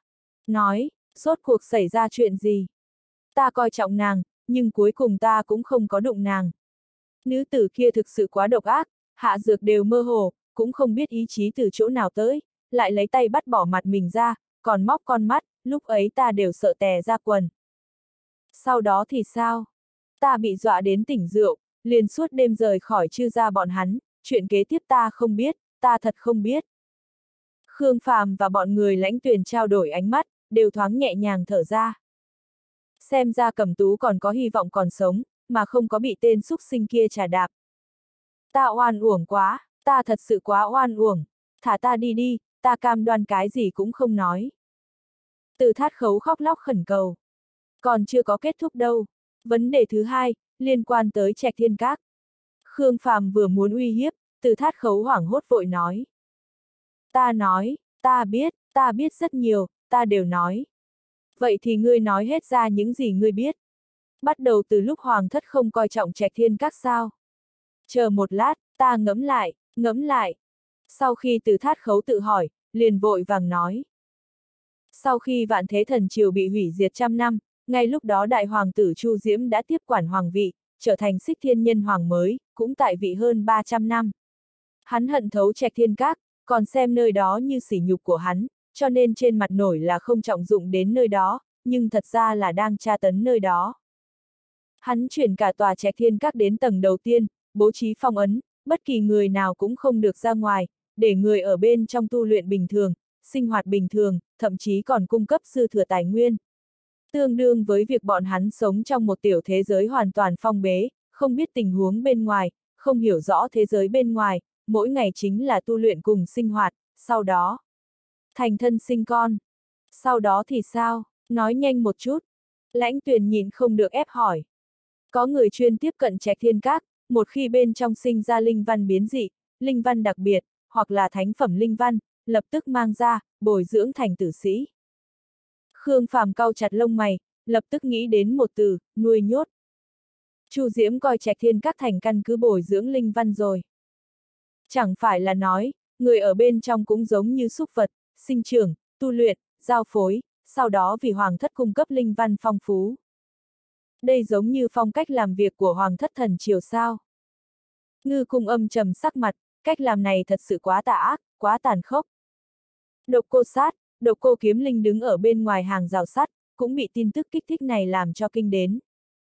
Thì ra hoàng thất không chỉ không xem trọng tận dụng trạch thiên các, mà là đang trà đạp nơi đó, đang dùng phương thức cực đoan ép giá trị nơi đó. Khương Phàm hỏi. Lão tặc còn sống không? Từ thát khấu nói. Ngươi nói chính là Chu Diễm sao? Còn sống. Khương Phàm khẽ nhíu mày. Ngươi có thể xác định. Ngư cung và đám đều lộ kinh sợ, nhân hoàng ngàn năm trước lại còn sống. Độc cô sát, độc cô kiếm linh trao đổi ánh mắt, đều không dám tin. Tuổi thọ của thánh vương cảnh phổ biến có thể đạt tới hơn 800 tuổi, bởi vì hoàng thất cửu thiên huyền hỏa có thể diễn biến khí tức sinh mệnh, cho nên trên lý luận Chu Diễm có thể sống nghìn tuổi, nhưng từ từ khi Chu Diễm sinh ra đến bây giờ, hẳn là đã hơn một ngàn năm, làm sao có thể còn sống. Ta là nghe người của Hoàng thất nói, sớm tại 300 năm trước, Chu Diễm đã phong ấn mình, tế hiến tặng cho Hoàng thất. Nói đúng hơn là, hắn từ bỏ hết thảy thế tục, triệt để giam cầm cơ thể linh hồn, giống như hoạt thi, dùng cái này chỉ hoãn thời gian chết. Nếu như hậu thế có cần, hắn sẽ nhanh chóng thức tỉnh, vì hoàng thất liều chết một trận chiến, nếu như hậu thế an bình, hắn sẽ từ từ mục nát bên trong phong cấm. Từ thát khấu mặc dù là một thiếu gia ăn chơi, nhưng người kết giao rất nhiều, cũng ưa thích bát quái, cho nên những chuyện hắn biết thật đúng là không ít. Khương Phàm giật mình, chẳng lẽ lão tặc đang chờ hắn luân hồi. Nếu không sao Chu Diễm cao ngạo có thể mình biến thành vũ khí giống như một công cụ. Một vấn đề cuối cùng, nếu như ta muốn trà trộn vào huyền hương thương hội bên trong nội thành, cần làm cái gì? Ta dẫn người đi, quá đơn giản. Ngươi thấy ta giống đồ đần. Không không không, ngươi giữ lại ta, ta cam đoan trăm phần trăm phối hợp. Ngươi là nhất định phải chết tại nơi đây, nhưng chết như thế nào, quyết định bởi biểu hiện của ngươi. Bây giờ, ngươi lập tức nghĩ ra một ý kiến cho ta, hay là ta lại tra tấn ngươi hai ba ngày. Ta nghĩ, ta bây giờ liền nghĩ. Từ thát khấu không lo được cầu khẩn, con mắt quay tròn xoay chuyển. Phải nhanh. Ta, ta đang suy nghĩ, ta đang nghĩ. Nhanh. Ta ta ta. Lãnh tuyền bắt đầu đi, tra tấn đến khi chết. Chờ một chút, nghĩ ra. Ta nghĩ ra rồi. Mau nói. Người trong nội thành đều có ngọc bài đặc biệt, người bên ngoài muốn đi đến thì cần phải đi xin mời ngọc bài, nhưng quá trình xin mời rất phức tạp. Ta ở chỗ này vừa vặn có chút ngọc bài đặc chế, có thể tùy ý thông hành nội thành. Ngọc bài gì? Nếu như ta nói, các ngươi nhất định phải tha ta. Vẫn ngược nhẹ nhỉ, lãnh tuyền, giao cho ngươi. Không cần, ngọc bài này của ta thật rất đặc thù, nếu như các ngươi có thể cầm tới, đừng nói đến tầng đầu tiên, chính là đều có thể tiến Kim Luân Vương Phủ. Mà, mà cái gì? Mà không có bất cứ kẻ nào sẽ hoài nghi thân phận của các ngươi.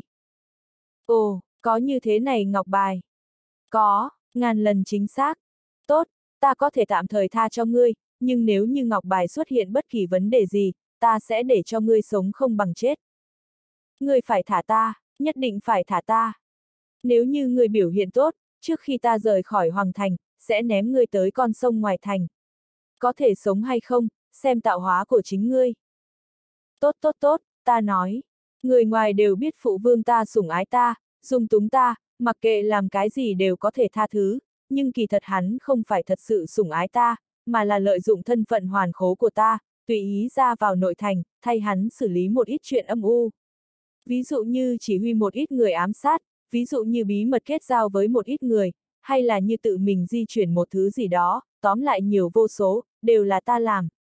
Ta là hoàn khố trong mắt người khác, sẽ chỉ vung vẩy tiền tài, đùa bỡn nữ tử, cho nên lên tới vương hầu hoàng thất xuống đến môn phiệt thế gia, đều không có ai thật sự để ý đến ta. Lãnh tuyển cùng ngư cung bọn hắn trao đổi ánh mắt, Kim Luân Vương thế mà sẽ lợi dụng phế vật.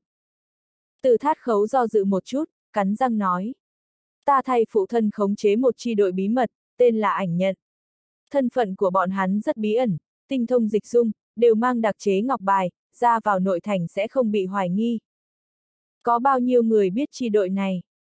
Huyền Nguyệt Thương hội là Kim Luân Vương phủ chúng ta khống chế, trừ thương hội mua bán bình thường ra, cũng nhận lệnh phối hợp với ta chấp hành chút hành động đặc biệt. Cho nên nói, hội trưởng Huyền Nguyệt biết bọn hắn tồn tại. Bên trong Kim Luân Vương phủ có mười mấy người biết bọn hắn tồn tại, nhưng trừ phụ vương ra, không có người nào biết thân phận thật sự của bọn hắn. Khương Phàm nhìn từ thát khấu thật sâu, trên mặt hiện ra nụ cười quỷ dị. Đây thật sự là, đồ tốt. Từ thát khấu bị Khương Phàm nhìn chằm chằm đến run rẩy. Ngươi đã đồng ý với ta, ta có thể sống. Tin tức này đầy đủ bảo đảm mạng sống của ngươi. Bọn hắn, ở đâu? Thành khu đầu tiên, góc Tây Nam, trong một trang viên treo miếng vải đen. Bao nhiêu người? Gần đây không có gì nhiệm vụ, toàn bộ hẳn là đều ở đó, số lượng là 66 người. Cảnh giới. Cao nhất là niết bàn cảnh cửu trọng thiên.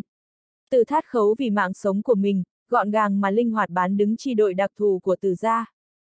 Tại thời điểm Hoàng Thành khẩn cấp điều tra sự kiện từ thát khấu bị bắt, ai cũng không có chú ý tới góc Tây Nam tại thành khu đầu tiên phát sinh một trận chém giết ngắn ngủi. Sau khi trời sáng, một mình Khương Phàm đi đến chỗ cửa thành nội thành, sau khi hiện ra ngọc bài, dễ như trở bàn tay xuyên qua cửa thành. Bọn người lãnh tuyển ở phía xa đưa mắt nhìn Khương Phàm thuận lợi tiến vào nội thành, rung động càng hổ thẹn. Bọn hắn tới đây dày vò một năm, đều không thể đi đến cửa thành, Khương Phàm tới hai ngày liền quang minh chính đại tiến vào. Đi thôi, dựa theo ý tứ thần hoàng, bố trí hành động nghĩ cách cứu viện hoang nguyên vương phủ. Ngư cung nhắc nhở, sau đó lặng lẽ lui vào trong ngõ hẻm. Sau khi Khương Phàm tiến vào nội thành, hắn chạy thẳng tới tổng bộ huyền hương thương hội, đưa ngọc bài cho thị vệ. Giao cho chư hậu hảo, không được kinh động bất cứ kẻ nào. Đây là, thị vệ kỳ quái lật xem ngọc bài. Giao cho chư hậu hảo, hắn biết ta là ai. Phải nhanh, ta có chuyện quan trọng muốn nói với hắn. Bọn thị vệ nhìn Khương Phàm khí chất bất phàm, không dám thất lễ, liền mang theo ngọc bài đi đến thông bẩm. Khương Phàm đi đến trang viên xa hoa, đến trong rừng cây yên lặng chờ đợi. Chư hậu hảo vội vã tìm tới nơi này, mặc dù nam tử ở trước mắt vô cùng lạ lắm, nhưng hắn đã thành thói quen, mỗi lần người của ảnh nhận tới liền không có một ai giống nhau. Các chủ lâm lang các cùng phu nhân hắn đâu? Khương Phàm quay người, ánh mắt lạnh lùng tập trung vào nam tử khô gầy. a à, chư hậu hảo sửng sốt một chút, ảnh nhận đột nhiên tới chơi lúc này, lại còn đến giữa ban ngày, hắn còn tưởng rằng muốn điều tra chuyện từ thát khấu ngươi nghe được, bọn hắn còn sống không? Ý của ngài là, người bắt từ thát khấu đi, không phải thương viêm hầu phủ. Mẹ kiếp ta đang tra hỏi ngươi, ngươi nghe không hiểu. Chư hậu nhìn một hồi, đều là cho Kim Luân Vương phủ làm việc, người nào so với người nấy đều cao một cấp bậc sao. Nhưng nhìn ảnh nhận đằng đằng sát khí, cũng không tiện phát tác, chỉ có thể nói. Giam giữ ở trong địa lao. Mang người tới đây. Khương Phàm âm thầm thở phào, chỉ cần còn sống là tốt. Ta sẽ đi an bài. Chư hậu hảo rất bất mãn ngữ khí mệnh lệnh của ảnh nhận, nghiêm mặt quay người rời khỏi. Đi nhanh về nhanh, ta chỗ này còn có mệnh lệnh. Xin hỏi, mệnh lệnh ai? Công tử biến mất, bây giờ chúng ta đang trực tiếp nhận lệnh tại vương phủ. Chư hậu hảo không còn dám lề mề, bước nhanh rời khỏi rừng cây, tự mình đến bên trong địa lao dẫn người. Khi Cẩm Tú và Hoàng Lâm được mang tới, tim Khương Phàm đều nhảy lên cao, đây không phải là hai người, đơn giản hai đống thịt nhão. Bọn hắn đây là thế nào? Tiện nhân kia đêm hôm đó hù cửu công tử, liên tục mấy ngày đều nâng không nổi. Cửu công tử trách tội đến trên đầu ta, bảo ta đưa tiểu thiếp vừa nạp qua. Chư hậu dễ nhìn thịt nhão trên đất đầy hung ác. Tiểu thiếp kia là hắn dùng hết thủ đoạn mới có được, kết quả còn không có chơi chán lại bị cửu công tử trà đạp, cuối cùng còn hành hạ đến chết. Giao người cho ta, ngươi an bài một chút, theo ta đi ra ngoại thành. Khương Phạm Thu hai người đang hấp hối vào thông thiên tháp. Ngoại thành, còn cần ta tự mình đi qua sao? Ta chưa xác định được là thương viêm hầu phủ hay là lâm lang các đang báo thù, hai vấn đề đều phải chuẩn bị. Nếu như là thương viêm hầu phủ, đến lúc đó ngươi sẽ an toàn trở về, nếu như là lâm lang các, ngươi cần làm mồi dụ. Ta, mồi nhử. Lỗ tai ngươi không dùng được, đây là mệnh lệnh của vương phủ. Ta nhắc nhở ngươi, tốt nhất không phải là lâm lang các báo thù, nếu không nguyên nhân gây ra chuyện chính là ngươi. Chờ Kim Luân Vương trở về, tuyệt đối không tha cho ngươi. Bây giờ ngươi bất chấp nguy hiểm chủ động làm mồi dụ, tương lai mới có thể tranh thủ cơ hội giữ mạng sống. Chư hậu hảo nghiêm mặt, vô cùng kháng cự. Hắn rất ít khi rời khỏi nội thành, huống chi là phải trực diện những sát thủ kia, nhưng nghĩ đến hung danh của Kim Luân Vương, cho dù hắn liên tục dẫy dụa, nhưng cuối cùng vẫn gian nan nhẹ gật đầu. Nhanh đi an bài, nhưng không cần nói quá nhiều cùng người khác, nói đơn giản phải bồi vương phủ làm việc, không cần tìm ngươi. Sau khi Khương Phàm nhắc nhở, ý thức chìm đến bên trong thông thiên tháp, dẫn linh dược rơi xuống trước mặt Hoàng Lâm và Cẩm Tú.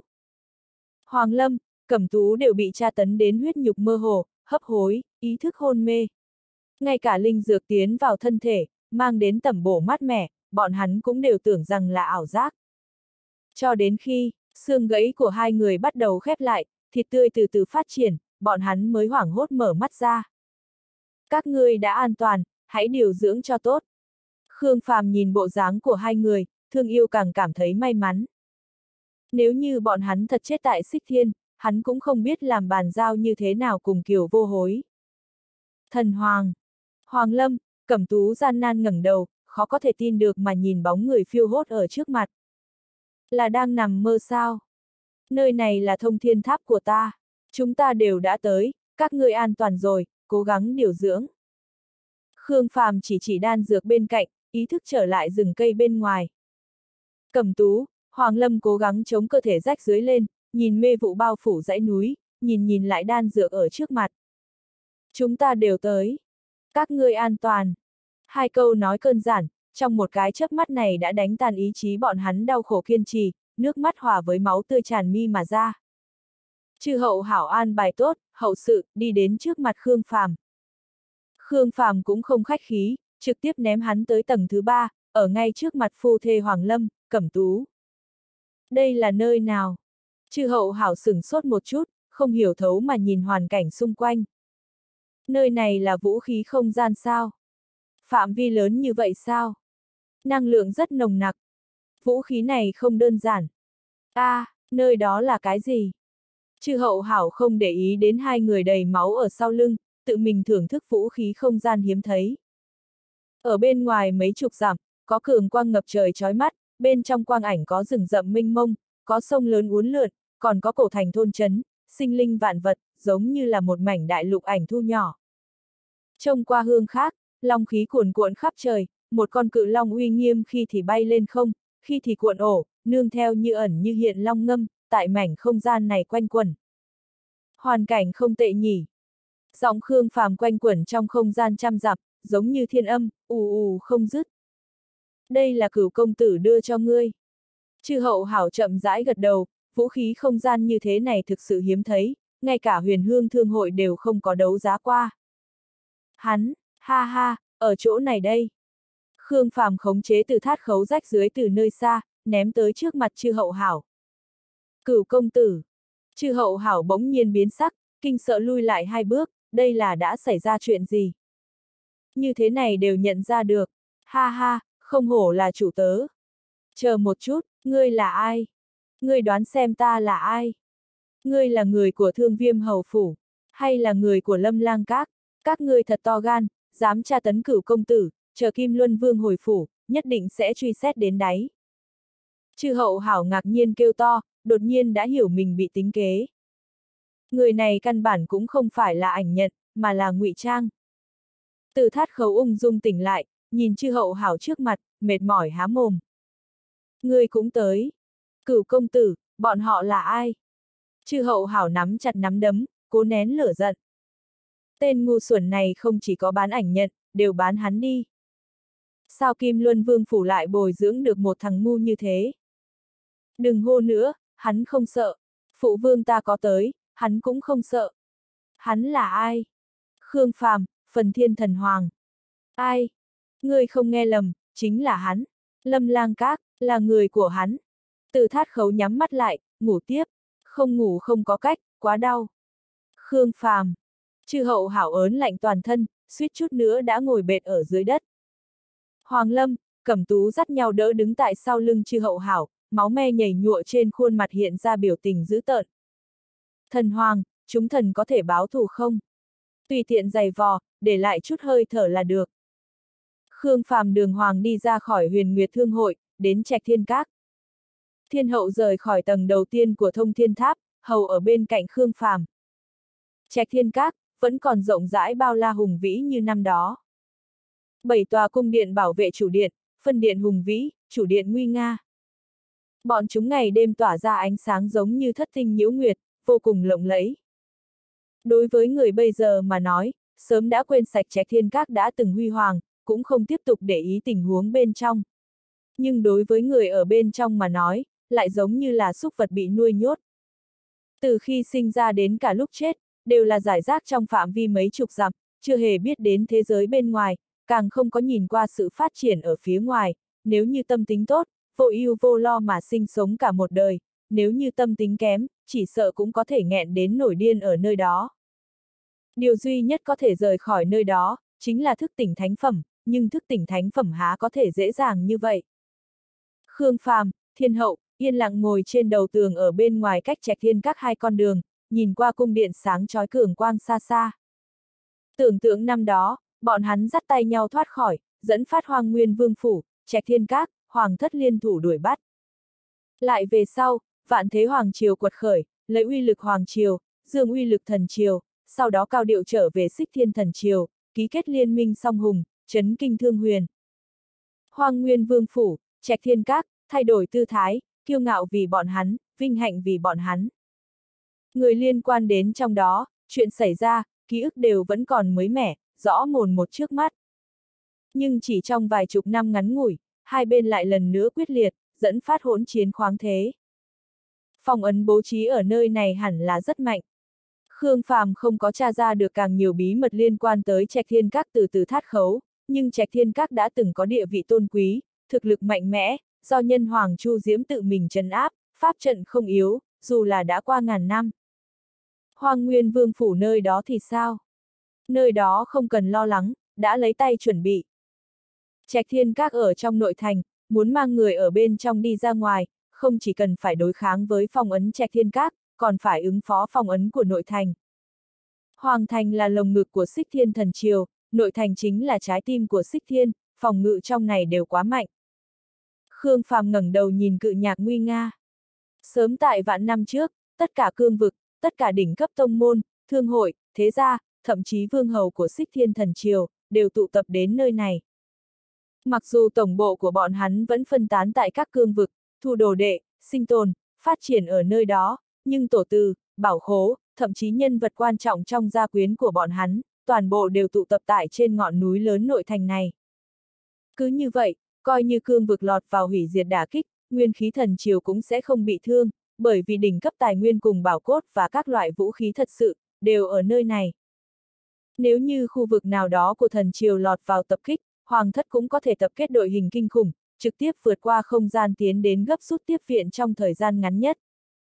Còn có điều càng quan trọng hơn, chỉ cần hoàng thất khống chế tòa cự nhạc này liền có thể tuyệt đối khống chế được tất cả đỉnh cấp thế lực bên trong cương vực thần triều. Tương tự, hệ thống phòng ngự của hoàng thành, nhất là nội thành, cũng có thể xưng là số một thương huyền. Bảo cốt rộng lượng, thánh cốt từ xưa truyền thừa xuống, thậm chí là thần cốt các loại, bổ sung cho tầng tầng pháp trận, bất kỳ người nào muốn mạo phạm nơi này, đều phải cẩn thận ước lượng thực lực của mình. Nhớ về cuộc chiến song hùng ngày xưa, vạn thế đột phá tuyến phòng ngự, giết tới Hoàng Thành, nhưng cuối cùng vẫn không thể đánh tan phòng ngự nội thành. Khương Phàm cùng thiên hậu nhìn lên cự nhạc nguy nga, đắm chìm trong chiến dịch đã từng. Xích thiên thần tôn huyết tế chiến kỳ, chỉ giống như mới ngày hôm qua. Ký ức về vạn thế thần triều xuất chinh cả nước cũng vẫn còn mới mẻ. Nhưng, Khương Phàm, Thiên Hậu, Tu La, Tam Thần liên thủ, cuối cùng vẫn dừng bước tại phòng ngự trong thành. Bọn hắn quá rõ ràng tình huống phòng ngự nơi này. Khương Phàm nói, năng lượng phòng ngự trong nội thành minh mông, tiêu hao rất lớn, bình thường chỉ là mở ra hai tầng phòng ngự, cho nên muốn muốn di chuyển trẻ thiên cát nhất định phải tận lực làm đến mức không kinh động bất cứ kẻ nào. Nhưng, Chu Diễm còn sống, pháp trận phong cấm lại là hắn chủ hoạch kiến lập, nếu như chúng ta muốn cưỡng ép di chuyển, vô cùng có khả năng bừng tỉnh hắn. Đến lúc đó, đừng nói nghĩ cách cứu viện trạch thiên các, ngay cả nàng và ta đều sẽ bị vây ở chỗ này. Chu Diễm lại còn sống, hắn lựa chọn phong cấm mình, là chờ chúng ta trở về sao. Thiên hậu nhớ tới vị đại hoàng tử đã từng kia liền đau đầu, xích thiên cùng vạn thế đột nhiên quyết liệt, không thể bỏ qua công lao của hắn.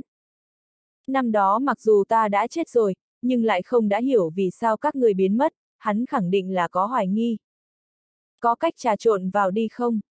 Coi như trà trộn vào được, lại có thể mang đi toàn bộ sao? Hoàng thất coi trạch thiên các là thành trại chăn nuôi, cũng không thể nào khống chế số lượng nhân khẩu, ta xem chừng người ở bên trong chỉ sợ muốn hơn vạn. Còn có vấn đề quan trọng, những người kia sinh sinh tử tử đều ở bên trong, đời đời tiếp tục kéo dài, đã sớm quên chính bọn hắn là ai, càng không biết tình huống bên ngoài. Chúng ta đột nhiên xuất hiện trước mặt bọn hắn, để bọn hắn thành thành thật thật cùng đi theo, có khả năng sao? Khương Phạm lau chán, trước đó đánh giá bên trong giống như hoang nguyên vương phủ, cũng còn sống mấy chục người, không nghĩ tới hoàng thất lại xem như trại chăn nuôi. Muốn di chuyển trên vạn người tại nội thành đề phòng nghiêm ngặt, không khác gì người si nói mộng. Thiên hậu trầm mặc thật lâu, nói.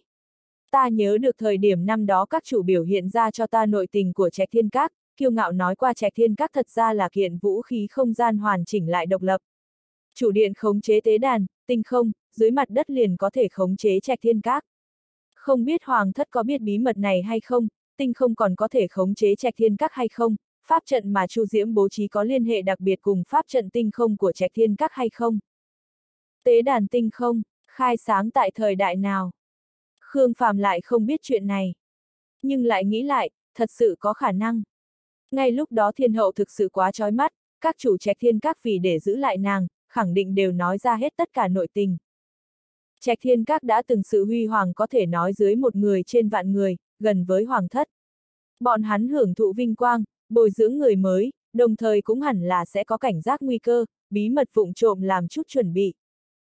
Ta nhớ được các chủ mạnh nhất trẻ Thiên Các đã từng là Thánh Vương, lại còn là tinh không linh văn. Tuy nhiên thực lực của hắn quá mạnh, linh văn quá đặc thù, chỉ là làm các chủ trong nửa năm ngắn ngủi liền bị điều đi thiên khải chiến trường. Thiên hậu trầm ngâm một lát, nói. Nghĩ cách trà trộn vào đi, điều tra tình huống tế đàn tinh không. Nếu như có khả năng, liền khống chế trạch thiên các. Ý của nàng là, chỉnh thể rời trạch thiên các đi.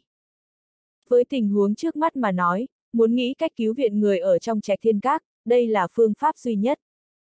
Nếu như là Thánh Vương bố trí tinh không tế chàng hẳn là có thể tùy tiện đột phá hai tầng bình chướng nội thành. Chàng có thể trà trộn vào đi không? Khương Phàm quan sát trạch thiên các, nói. Bình thường đường tắt rất nguy hiểm. Thay mạch suy nghĩ, người ở bên trong cần sinh hoạt cần tu luyện, vậy thì cần thương hội chuyên môn phụ trách vận chuyển vật tư. Bên trong thông thiên tháp, từ thát khấu rất sung sướng nói ra tin tức mà Khương Phàm muốn. Thiên Nguyên Thương hội, Phổ tướng Thương hội, Huyền Hương Thương hội, ba thương hội này cùng thương hội thuộc tầng đầu tiên cùng nhau phụ trách vận chuyển vật tư cho trạch thiên các. Bên trong có hơn mấy ngàn vạn người sinh sống, nhu cầu mỗi ngày đều cần số lượng rất lớn. Đây chính là một món làm ăn lớn, trong tầng đầu tiên chỉ có ba nhà bọn hắn có thể thông qua liên quan lấy được tư cách. Thiên Nguyên Thương hội có bối cảnh hoàng thất, phụ trách là đan dược. Vô tướng Thương hội có bối cảnh vương phủ, phụ trách là vũ khí. Huyền Hương Thương hội cũng là bối cảnh vương phủ, nhưng so vô tướng thương hội thì hơi kém hơn chút, phụ trách là y phục, thức ăn, các vật nhu cầu cuộc sống. Sau đó, Khương Phàm vì để cho chư hậu hảo phối hợp, trong thông thiên tháp đã tra tấn hắn chết đi sống lại, ngay cả lột da đều đã vận dụng. Chư hậu hảo làm chủ nhân một nhà, xương cốt coi như cứng rắn, nhưng dưới tra tấn hắn cũng sống không bằng chết, cũng chỉ cứng rắn trong chốc lát. Khi Hoàng Lâm đầy ngập lửa giận đè hắn lột ra xuống, chư hậu hảo chưa bao giờ trải qua loại chiến trận này đã triệt để hỏng mất. Nhưng Hoàng Lâm vẫn từ đầu đến chân, lột sạch sẽ. Không chỉ có chư hậu hảo bị tra tấn chết đi sống lại, cũng đã dọa từ thát khấu đến ngất vài chục lần.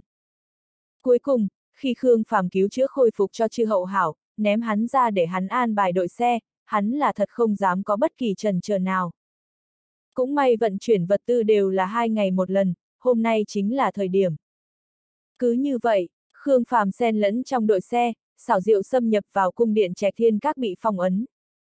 Khi đội xe vội vàng dỡ hàng, Khương Phàm đã vụng trộm chìm vào trong đất, thẳng đến chủ điện. Bây giờ Trạch Thiên Các đã hoàn toàn biến thành, nuôi nhốt trận, phân điện phía ngoài cùng chủ điện trung ương đều trở nên giống như là, lữ điếm, nhiều loại gian phòng đều bị cải tạo thành chỗ ở. Ngay cả bọn thủ vệ hoàng thất đóng tại nơi này cũng không có nghiêm cẩn như Khương Phàm tưởng tượng. Dù sao cũng đã một ngàn năm, năm này tháng nọ xuống tới, không có người nào lại coi trạch thiên các đã từng là hoàng thất võ Việt, mà là trại chăn nuôi, của hoàng thất, bọn hắn lưu thủ thị vệ chỉ cần duy trì trật tự, khống chế tu luyện, kịp thời phát hiện thức tỉnh linh văn đặc thù, trừ cái đó ra cơ bản không có việc gì để làm cả.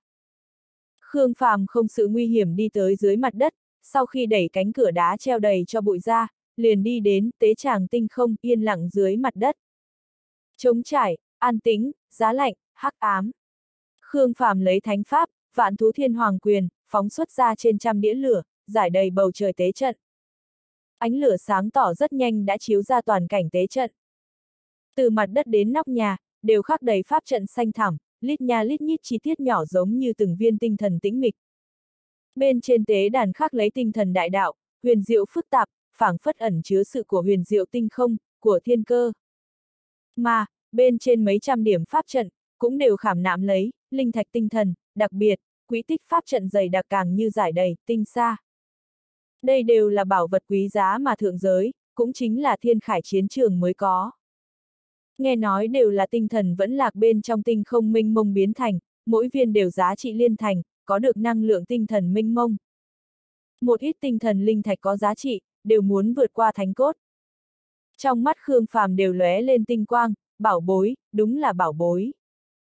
Đối với tinh thần linh văn mà nói, đây không thể nghi ngờ là bảo vật tu luyện tốt nhất, đối với người nghiên cứu nhật nguyệt tinh thần đại táng như hắn mà nói, có thể có giá trị cực kỳ cao. Trạch thiên các không hổ là tồn tại đã từng gần với xích thiên hoàng thất, vậy mà lại có thể chữ được đến số lượng linh thạch tinh thần cùng tinh xa như vậy. Mà thứ thật sự để Khương Phàm có phản ứng chính là, bên trên tế đàn lại có một bộ xương người đang lơ lửng. Xương người hoàn chỉnh không thiếu sót, bị đặc biệt luyện chế qua, không chỉ có sáng long lanh giống như xá lợi, mà phía trên còn chạm khắc đường vân tinh thần cùng tế đàn, càng thần kỳ là bên trong xương sọ lại có một thứ giống như một đoàn tinh vân đang quay quanh. Khương Phàm bỗng nhiên to gan phỏng đoán. Tế tràng tinh không muốn chấn trụ linh thạch tinh thần cùng tinh xa bố trí, bộ xương người ở chỗ tế đàn này khẳng định cực kỳ cường đại, tất nhiên còn có liên hệ trực tiếp cùng năng lượng tinh không. Nói cách khác, đây chính là vị tinh không thánh vương mà thiên hậu nói tới kia. Hắn đi ra từ trạch thiên các, sau khi chết lại quy về trạch thiên các. Khương Phàm kích động. Nếu thật sự là như thế thì bộ xương người bị tế luyện này, nhất định có thể khu động tế tràng tinh không phát huy ra năng lượng kinh người. Nơi này chính là tế tràng tinh không. Thiên hậu đi ra từ trong thông thiên tháp, sau khi ngắm nhìn xung quanh, ánh mắt liền rơi vào bên trên bộ xương người kia. Wow! A. Chu Thanh Thọ cũng đi ra, sợ hãi thán phục trước pháp trận tinh thần huyền diệu khó lường. Nhất là những linh thạch tinh thần kia, vậy mà lại kích thích đến năng lượng của hắn chuyển động, ngay cả linh văn đều không bị khống chế mà khôi phục, giống như là muốn cưỡng ép thôn phệ năng lượng tinh thần nồng đậm. Tế tràng tinh không còn cường đại hơn so với ta mong muốn, hẳn là có thể đột phá hai tầng bình chướng nội thành, cưỡng ép di chuyển rời khỏi. Nếu quả thật giống nàng nói, đây là trạch thiên các chuẩn bị đường lui cho mình, sau khi khởi động tế tràng tinh không hẳn là có thể vượt qua vũ trụ, chuyển rời trạch thiên các đến chỗ rất xa ở bên ngoài. Khương Phàm phấn chấn. Hoang Nguyên Vương phủ nơi đó đã bắt đầu bố trí, nếu như nơi này có thể thuận lợi, bọn hắn liền có thể đưa toàn bộ hai phe ra khỏi hoàng thành trước khi xích thiên hoàng thất phát giác. Thiên hậu đi đến phía trước tế đàn, chậm rãi gật đầu. Xương người không có bị mang đi, tinh thần linh thạch không có thiếu, hoàng thất cũng không biết nơi này tồn tại. Nơi này, chính là đường lui mà trạch thiên các chuẩn bị. Chu Thanh Thọ, người lưu lại nghiên cứu tế tràng tinh không. Ba ngày sau, lúc vào đêm, đúng giờ khởi động tế tràng tinh không, di chuyển trạch thiên các. Đến lúc đó, bọn người lãnh tuyển sẽ mượn đại hôn trà trộn vào hoang nguyên vương phủ, giải cứu huynh đệ Khương Dương, Khương Hách. Ta phải nghĩ biện pháp kiềm chế pháp trận ngoại thành, dẫn xí thiên giới. Giáng lâm hoàng thành. Sau khi Khương Phàm căn dặn, hắn liền rời khỏi tế tràng tinh không, đóng cửa đá nặng nề lại. Hỏa diễm biến mất, tế tràng tinh không lâm vào hắc ám, chỉ để lại thiên hậu cùng Chu Thanh Thọ. Chu Thanh Thọ đang muốn phóng thích năng lượng tinh thần, kích hoạt linh thạch tinh thần, đột nhiên trên trán thiên hậu liền dâng lên cường quang, phù văn ngập trời, cùng với yêu khí mênh mông đang gào thét, kim bằng, kim hống, thường lăng, luân hồi huyết sư, bốn khế ước thú giáng lâm đến tế tràng tinh không. Bọn chúng to lớn, cường quang sáng chói, toàn thân tản ra khí tức sát phạt thảm liệt, sau khi nhìn quanh toàn trường, liền vây quanh tế đàn tinh không. Chu Thanh Thọ âm thầm nhếch miệng, Linh Văn lại còn có thể tự thành không gian. Lợi hại thật! Hoàng cung! Trong cung điện vàng son lộng lẫy, đại hoàng tử Chu Thiên chính ngồi ngay ngắn trên thượng thủ, ở trên cao nhìn xuống hai nam tử đang tranh luận kịch liệt. Một là Vĩnh Ninh của Kim Luân Vương Phủ, tộc đệ Kim Luân Vương đương đại. Khi Kim Luân Vương và các tinh nhuệ Vương Phủ chinh chiến man hoang, bây giờ hắn là người phụ trách chủ yếu của Vương Phủ.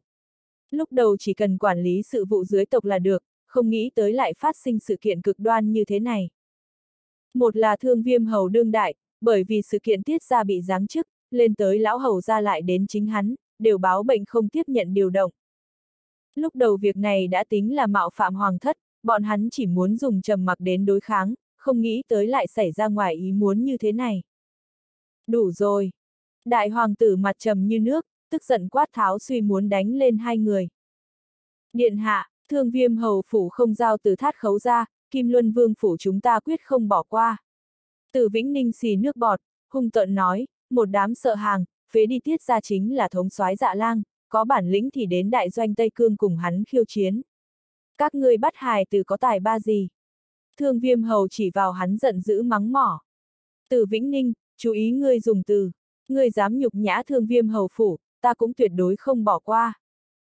Ta nhổ vào, ta xem thường các ngươi. Nhân hoàng điều động, xuất trinh man hoang, đại sự thần triều thế này lại còn cáo ốm. Mặt mũi tất cả vương hầu xích thiên đều để các ngươi làm mất hết. Làm sao, sợ người khác nói các ngươi mềm yếu, cố ý náo ra một cái phá sự như thế chứng minh mình dũng cảm.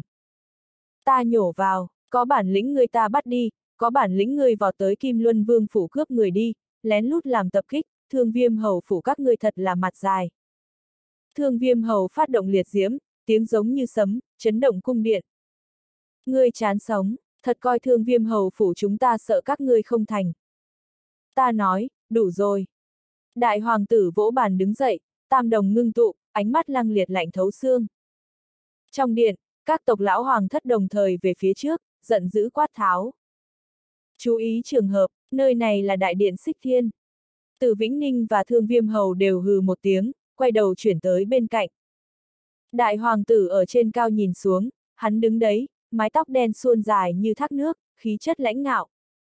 Thương Viêm Hầu, ta đại biểu hoàng thất hỏi ngươi một lần cuối cùng, người, là do ngươi bắt. Thương Viêm Hầu cao giọng nói. Ta dùng danh dự tổ tông xin thề, không phải Thương Viêm Hầu phủ chúng ta. Là thế gia có quan hệ tốt với tiết gia. Không thể nào, bọn hắn chỉ là thế gia bên ngoài, không có gan gây sự tại Hoàng Thành, một khi điều tra ra, không, chỉ cần xem kỹ, sớm muộn cũng sẽ điều tra ra, tuy nhiên chỉ là vấn đề thời gian mà thôi, đến lúc đó chính là tội danh diệt tộc. Từ Vĩnh Ninh lập tức nói. Cho nên trừ thương viêm hầu phủ, không có người nào dám nhúng tay vào chuyện này. Thương viêm hầu cao giọng đáp lễ. Nếu như ta thật muốn nhúng tay, cũng không phải là bắt từ thát khấu, mà là trực tiếp bổ. Đưa hắn đi bồi từ thát lỗ. Từ Vĩnh Ninh giận tím mặt. Ngươi muốn chết. Từ Vĩnh Ninh. Đại hoàng tử cao giọng quát bảo ngưng lại. Từ Vĩnh Ninh hung tợn chừng nhìn thương viêm hầu, nghiêm mặt nói. Đại điện hạ, ngài nhất định phải chủ trì công đạo cho Kim Luân Vương Phủ Thần, nếu không thần liền phải viết thư đến tiền tuyến, xin mời Vương Huynh trở về.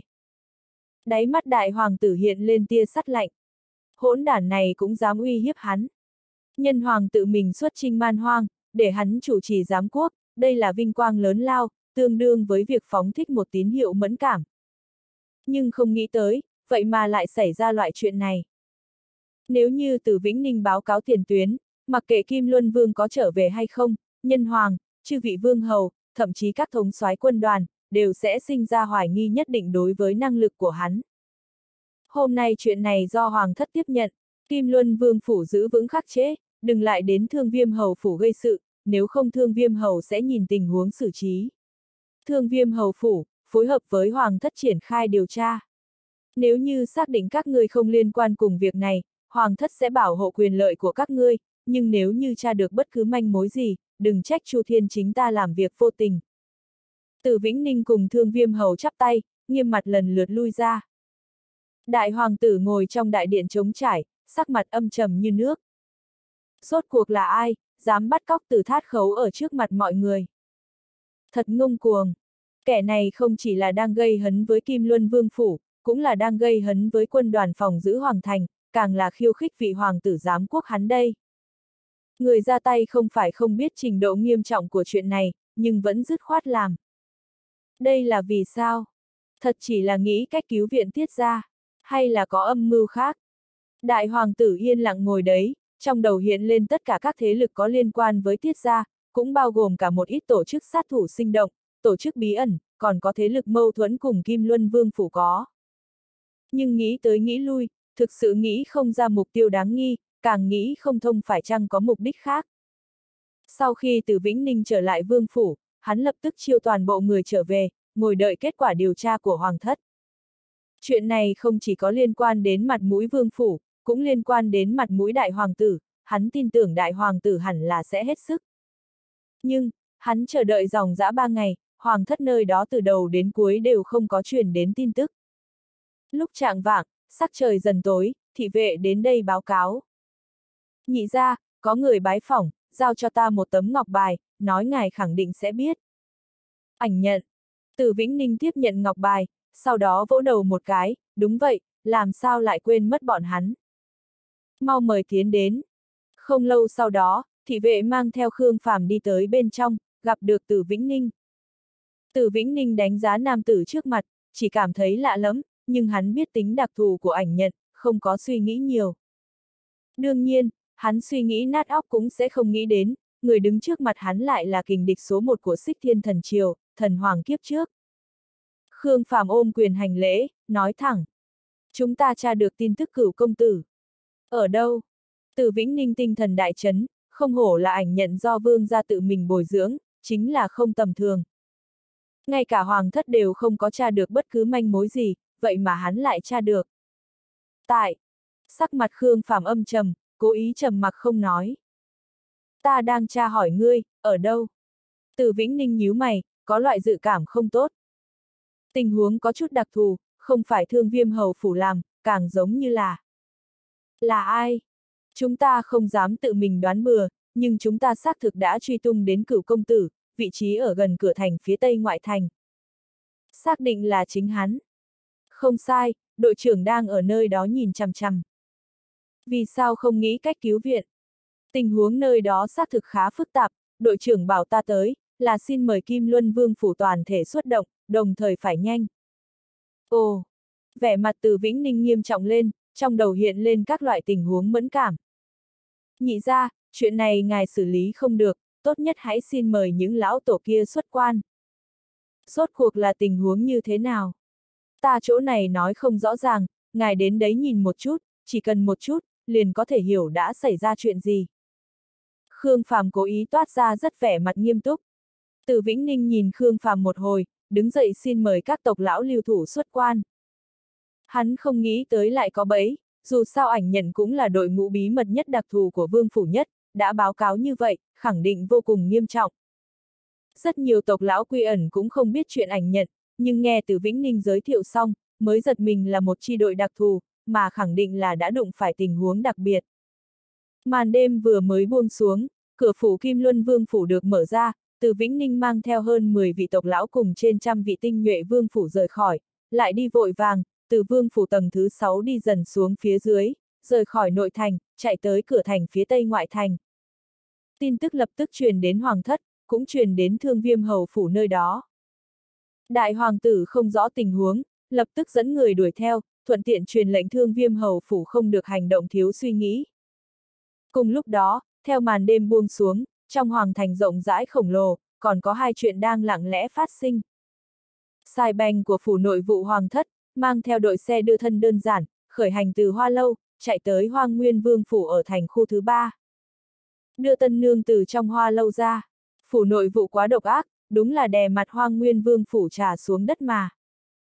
Hoang Nguyên Vương chết tại Thiên Đáng Sơn, nơi đó liền thừa hai người, phủ nội vụ không có kiêng kỵ, đương nhiên là muốn chơi thế nào thì chơi thế đó rồi.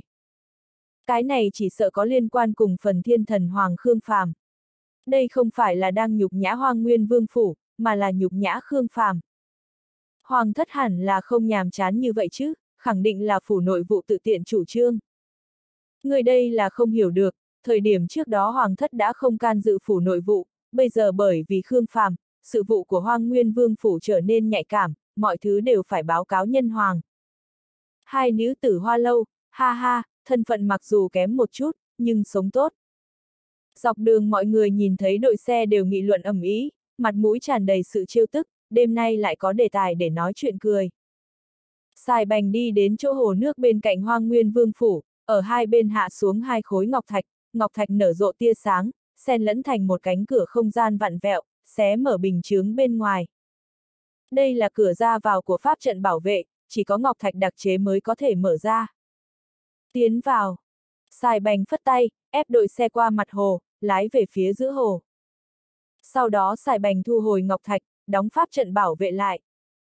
Chờ đội xe đi đến trên đảo nhỏ, xài bành lại lấy ra ngọc thạch khác, mở ra một tầng pháp trận khác, tiếp đội xe lên đảo. Mặc dù phiền phức, nhưng xài bành cũng không dám mập mờ loại chuyện này. Chỉ là hắn không biết, hai vị tân nương, trên xe hoa đang lặng yên chú ý tình huống bên ngoài, lưu ý phương pháp hắn mở ra pháp trận. Khụ khụ. Xài bành đi đến hoang nguyên vương phủ, hắng giọng, cao giọng hô to. Khương Dương, Khương Hách, còn không mau tới nghênh đón tân nương. Hai huynh đệ Khương Dương Khương Hách đi đến trong viện, lại không hề cười, ngược lại còn âm trầm giá lạnh. Bọn hắn xác thực không tiếp xúc qua nữ tử, cũng có huyễn tưởng đối với nữ tử, nhưng tuyệt đối không hy vọng hôn sự của mình sẽ như thế này, tân nương lại còn là hai nữ tử hoa lâu ti tiện. Các người đây là biểu tình gì? Vui lên cho ta. Hắc hắc, ta lại mang theo cho các người chút rượu. Chưa say rượu bao giờ phải không? Đồ tốt đấy, có thể trợ hứng. Sai bành cười xấu xa, vung một cái tay về phía trước. Các thị vệ ở hai bên kiệu hoa mời hai vị tân nương bên trong đi ra, sau khi liếc mắt nhìn hai huynh đệ Khương Dương, Khương Hách, còn trắng trợn sờ loạn ngực hai cô nương một trận, trêu đến ồn ào cười to. Làm gì chứ, từ hôm nay trở đi, các nàng chính là vương phủ phu nhân, không phải nữ tử hoa lâu ai cũng có thể làm chồng, chú ý một chút. Sai bành quay đầu răn dậy, tuy nhiên trên mặt lại khó nén nụ cười xấu xa trêu tức. Xúc sinh. Khương Hách gầm nhẹ, đỏ ngầu cả mắt. Khương Dương nắm chặt nắm đấm, hận không thể vung mạnh quyền đánh chết đám hỗn đản này. Mau tới đi, còn đứng ngây đó làm gì, tiếp tân nương của các ngươi đi chứ. Các nàng là đến nối dõi tông đường cho vương phủ các ngươi, hầu hạ cho tốt. Ta lại nói rõ quy củ, trong vòng một tháng, các ngươi nhất định phải để các nàng mang thai hài tử, ai không làm được, thiến kẻ đó. Sai bành thu lại nụ cười, lộ ra một mặt hung ác. Khương Dương, Khương Hách đứng tại chỗ, tràn ngập lửa giận, mặt mũi cũng tràn đầy khuất nhục. Làm sao, thẹn thùng, nếu không, chúng ta giúp các ngươi lột y phục, thuận tiện ở lại chỉ điểm một hai. Sai tiến đi đến giữa hai cô nương, đưa tay khoác lên trên bờ vai các nàng. Thị vệ bên cạnh còn tà ác cười xấu xa. Bọn hắn ngay cả tay của nữ tử đều không có chạm qua, chắc chắn sẽ không dùng. Nếu không, ta làm mẫu cho bọn hắn. Bên cạnh thị vệ lập tức ồn ào, thúc giục tranh thủ thời gian bắt đầu. Chính chúng ta đến. Khương Hách đè ép lửa giận đi qua, thực sự không nguyện ý nhìn thấy sắc mặt ghê tởm của đám người này, chỉ muốn mau chóng đuổi đi. Khương Dương nghiêm mặt, cũng vội vàng đi theo. Nhưng, thời điểm hai người giữ chặt tay hai vị cô nương, xài bành lại dùng sức ôm các nàng lại. Đừng nóng vội, trước tiên chọn lấy khăn voan, nhìn bộ dáng tân nương, có phải còn hài lòng hay không?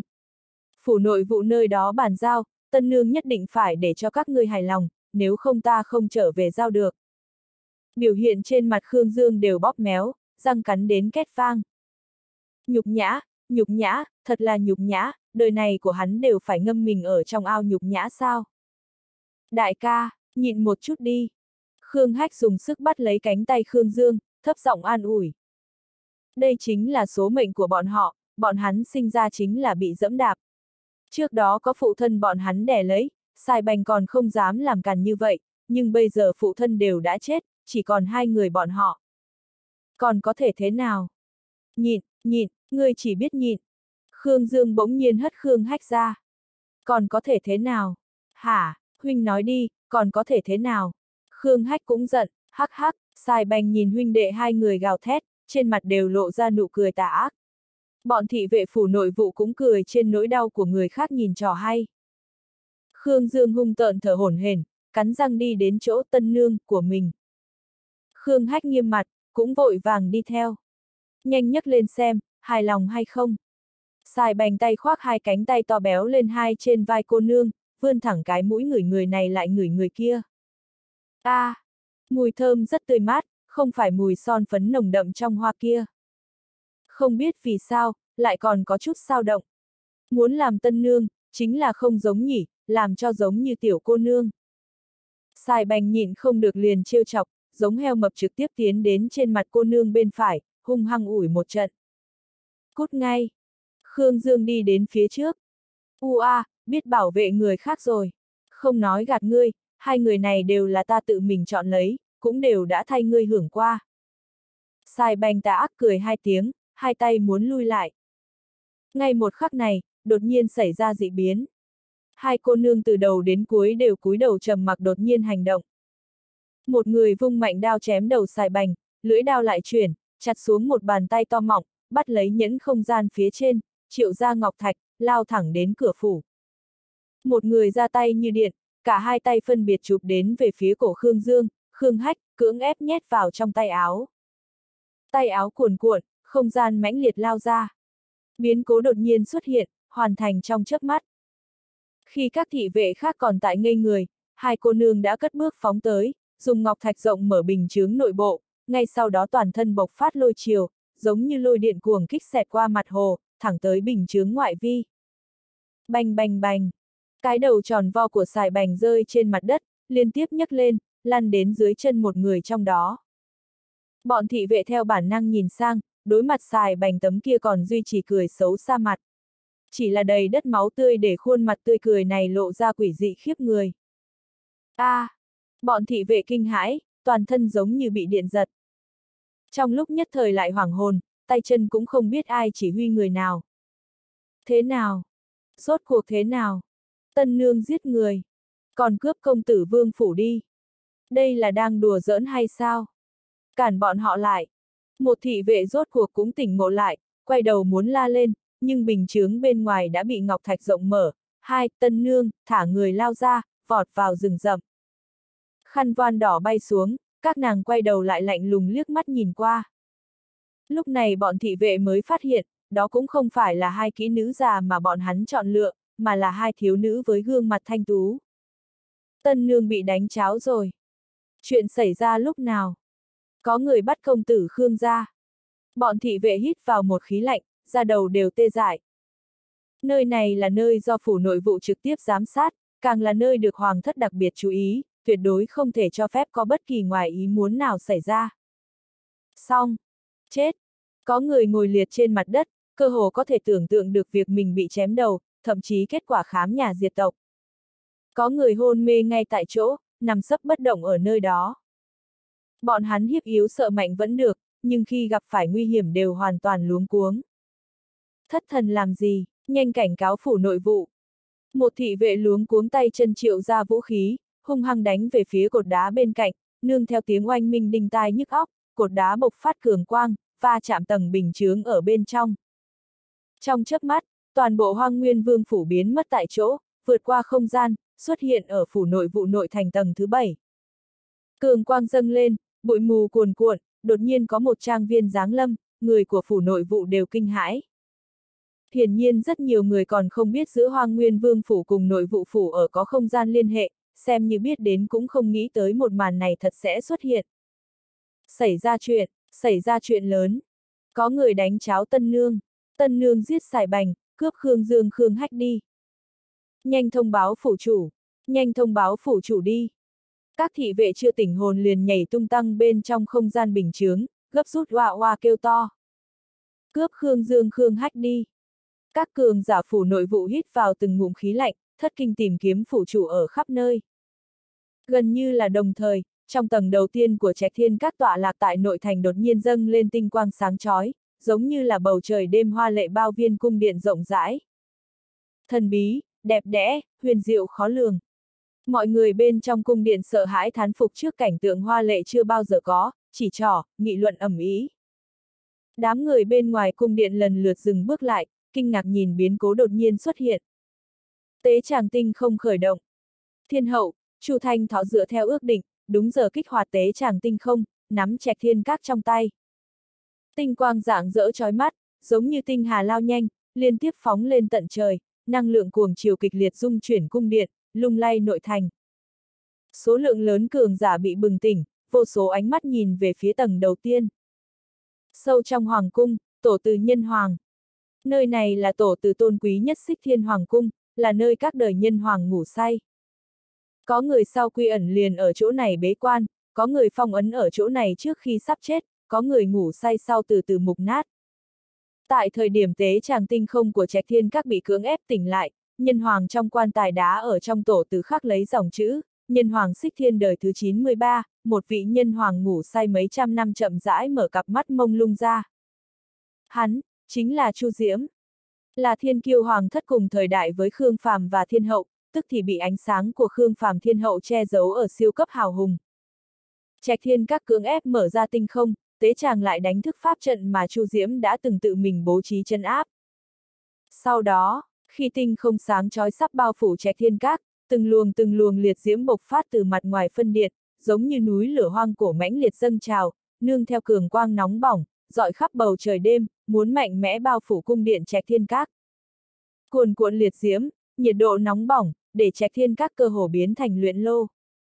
Hơn vạn con dân kêu gào thảm thiết, đau đớn dẫy dụa ở bên trong. Một khi liệt diễm hoàn toàn bao viên, cả tòa trạch thiên các đều sẽ được triệt để phong cấm. Nhưng, phong ấn chủ diễm bố trí đã yên lặng mấy trăm năm, khi bị động phát động, vẫn xuất hiện chậm chạp, mà tế tràng tinh không lại bị bọn người thiên hậu, Chu Thanh Thọ nghiên cứu mấy ngày, liền chờ thời khắc này bộc phát toàn diện. ầm ầm, tại lúc liệt diễm cuồn cuộn hình thành vòng vây kín, trước một khắc, tinh không bình chướng tăng vọt ánh sáng, nương theo tiếng oanh minh chấn động đất trời, bỗng nhiên đã biến mất không còn bóng dáng. Cái này khiến các cường giả nội thành vừa mới bị kinh động nhao nhao gương mặt liền có phản ứng, khó có thể tin được mà nhìn, một khu trống không, đột nhiên xuất hiện. Trạch thiên các. Trong quan tài đá hắc ám, Chu Diễm thức tỉnh, ý thức còn đang rất mông lung. Dù sao hắn cũng đã tế hiến mình cho hoàng thất, phong ấn cơ thể cùng linh hồn ở chỗ này, dùng cách này kéo dài tuổi thọ. Nếu như hoàng thất không cần, hắn sẽ yên lặng chết đi ở trong này, nếu có cần, hắn sẽ lại một lần nữa thức tỉnh, trong thời gian ngắn kích phát thực lực đỉnh phong, thủ vệ hoàng thành. Trạch thiên các. Trong đôi mắt đục ngầu của Chu Diễm đột nhiên sáng tỏ, hiện ra con người ba màu xanh, đỏ, đen, huyết mạch thức tỉnh, thánh uy trở về, hắn chấn vỡ phong ấn toàn thân, đẩy quan tài đá nặng nề ra. Thánh linh chấn thủ nhân hoàng tổ từ đang đi ra tổ từ, ngắm nhìn tinh quang dưới núi, lại không nghĩ rằng trong tổ từ lại truyền đến dị động. Là ai quấy nhiễu trạch thiên các?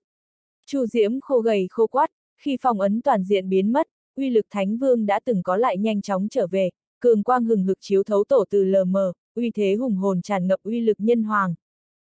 Người chấn thủ tổ từ cuống quýt quỳ xuống, nhưng không đợi giải thích, trong nháy mắt Chu Diễm đã biến mất, xuất hiện ở di tích Trạch Thiên Các trống trải. Trạch Thiên Các đột nhiên biến mất, để đám người ở xung quanh khu ngã tư đều không hiểu thấu, đang tò mò đến gần phía trước. Theo sát thánh uy khủng bố giáng lâm, giống như mưa to gió lớn đột nhiên bao phủ bọn hắn, biển người vội vàng không kịp chuẩn bị trực tiếp quỳ trên mặt đất. Giờ khắc này, bộ phận hành động nghĩ cách cứu viện quan trọng nhất đã bắt đầu. Khương Phàm mang theo các tộc lão Kim Luân Vương phủ thành công đến gần cửa thành Tây Bộ. Ở nơi nào? Sắc mặt từ Vĩnh Ninh âm trầm nhìn địa doanh đóng giữ ở trước mặt, lại mang từ thát khấu theo nơi này, người bình thường thật đúng là nghĩ không ra, lại không dám đến lãnh địa quân đoàn phòng giữ Dương Oai. Nhưng, ai sẽ đưa người đến nơi này?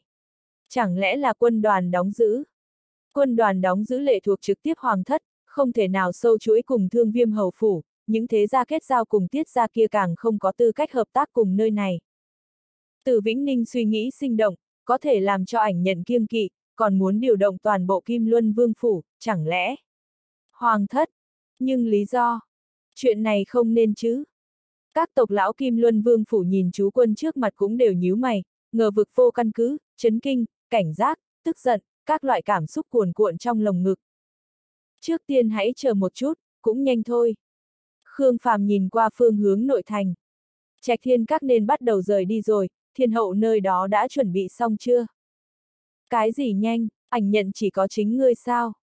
Một vị tộc lão đánh giá Khương Phàm, không biết vì sao, cảm giác nam tử ở trước mắt có chút đặc biệt.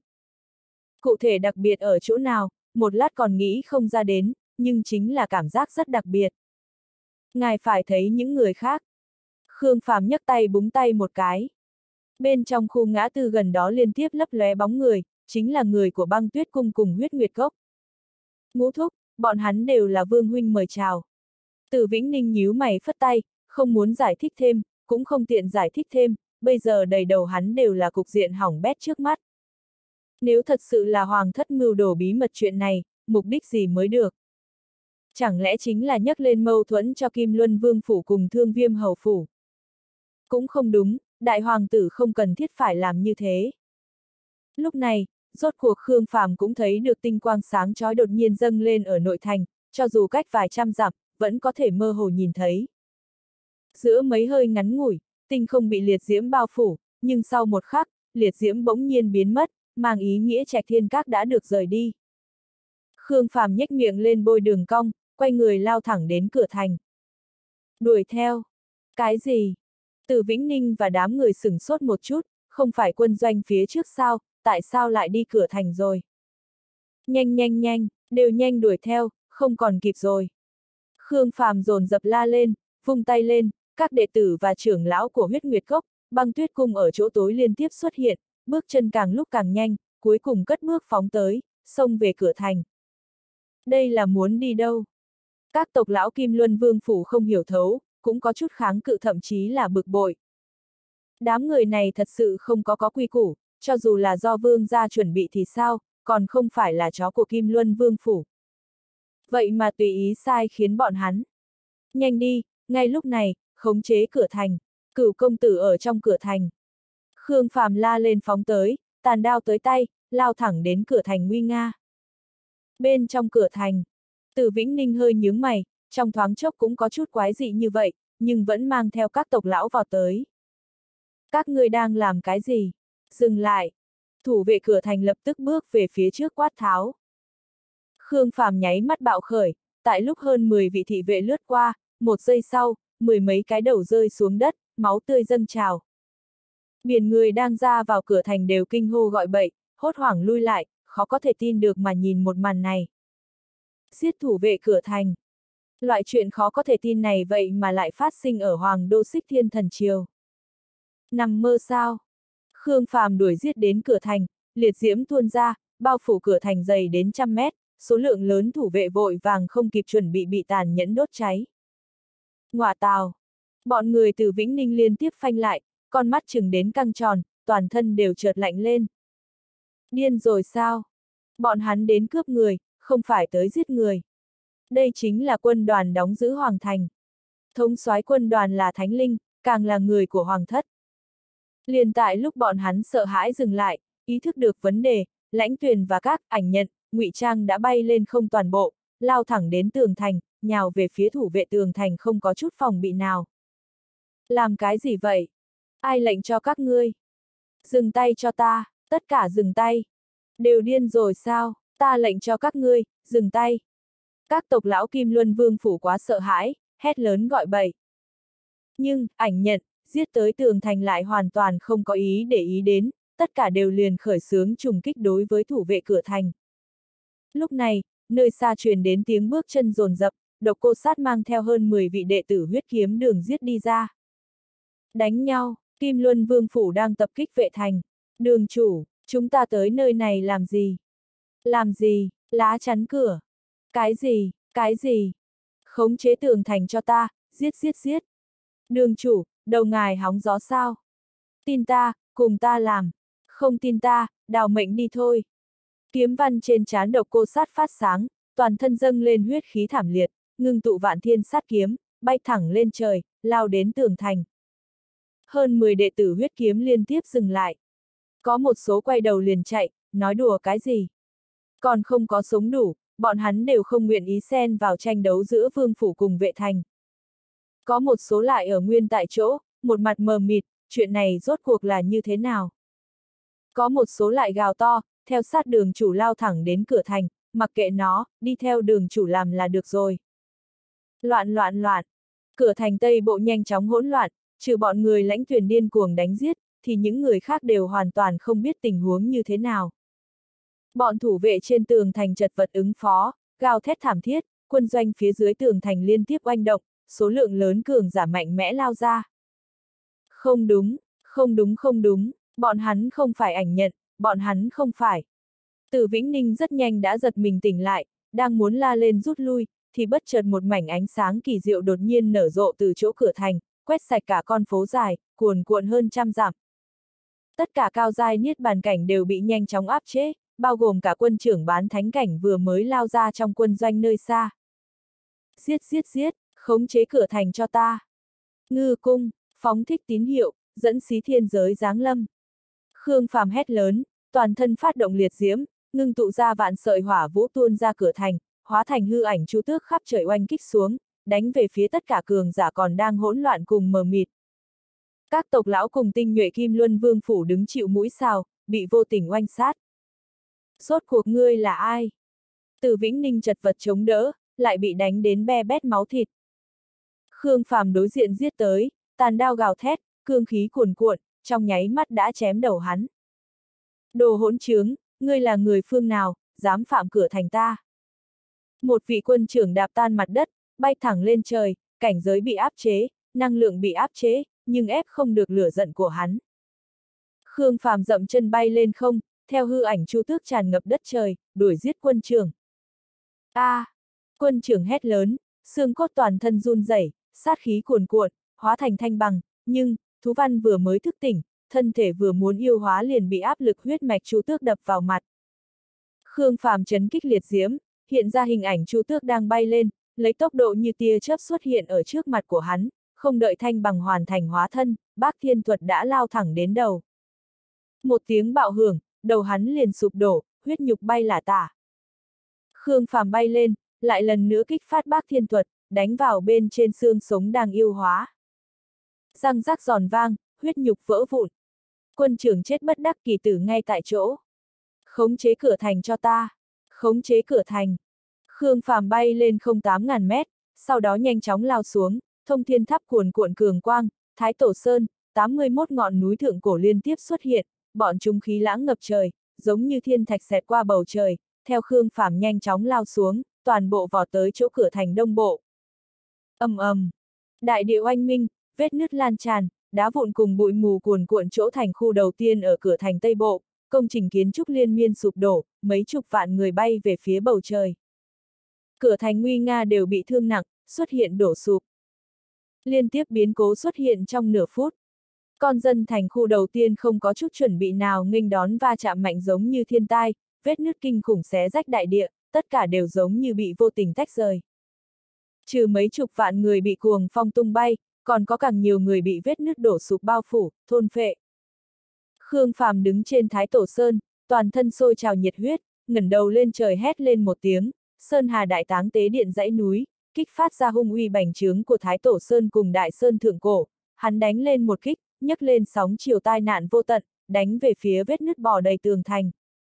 Một tiếng vang thật lớn, đại địa lay động, âm thanh chấn động cả cổ thành, cửa thành bị trọng thương, cưỡng bức sụp ra vài trăm mét rộng chỗ trống. Khương Phàm niết bàn bay lên không, sau khi khôi phục đỉnh phong, hắn liền cuốn lên liệt diễm, quét ngang các tế đàn ẩn tàng của các quân doanh, cũng chính là pháp trận bên ngoài tường thành. Khương Phàm, đại hoàng tử xua tan cuồng phong đầy trời, bị các cường giả hoàng thất bao quanh bảo vệ, hắn khó có thể tin mà nhìn thân ảnh mạnh mẽ đâm tới ở phía xa.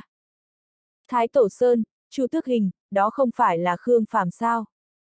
Nhưng, tại sao Khương Phàm lại ở chỗ này? Không phải xí thiên giới đang bị tất cả hoàng đạo vây bắt sao? Cho dù đại hoàng tử có tính cách trầm ổn như thế này, thì ngay giờ khắc này cũng cuồn cuộn cảm xúc, khó lòng mà tiếp nhận được. Mở pháp trận trong ngoài ra. Một thanh âm uy nghiêm, vang lên từ sâu trong nội thành, giống như cổ kiếm ra khỏi vỏ, đánh nát mây mù đầy trời, âm thanh chấn động nội thành ngoại thành, cuồn cuộn hơn 800 dặm, truyền đến bên tai tất cả mọi người. Mặc kệ là Tây Bộ hốt hoảng, hay là Đông Bộ, Nam Bộ, cùng Bắc Bộ, thậm chí là nội bộ thành khu còn mờ mịt không biết rõ tình hình, đều trong thời gian ngắn nhất lập tức trở về vị trí. Từng tầng từng tầng pháp trận nhanh chóng thành hình, ánh sáng chiếu xa vạn trượng, năng lượng như biển, nói là tầng tầng bao viên, nhưng càng giống như là bao phủ. Chín con sông lớn ở phía ngoài cũng đều như cự long phiên thân, dâng lên cường quang ngập trời, xen lẫn thành lít nha lít nhít lưới phòng hộ. Nhưng, trước khi pháp trận mở ra, một nguồn năng lượng mãnh liệt như đại triều đã xuất hiện tại bầu trời Tây Bộ. Một mảnh sương mù dâng lên, mông lung mà phiêu miểu, nương theo tiếng vang ù ù, kinh thiên động địa, phát ra vạn sợi hào quang. Hoang dã bên ngoài Tây Thành đã kinh động, nhao nhao nhìn về nơi xa bầu trời, giống như có thiên thần từ trong ngủ mê tỉnh lại, mở mắt ở trong hỗn độn, trong mắt bắn ra từng tia thiểm điện. Nơi cuối cùng của trời đất, hỗn độn nhấc lên, thiểm điện xen lẫn, lôi minh điếc tai, mưa to gió lớn, giống như là tận thế đang kéo đến.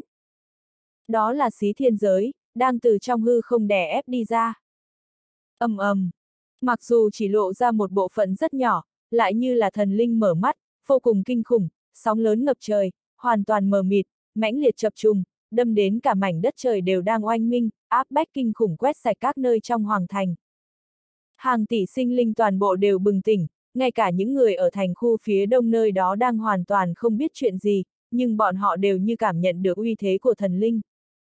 Tại thời điểm Hoàng Thành liên tiếp mở ra pháp trận, xí thiên giới đã nghiền ép trời cao, không gian vô tận sôi trào, chấn động càn khôn vạn đạo minh mông, oanh oanh liệt liệt đánh tới chín con sông lớn. ầm ầm, đất trời lay động, hàng ngàn vết nứt như sấm phóng tới, hỗn độn mãnh liệt. Chín vòng bình chướng đang thành hình liên miên vỡ nát. Đây chính là một thế giới, một thế giới ngũ hành do hỗn độn cự long khống chế, sau khi tiếp tục hoành hành mấy chục vạn giảm tại hư không, đã đưa một đầu đánh tới một tòa cổ thành.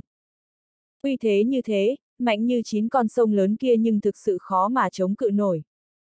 Một vòng tiếp theo một vòng, ầm vang sụp đổ, nhất trọng tiếp lấy nhất trọng, thảm liệt chôn vùi. Thánh cốt, bảo khí vùi lấp dưới đáy chín con sông, cũng đều đang liên miên vỡ nát dưới sự va chạm mãnh liệt.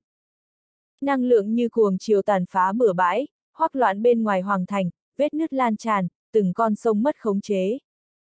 Trên tường thành Tây Bộ, trong hoang dã Tây Bộ, vô số cường giả đều trực tiếp quỳ trên mặt đất, sợ hãi không chịu nổi. Hỗn độn sao? Lại khủng bố như thế. Cả một đời đều không có gặp qua nhiều khí lãng hỗn độn như vậy, như thiên quân vạn mã đang lao nhanh, như mấy triệu đại quân đang đánh tới, vang lên ầm ầm, sương mù màu trắng trà cả một vùng trời, khủng bố vô biên. Có cường địch xâm lấn, bảo vệ pháp trận, nhanh nhanh nhanh. Đây là pháp trận do thần tôn bố trí, chỉ cần mở ra, hoàng thành sẽ không sao cả. Các cường giả thành khu khác điên cuồng thôi động pháp trận, mặc dù không rõ đã xảy ra chuyện gì, nhưng khẳng định là đang xảy ra chuyện lớn. Bọn hắn kinh hoàng hỗn loạn, cũng rất nhanh đã ổn định lại. Nơi này là xích thiên hoàng thành, nơi này là chỗ ở của thần, phòng ngự nơi này đủ để kiêu căng với cả thiên hạ. Rất nhanh, mặc dù các tế đàn pháp trận liên tiếp thức tỉnh, pháp trận rộng rãi đang tầng tầng thành hình, nhưng, cửa thành Tây Bộ đã bị bọn người Khương Phàm điên cuồng đổ sát, mấy chục tòa tế đàn không thể kịp thời thức tỉnh. Đây gọi là ngàn dặm con đê bị hủy bởi tổ kiến, lỗ thủng như vậy, vẫn vừa vặn đối mặt với xí thiên giới, kết cục cũng có thể nghĩ. ầm ầm, xí thiên giới trận va chạm cuồng bạo, trong nháy mắt đã phá hủy pháp trận Tây Bộ còn không có thành hình, gần như là một kích của thần, cường thế liên lụy đến cả bình chướng tường thành khác. Khu vực tường thành Tây Bộ kéo dài mấy trăm dặm liên miên sụp đổ, pháp trận vừa mới chống lên đã liên tiếp bị chôn vùi. Dầm dầm, ngàn vạn sợi xiềng xích nặng nề phá tan khu hỗn độn, đánh về phía thành khu đầu tiên. Mỗi sợi xiềng xích đều to đến trăm mét, lại dài hơn 10 vạn mét, mà còn nặng đến ngàn vạn tấn, bọn chúng chấn động không gian, va chạm mặt đất mãnh liệt, giống như là thiên thạch oanh minh, đánh sụp ra vết nứt, nhấc lên bụi mù. Thành khu đầu tiên đã giống như tận thế lại lần nữa bị trọng thương, mười mấy vạn người bị mất mạng tại chỗ. Giống. Từng con cự mãng quấn quanh lấy xiềng xích, từ trong cuồng chiều hỗn độn bạo động chui ra ngoài, nhanh chóng lan tràn về thành khu. Không, đây không phải là sóng lớn, mà là rễ cây, là chạc cây. Càng ngày càng nhiều, cuồng dã lan tràn, mỗi đầu rễ cây đều đen kịt trắng kiệt, phía trên đều là vỏ cây giống như vảy rồng, cứng rắn giá lạnh, phần đầu còn là một cái miệng lớn chảy đầy máu tươi, từng vòng từng vòng răng nanh lít nha lít nhít. Địa ma thụ. Địa ma thụ cảnh giới thánh vương. Rút lui, mau bỏ đi. Là xí thiên giới. Đóng giữ nội thành, nghiêm phòng tử thủ. Đại hoàng tử lao ra từ trong phế tích, dưới sự bảo vệ của các tộc lão hoàng thất liền lao thẳng đến nội thành. Lúc này, bình chướng nội thành đã toàn diện thành hình, tầng tầng vần quanh, năng lượng cuồn cuộn. Trong hoàng cung tầng thứ 8, các hoàng tổ ngủ say liên tiếp thức tỉnh. Chân thiên các và các thế lực trực tiếp lệ thuộc hoàng thất tại tầng thứ 7 cũng đều liên tiếp xuất hiện. Vương phủ tầng thứ 6, hầu phủ tầng thứ 5, phủ tướng quân tầng thứ 4, thế gia tầng thứ 3, còn có thương hội tông môn các loại tại tầng đầu tiên và tầng thứ 2, cũng đều điều động toàn bộ. Ngắm nhìn bụi mù ngập trời, hỗn độn cuồn cuộn tại thành khu đầu tiên, bọn hắn chấn kinh càng tức giận. Đó là xí thiên giới. Đây là nằm mơ sao? Xí thiên giới lại giết tới trước cửa nhà bọn hắn mà không có dấu hiệu nào như thế. Từ biên cương thần chiều Tây Bộ đến nơi đây trọn vẹn bốn vạn dặm, trong hư không trải rộng các loại đạo ngấn, ven đường càng có vô số tế đàn không gian, vì sao lại không có bất kỳ dấu hiệu gì. Thế giới không gian mênh mông như vậy, vậy mà bọn hắn lại không chút kiêng kỵ hoành hành mấy vạn dặm. Thành khu đầu tiên lại còn bị công phá. Chín vòng phòng ngự ngoài kia là để bài trí sao, phòng ngự ngoại thành là giấy sao. Ai có thể nói cho bọn hắn, rốt cuộc đã xảy ra chuyện gì? Giống. Địa ma thụ không có sông ra khỏi xí thiên giới toàn bộ, chỉ là lộ ra một phần nhỏ, nhưng dù vậy, dễ cây dây leo dày đặc tráng kiện đã chật ních nửa thành khu, khí thế kinh khủng, hình thể rung động, để tất cả sinh linh ở trước mặt nó đều lộ ra cực kỳ nhỏ bé. Long cốt cự ngạc, kim hống, luân hồi huyết sư, địa long và các mãnh thú cường hãn, đều đứng trên dây leo mà địa ma thụ dơ cao, đằng đằng sát khí đi đến khu nội thành. Rằng co cuồng bạo, trùng kích rung động, giờ khắc này đủ để ghi vào sử sách thương huyền. Khương Phàm, là phần thiên thần hoàng Khương Phàm sao? Sao hắn lại có thể ở đây được? Hắn kéo lấy xí thiên giới đụng tới. Tốt xấu gì cũng là thần hoàng kiếp trước, không thể làm chút chuyện hữu lễ sao? Nhất định phải dã man như vậy sao? Những thứ ngu xuẩn vạn đạo thần giáo kia rốt cuộc đang làm gì? Không phải nói là đang chặn đánh tại hư không sao? Chặn đánh cái rắm. Người ở gần thành khu thất kinh, điên cuồng chạy trốn về phía khu nội thành, sợ xí thiên giới lại vọt mạnh đến hơn trăm dặm. Khu vực nội thành đã sẵn sàng chiến đấu, tất cả cường giả và toàn chi đội đều lên pháp trận hàng đầu. Cường giả hoàng thất còn muốn chất vấn rốt cuộc đã xảy ra chuyện gì, nhưng sau khi nhìn thấy vị nhân hoàng ngàn năm trước, Chu Diễm này đều nhao nhao hàng về đến phía sau. Chu Diễm phong ấn mấy trăm năm, ngay lúc này còn không biết chuyện gì hiện đang phát sinh, nhưng sau khi nhìn thấy Chu Tước, một cái ý niệm hiện lên trong đầu trong đầu. Phần thiên thần hoàng, trùng sinh. Ngươi vẫn trở về. Chu Diễm cách 18 tầng bình chướng lạnh lùng ngắm nhìn thân ảnh bên trên trà cây hỗn loạn. Ngươi có thể treo một hơi đến bây giờ, không phải chính là muốn nhìn ta một chút sao? Ta đã trở về, ngươi nên nhắm mắt rồi, về quan tài nằm đi. Toàn thân Khương Phàm sôi trào yêu hỏa, ở phía trên ngưng tụ thành hình dáng chu tước, dương cánh gáy to, tôn quý phi phàm, càng tràn ngập hung uy uy hiếp vạn cầm. Làm càn. Quần hùng nội thành giận dữ hét lên, tức giận kích phát năng lượng chấn động pháp trận, pháp trận nở rộ, tiếng oanh minh giống như cửu thiên lạc lôi, chấn động càn khôn, oanh minh 800 giảm toàn thành. Ngọa tào, làm ta sợ muốn chết. Long cốt cự ngạc toàn thân khẽ run rẩy, tức giận về phía trước. Chỉ có các ngươi có giọng lớn. Giống. Long khí cuồn cuộn, tiếng long ngâm mát lạnh, vang vọng khắp thành khu, phế tích. Nhưng cái âm thanh của nó dưới tiếng oanh minh kinh thiên động địa tại nội thành kia lộ ra vô cùng non nớt. Long cốt cự ngạc ngượng ngùng, quay đầu giận dữ mắng mỏ. Hô đi, còn có thể làm huynh đệ hay không, các người thật khiến cho ta rất xấu hổ. Giống. Địa ma thụ, kim hống, luân hồi huyết sư, địa long và đàn thú điên cuồng gào thét, sóng âm như thủy triều, cuồn cuộn khắp đất trời. Ngừng. Long cốt cự ngạc ngao một tiếng, ngừng gào thét, giơ đầu rồng lên. Hoàn Mỹ. Chu Diễm đứng trong nội thành, khẽ nhíu mày, nhưng không để ý đến con cá xấu kia, lại rằng co với Khương Phàm. Niết bàn cảnh đã dám đến xích thiên thần triều làm càn, lá gan so với năm đó còn lớn hơn rồi đấy. Ta chỉ là tới đón người của ta rời khỏi, sao lại là làm càn? Có người tiếp ngươi như thế này, người đụng hư cửa thành ta, bồi thường như thế nào? Còn nhớ rõ ta đã nói với ngươi những gì không? Xích thiên hoàng thành bố cục quá cứng nhắc, không đủ đặc sắc, hôm nay ta giúp các ngươi đạp đổ miễn phí. Nói như vậy, có phải ta còn hẳn là nên cảm ơn ngươi hay không? Vậy đến hoàng cung ngồi một chút đi, ta sẽ từ từ cảm ơn ngươi thật tốt. Không cần, ta còn có rất nhiều chuyện phải làm, không giống ngươi nằm trong quan tài chờ chết. Khương Phàm cười nhạt một tiếng, phất phất tay đối với Chu Diễm. Cáo từ. Chậm đã, ngươi thật giống như quên một chuyện. Thiên hậu sao, muốn gặp nàng, tự mình đi ra tìm đi. Ngươi quên pháp trận của xích thiên thần triều, không chỉ là bảo vệ, còn có thể tấn công. Chu Diễm đưa tay chỉ lên trời, các tộc lão sau lưng liên tiếp thét lên ra lệnh. Mở ra tử vong chi đồng. Đỉnh núi nội thành đột nhiên bộc phát liệt diễm ngập trời, cuồn cuộn hùng hồn, chấn động đến cả tòa nội thành đều đang lay động. Đó là sâu trong hoàng cung đang mở ra huyền hỏa nguyên, tượng trưng cho xích thần hỏa vĩnh hằng bất diệt của thiên thần triều, như thần linh thức tỉnh nhấc lên liệt diễm ngập trời. Cửu thiên huyền hỏa, cùng phần thiên yêu hỏa ngang cấp trí tôn thần viêm, được xích thiên thần triều bảo vệ vạn năm, dưỡng dục vạn năm, bên trong thậm chí còn có thần cốt đang yên lặng. ầm ầm, khung trời chấn động, sinh ra dị tượng lộn xộn, liệt diễm cuồn cuộn bao phủ thành khu trong 300 dặm, hình thành vòng xoáy khủng bố, càng ngày càng mãnh liệt, càng ngày càng kinh khủng, kịch liệt xoay tròn như muốn mở ra cánh cửa u minh. Âm trầm. Giá lạnh. Cô quạnh. Xích thiên hoàng thành hỗn loạn nhanh chóng bị bóng tối bao trùm, hàng tỷ con dân đều như đặt mình trong cái chết nơi hoang dã, linh hồn của bọn hắn muốn tan rã, thân thể muốn mục nát, cái chết đang vô hình quấn chặt lấy bọn hắn. Rút lui. Khương Phàm phất tay, địa ma thụ nhanh chóng quấn chặt lấy long cốt cự ngạc và tất cả yêu thú, lao nhanh rút lui về xí thiên giới. Nhanh nhanh nhanh, đây là khí thức gì? Long cốt cự ngạc sợ hãi tuyệt vọng, cứ như đất trời đều hoàn toàn lâm vào hắc ám, thân thể mình đang nhanh chóng giải yếu. Cái chết, loại chuyện hư vô mờ mịt này giống như đang ở ngay bên cạnh, đang thôn phệ lấy nó, bao phủ lấy nó. Cửu thiên huyền hỏa tượng trưng cho ba loại nguyên lực của thế giới, theo thứ tự là sinh mệnh, tử vong, còn có thôn phệ.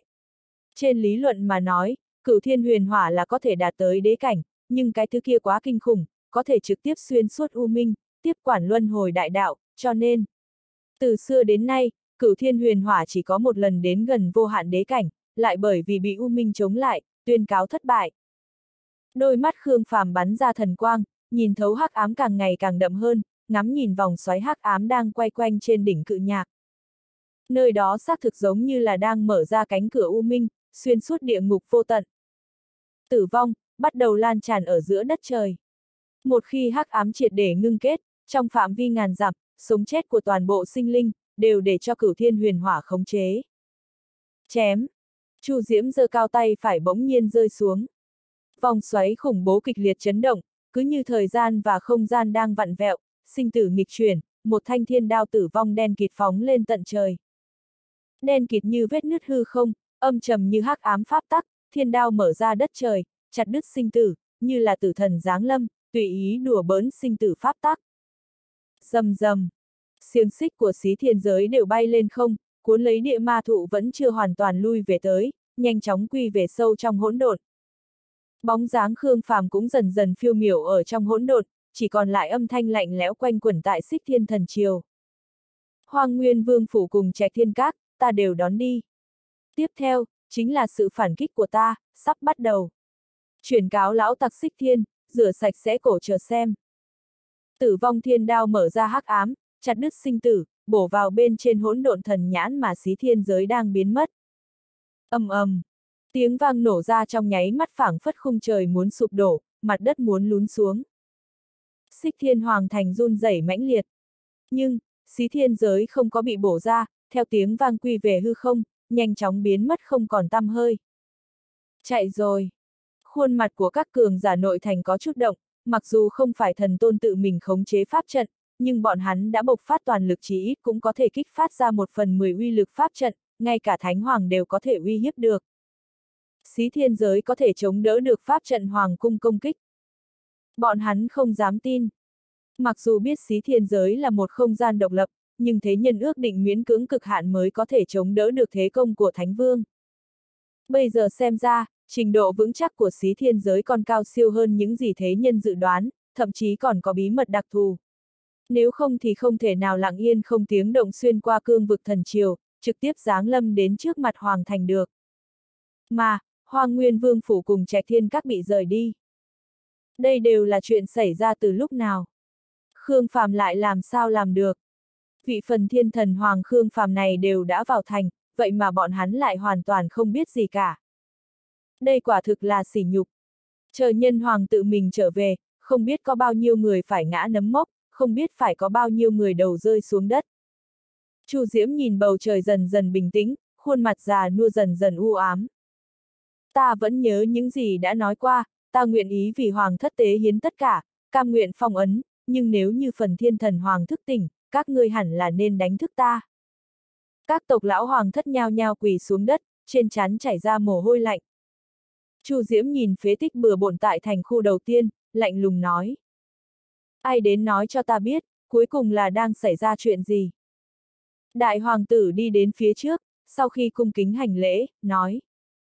Ta là đại hoàng tử đương triều, xin mời tiên tổ cho phép ta nói qua sự kiện phần thiên thần hoàng chuyển thế. Sau khi xí thiên giới nối liền trạch thiên các, biến mất ở bên trong thâm không minh mông, oanh động đưa tới đã nhanh chóng chấn động xích thiên thần triều. Xích thiên thần triều là trí tôn hoàng đạo, tại thương huyền đại lục có địa vị vô cùng tôn quý, độc bá tám vạn giám sơn hà trung vực bắc bộ, bởi vì có được thập đại quân đoàn, số lượng lớn võ viện cường tông, còn có vương hầu thống soái, tiềm lực chiến tranh chân chính của nơi đây có thể xưng là số một thương huyền, điểm này không có bất kỳ người nào dám chất vấn, bao gồm cả tam đại trí tôn hoàng đạo khác. Nhưng, chính là một kẻ tồn tại siêu cấp giống như cự vô phách như thế lại bị Khương Phàm rút hang ổ. Mặc dù chỉ là phá vỡ tường ngoại thành, nhưng ở dưới cục diện trước mắt, Khương Phàm lại không phải ẩn núp bốn chỗ mà chủ động xuất kích, mà còn lao thẳng đến xích thiên thần triều, thế nhân lại lần nữa thấy được Khương Phàm điên cuồng. Mặc dù không có thật sự đối kháng cùng xích thiên thần triều, nhưng xí thiên giới có thể không nhìn phòng ngự trong hư không của thần triều, trực tiếp xuất hiện ở bên ngoài hoàng thành, còn có thể trở ra toàn vẹn, cũng đủ để chứng minh xích thiên thần triều không có cách là gì đối phương, cái gọi là di chuyển trong không gian càng giống là một pháo đài di động. Điều làm cho xích thiên thần triều hổ thẹn nhất chính là Khương Phàm ở dưới tình huống thần không biết quỷ không hay chuyển hoang nguyên vương phủ và trạch thiên các đi, thuận tiện chu diệt kim luân vương phủ. Mặc kệ là nguyên nhân gì, đối với đại hoàng tử tọa chấn hoàng triều mà nói, đều là sai lầm không thể tha thứ, càng là sỉ nhục không cách nào xóa đi được. Thời điểm tin tức truyền đến man hoang chiến trường, nhân hoàng đều không thể không tự mình rút về, tọa chấn hoàng thành, chỉ cương vực hoàng triều tứ phương phía xa toàn diện mở ra bình chướng phòng giữ. Cùng lúc đó, xí thiên giới mượn cơ hội này tuyên cáo các tộc thương huyền, ai dám lại đuổi bắt xí thiên giới, kế tiếp chính là đụng hang ổ kẻ đó. Đại quang mang thần điện, thái cổ thần miếu và các thế lực khác đều nhanh chóng ngừng lùng bắt lại, trở về gia cố phòng ngự. Nhất là những hoàng tộc kia, từng kẻ đều toàn bộ trung thực xuống. Ngay cả xích thiên thần triều đều bị, trà đạp, bây giờ bọn hắn không có lòng tin chống cự xí thiên giới va chạm. Mà bây giờ xí thiên giới lại còn có được thánh vương, không có mấy hoàng tộc có thể chịu được nguồn năng lượng này. Nhưng, thời điểm toàn thương huyền đang nghị luận về xích thiên sự kiện, xí thiên giới lần lại nữa thông báo thiên hạ. Kỷ nguyên năm thứ 11, ngày mùng 1 tháng 1, Khương Phàm mở lôi đài tại Đại La Sơn, khiêu chiến tất cả thiên kiêu nhân kiệt hoàng tộc hoàng đạo thương huyền. Điều kiện tham chiến, cảnh giới thánh linh trở xuống, nhân tộc, yêu tộc, ma tộc, không giới hạn. Quy tắc tham chiến, không giới hạn tuổi tác, không giới hạn nhân số, không giới hạn chiến thuật, không giới hạn vũ khí. Nhưng, người lên đài không phân thắng thua, chỉ phân sinh tử. Tư cách tham chiến, bất kỳ người nào khiêu chiến, phàm lên đài thì phải giao một khối bảo cốt thánh vương. Thời gian lôi đài kéo dài, tiếp tục đến cuối tháng 3.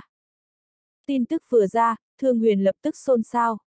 Đột nhiên xuất hiện thi đấu khiêu chiến đã là nằm ngoài dự liệu của mọi người, càng khiến cho người ta trở tay không kịp. Trước đó tất cả hoàng tộc hoàng đạo đều truy sát Khương Phàm khắp thiên hạ, lần này Khương Phàm lại chủ động xuất hiện, nghênh đón các phe khiêu chiến. Tương đương ngay thẳng tuyên cáo thiên hạ, đừng đuổi theo, cảm thấy mệt, thấy buồn, chúng ta trực tiếp tìm một nơi, đơn đấu, quần ẩu, tùy tiện tới. Đối với những hoàng tộc hoàng đạo kia mà nói, đây rõ ràng là chuyện tốt. Không chỉ có thể ngăn chặn Khương Phàm, trực tiếp ra tay, còn có thể đường hoàng giết hắn. Càng quan trọng hơn là, trận thi đấu khiêu chiến này giống như cho tất cả hoàng tộc hoàng đạo đều tìm mặt mũi trở về. Trước đó đều là dã man đuổi bắt, điên cuồng săn giết, để hoàng tộc hoàng đạo cao ngạo vô cùng tôn quý trong mắt thế nhân đều như là thổ phỉ. Bây giờ thì tốt rồi, rốt cuộc cũng có thể giống như quý tộc gom lại cùng một chỗ đường đường chính chính tỷ võ. Lúc này mới giống như chuyện mà hoàng tộc hoàng đạo phải làm. Mặc dù Khương Phàm mở ra, quy tắc sinh tử, tư cách bảo cốt, làm cho cả quy cách tranh tài tăng lên tới vấn đề cực cao, cũng nhất định sẽ có số lượng lớn thiên kiêu mất mạng, nhưng bọn hắn tin tưởng, bây giờ Khương Phàm còn không có có tư cách khiêu chiến thiên kiêu toàn thương huyền, Khương Phàm có thể thắng 3 năm trận, nhưng không thắng được 90 ngày. Khương Phàm, hẳn phải chết. Lập tức, thương huyền đại lục, trăm dặm sơn hà, trừ vùng đất man hoang giết hừng hực khí thế ra, mà những hoàng tộc hoàng đạo khác đều yên lặng. Khoảng cách khiêu chiến chỉ còn 5 tháng, bọn hắn khẩn cấp triển khai tuyển chọn nội bộ, đã định người được chọn để khiêu chiến Khương Phàm, đồng thời định ra chiến thuật, truyền thụ võ pháp mới, tặng cho vũ khí mới. Dù sao bên trong quy tắc của Khương Phàm cũng đều không có giới hạn cái gì, vậy bọn hắn hoàn toàn có thể làm nhiều cố gắng tại vấn đề chiến thuật, vũ khí. Bằng vào nội tình hơn mấy ngàn vạn năm của bọn hắn, hoàn toàn có thể để Khương Phàm chịu nhiều đau khổ, thậm chí mất mạng. Xí thiên giới Sau khi Khương Phàm phát ra thư mời đến khắp thương huyền, hắn đã bắt đầu bế quan chiều sâu. Kích phát tiềm lực đế huyết còn sót lại trong thân thể, kích hoạt thần lực minh mông trong thần nhãn, truy tìm chu tước truyền thừa huyền bí chân chính, nghiên cứu nhóm vũ khí thiên hoàng bá đao, cửu hoàng luyện thiên đỉnh, thông thiên tháp, thái tổ sơn, bát hoang chiến trụ. Còn có truy tìm bí mật, sơn hà đại táng, nhật nguyệt tinh thần đại táng, thương sinh tạo hóa, chiều sâu, diễn biến sức mạnh cường hãn thuộc về mình. Khương Phàm phải dùng thời gian 5 tháng dung hội quán thông tất cả truyền thừa, vũ khí, tiến hành thăng hoa triệt để một lần. Dùng 5 tháng tuyên ngôn chiến tranh, hòa hoãn tình cảnh cho xí thiên giới, cho đám người kiều vô hối trở về, chế tạo một hoàn cảnh tương đối an toàn. Kỳ thật, từ thiên hậu đến dạ an nhiên, lại đến hướng vãn tình, bọn người Khương Bân đều không đồng ý Khương Phàm dùng cách này chính thức gặp mặt các tộc thương huyền, nhưng Khương Phàm đã quyết tâm, nhất định phải dùng cách này tuyên cáo thiên hạ, coi như ta đứng ở trước mặt các ngươi, để các ngươi giết, các ngươi cũng không giết chết. Bọn hắn hiểu rõ tính tình Khương Phàm, không còn khuyên can, chỉ có thể tận lực kiến tạo hoàn cảnh bế quan an tĩnh, cung cấp đan dược và linh dịch cần thiết cho hắn. Tuy nhiên, tại thời điểm Khương Phàm chính thức bế quan, xí thiên giới lại còn phát sinh một kiện chuyện phấn chấn, Hàn Ngạo và Lý Dần đều đã đột phá. Hai người được Khương Phàm tỉ mỉ bồi dưỡng này lại mang hồn thiên linh bảo, lấy tư thái hoàn toàn mới đứng ở trước mặt mọi người. Lý Dần biến đổi linh văn, tiến vào thiên phẩm, bất tử hỏa liệt điều linh văn hoàn mỹ dung hợp thiên dương kiếm, thái âm cực diễm, cùng năng lượng cái khiên của đại lục thứ 10, lột xác thành thiên mệnh bất tử điều. Là một loại linh cầm thần bí đất trời khó diệt, siêu thoát tại luân hồi, càng là kẻ săn mồi đỉnh cấp chân chính. Tiềm lực thiên mệnh bất tử điều hoàn toàn có thể đuổi theo 12 yêu tổ, cũng nhất định lấy tiềm lực mà Lý Dần có được bước lên vấn đề cao hơn, ví dụ như Thánh Vương. Hàn Ngạo cũng không phụ kỳ vọng, liên tiếp được bảo dược kích thích, thành công tỉnh lại linh hồn cự long bên trong đại long đao, tích góp thành công, biến đổi hoàn mỹ. Phong bạo cự long. Không còn là dực long, cũng không chỉ là phong bạo hắc long, mà là cự long chân chính. Cự long, vương giả chân chính trong long tộc. Đây là huyết mạch, linh hồn, cơ thể các loại. Thăng hoa toàn diện, là long vương có thể làm cho vạn thú thần phục. Một người là thiên mệnh bất tử điều, một người là phong bạo cự long, tin vui phấn chấn đã đè xuống lo lắng của mọi người đối với Khương Phàm, đám người quay xung quanh bên cạnh Hàn Ngạo, Lý Dần, nhiệt tình chúc mừng. Chỉ là bên ngoài đám người, có hai nam tử đang lạnh lùng nhìn chàng diện náo nhiệt phía trước. Thiên mệnh bất tử điều, phong bạo cự long, thánh phẩm linh văn lại có thể đi đến thiên phẩm, đây là chính là kỳ tích mà phụ thân đã nói qua tuyệt đối không thể nào phát sinh. Khương Hách nắm chặt đấm nắm lại buông ra, buông ra lại nắm chặt, không chỉ là chấn kinh, càng nhiều hơn là hâm mộ. Ở bên ngoài là kỳ tích, ở chỗ này cũng không khó. Không phải nói còn có Khương Diễm, Khương Qua, Khương Quỳ, đều là từ thánh phẩm tiến thiên phẩm sao. Khương Dương thể hiện vô cùng lạnh, sự lạnh lẽo phát ra từ linh hồn. Bọn hắn đều dựa vào Khương Phàm thành công, là Khương Phàm tạo nên bọn hắn. Đại ca, huynh là thánh phẩm, hẳn là có hy vọng tiến thiên phẩm, ta là lục phẩm, hẳn là cũng có thể đi đến thánh phẩm. Không phải hẳn là, là nhất định phải. Chúng ta là truyền nhân chân chính của Khương gia, cùng Khương Phàm là một mạch cùng tông. Khương Phàm, còn nợ chúng ta đây.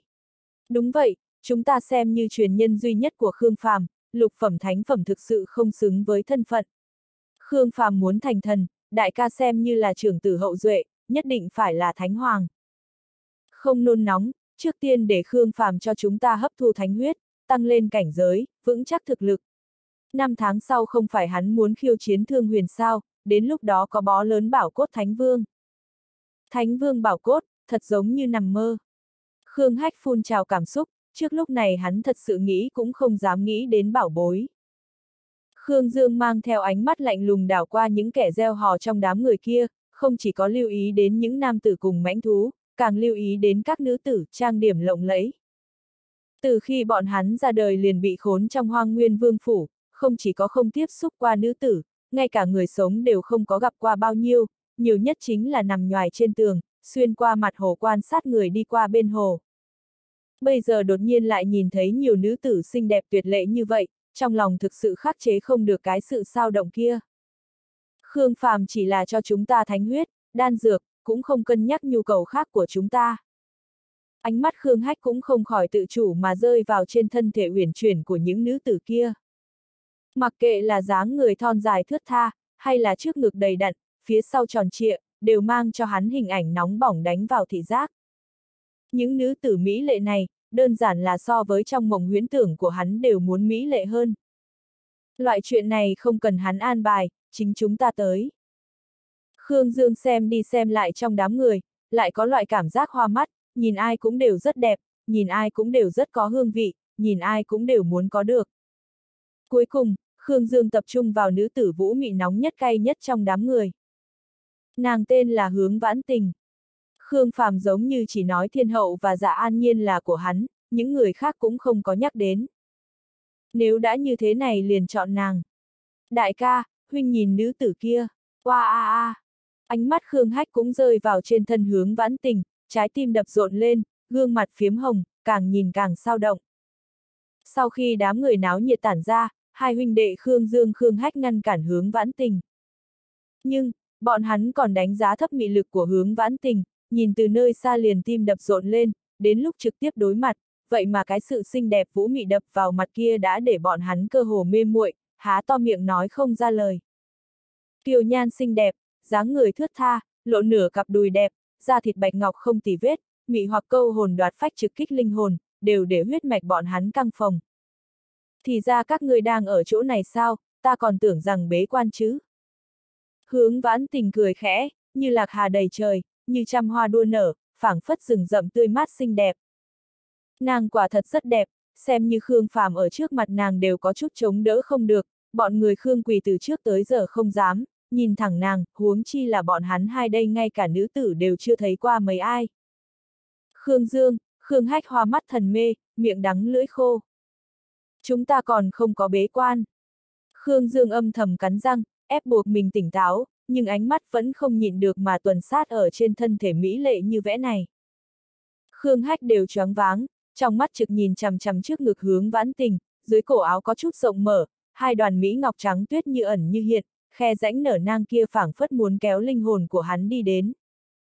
Bộ vị nào đó vậy mà lại bắt đầu khôi phục.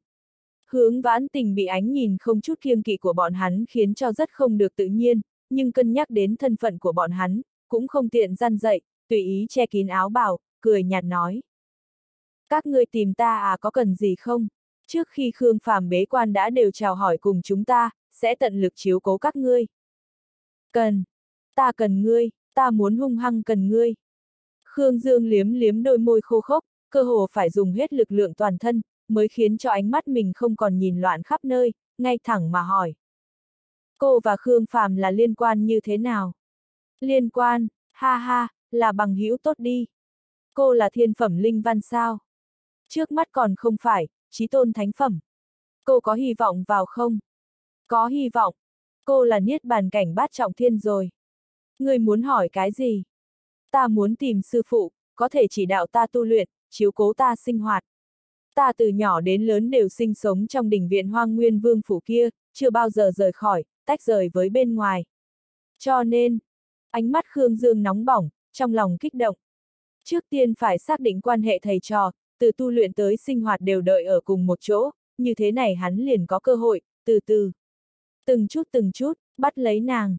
Bằng vào thân phận của hắn, nữ tử này chắc chắn sẽ không từ chối, thậm chí có khả năng chủ động câu dẫn hắn, ôm ấp yêu thương. Ta, ta ta, ta cũng cần một phụ. Khương Hách tranh thủ thời gian theo một câu. Tự mình tìm đi. Khương Dương quay đầu chừng mắt liếc hắn một cái. Cũng có thể cùng một chỗ chiếu cố ta mà. Khương Hách bất mãn. Dựa vào cái gì tùy theo ý ngươi. Ta cũng coi trọng người này. Ngươi, tự mình, đi tìm. Khương Dương quay đầu, đáy mắt hiện lên tia sắt lạnh. Khương Hách hạ miệng, lưu luyến không rời chuyển ánh mắt từ trên thân hướng vãn tình đi chỗ khác. Hướng vãn tình yêu kiều cười hai tiếng. Không cần tranh giành, Khương Phàm sớm đã an bài xong tất cả. Vấn đề này cũng đã an bài xong tất cả. Khương Hách nao nao, tiếp đó lại lộ ra vui mừng. Nói đúng hơn là, các mặt đều phải chiếu cố tốt, mới không phụ bọn hắn những năm này chịu tra tấn. Khương Phàm cân nhắc đến trạng thái cơ thể của các ngươi, cho nên trước tiên đã cho các người thánh huyết, để cho các người từ từ điều trị, cũng cân nhắc đến vấn đề các ngươi sinh hoạt tách rời với bên ngoài, đã an bài đồng bạn cho các ngươi. Chờ một lát, ta rất nhanh sẽ dẫn bọn hắn tới. Hướng vãn tình nháy mắt mấy cái, quay người rời khỏi, dáng dấp yểu điệu để Khương Dương Khương hách lại lần nữa miệng đắng lưỡi khô, loại sao động cuồn cuộn từ trong ngực đi ra kia cơ hồ khiến bọn hắn mất lý trí. Tính ra Khương Phàm vẫn có lương tâm. Khương Dương hừ một tiếng. Mặc dù không thể ăn đến mỹ vị tuyệt diệu như hướng vãn tình, nhưng nữ tử Khương Phàm tự mình an bài hẳn là không kém được, mà còn phải biết nên làm gì, như thế này thì hắn có thể không có chút nào lo lắng thỏa thích hưởng dụng. Đại ca, huynh nói xem sẽ an bài ai đây? Khương Hách đưa mắt nhìn thân ảnh uyển chuyển của hướng vãn tình biến mất trong rừng cây, bắt đầu chờ mong nữ tử của mình. Yên tâm, chắc chắn sẽ không kém. Chúng ta là hậu bối duy nhất của Khương Phàm, xem như tử tôn hoàng thất, nữ tử bình thường có thể xứng sao. Vậy cũng đúng, bất luận là gia thế, tư chất, hay là dung mạo, cũng đều là ngàn chọn vạn chọn. Đến lúc đó chú ý dáng vẻ, đừng lộ ra chúng ta quá đói khát. Nhưng ta chính là đói khát mà, ta đều đã 30, ngay cả tay của nữ tử đều không có nắm qua. Hừ hừ, dựa vào thân phận chúng ta, tương lai còn có thể thiếu nữ tử. Bây giờ chỉ là món ăn khai vị, sau này còn nhiều, rất nhiều. Đến lúc đó coi như chính chúng ta cũng không nguyện ý, Khương Phàm đều nhét đến trong ngực chúng ta. Cũng không đến mức này chứ. Làm sao không đến mức, chúng ta là người sống sót duy nhất của Hoang Nguyên Vương Phủ, cũng là huyết mạch hậu nhân còn sót lại của Khương Phàm, chỉ có hai người, cái này đúng sao? Hắn cần chúng ta nối dõi tông đường, cần chúng ta mở rộng hậu đại Khương gia. Nói một câu không khách khí, bây giờ Khương Phàm cũng không cần chúng ta mạnh cỡ nào, càng muốn chúng ta sinh con cho hắn. Thật sao? Khương Hách cười hắc hắc, nhịn không được mà mơ mộng đến cuộc sống tốt đẹp. Đương nhiên là thật, tuy nhiên chúng ta không thể chỉ cố chơi nữ tử, vẫn phải thu luyện, trước tiên tăng cảnh giới lên, mới có thể được tôn trọng. Gương mặt gầy gò của Khương Dương hiện ra một vòng dữ tợn, hắn không nghĩ tới mình có thể thoát khốn, nhưng nếu ông trời đã mở mắt, hắn phải hung hăng phát tiết đi ra việc những năm này hắn tiếp nhận khuất nhục tại Hoang Nguyên Vương Phủ. Mặc kệ là nữ tử hay là thực lực, mặc kệ là địa vị hay là danh vọng, hắn đều muốn đạt được hết thảy. Hắn muốn để xí thiên giới, thậm chí thương huyền, không chỉ biết có Khương Phàm, còn phải biết Khương Dương hắn. Chúng ta chịu khổ nhiều năm như vậy, trước tiên hưởng thụ một chút cũng không sao nhỉ. Khương Hách không vội mà tu luyện, chỉ muốn phát tiết khuất nhục những năm này. Nhưng, bọn hắn đã đợi lại đợi, hướng vãn tình chậm chạp vẫn chưa có trở về. Đang lúc bọn hắn sắp chờ không nổi, hai bóng người liền từ trong cánh rừng đi ra. Hai người đương quyền Kiều gia, Kiều Vạn Niên, Kiều Vạn Sơn. Dưới sự bồi dưỡng cùng bảo dược và số lượng lớn thánh huyết thánh nhục, cảnh giới của bọn hắn đã đột nhiên tăng mạnh, bây giờ theo thứ tự là niết bàn cảnh cửu trọng thiên cùng bát trọng thiên. Theo cảnh giới tăng lên cùng huyết mạch kích phát, kim kiêu linh hồn triệt để giao hòa cùng cơ thể, tư thái khí thế càng thêm oai hùng, ánh mắt cũng cực kỳ lăng lệ. Các ngươi là, người của Kiều gia, có chuyện gì sao? Khương Dương khẽ nhíu mày. Trước khi Khương Phàm bế quan đã an bài chúng ta làm sư phụ của các ngươi, chỉ đạo võ pháp cho các ngươi, chiếu cố cuộc sống của các ngươi. Các ngươi. Khương Dương cùng Khương Hách hỏi lớn, trong mắt đều trợn tròn. Chúng ta là hỏa diễm linh văn, cũng là cao giai niết bàn cảnh, lại còn là thân tộc của Khương Phàm, chiếu cố các ngươi là lựa chọn tốt nhất. Làm sao, không nguyện ý. Thế nhưng, không cần lo lắng, chúng ta sẽ coi các ngươi như hài tử mà chiếu cố, nhất định sẽ hết sức chăm chú, cũng sẽ vô cùng nghiêm khắc. Trợ giúp các ngươi mau chóng tăng thực lực lên, thích ứng hoàn cảnh phía ngoài. Khương Dương cùng Khương Hách có chút há mồm, vậy mà nói không nên lời phản bác. Nhưng bọn hắn là cần nữ tử, không phải nam tử. Kiều Vạn Niên thể hiện nghiêm túc lại lạnh lùng. Các ngươi là hậu đại duy nhất của Hoang Nguyên Vương Phủ, cũng là thân tộc duy nhất của Khương Phàm kiếp trước, Khương Phàm có thể giao các ngươi cho chúng ta, là coi trọng chúng ta, cũng là tín nhiệm chúng ta, chúng ta nhất định sẽ không phụ lòng kỳ vọng của hắn. Trong những ngày tiếp theo, lúc huấn luyện cùng chỉ đạo còn xin các ngươi hết sức phối hợp. Ta, ta, gương mặt Khương Dương đỏ lên, tức giận càng khuất nhục. Còn có yêu cầu gì? Kiều Vạn Sơn với khuôn mặt thô cuồng, khí thế ép người. Chúng ta cần người cùng tuổi, tốt nhất là nữ hài tử. Nữ hài tử. Chúng ta từ nhỏ sống ở Hoang Nguyên Vương Phủ, trừ hai huynh đệ chúng ta, chính là phụ thân Gia Gia. Chúng ta không tiếp xúc qua người đồng lứa khác, càng không tiếp xúc qua nữ hài tử. Nếu như muốn thích ứng hoàn cảnh phía ngoài, tốt nhất là tìm nữ hài nhi cùng tuổi. Khương Dương miễn cưỡng nghĩ ra lý do, Khương Hách ở bên cạnh vội vàng xác nhận. Đây cũng là vấn đề. Kiều Vạn Niên chậm rãi gật đầu, hơi suy nghĩ nói. Ta có nhi nữ, Kiều Thiên Mạch, Kiều Linh Vận, Kiều Vi Nhi, đều cùng tuổi với các ngươi, vừa vặn có thể làm bạn tu luyện. Khương Dương run rẩy khóe mắt, người đưa hài nhi của tới bồi luyện, chúng ta còn ra tay thế nào? Xa xa trên đỉnh núi, hướng vãn tình đón gió núi thanh lãnh, nhìn qua rừng cây. Hai người này trên tâm lý giống như đã xảy ra vấn đề, tiếp theo làm phiền ngươi. Trong bóng tối, đội trưởng huyết sát, chủ bất dĩ giống như đoàn mê vụ phiêu đáng. Ta sẽ chú ý, sẽ không để cho bọn hắn làm chuyện ác. Cẩn thận quan sát, ghi chép kỹ càng. Nếu như chỉ là vấn đề tâm lý, từ từ điều trị hẳn là có thể khôi phục, nhưng nếu như bản tính xảy ra vấn đề liền cần phải chú ý thật tốt. Nếu như biết đội ơn, bọn hắn hẳn là có thể nhận trọng dụng, nếu như không hiểu đội ơn, vậy cứ vĩnh viễn ở lại nơi này đi. Chuyện này trước tiên không cần nói với Khương Phàm, chính chúng ta có thể xử lý. Hướng vãn tình để lại một câu nói, sau đó rời khỏi đỉnh núi. Nàng còn muốn thay Khương Phàm gõ đám người huyết kiếm đường kia, để bọn hắn triệt để quy thuận.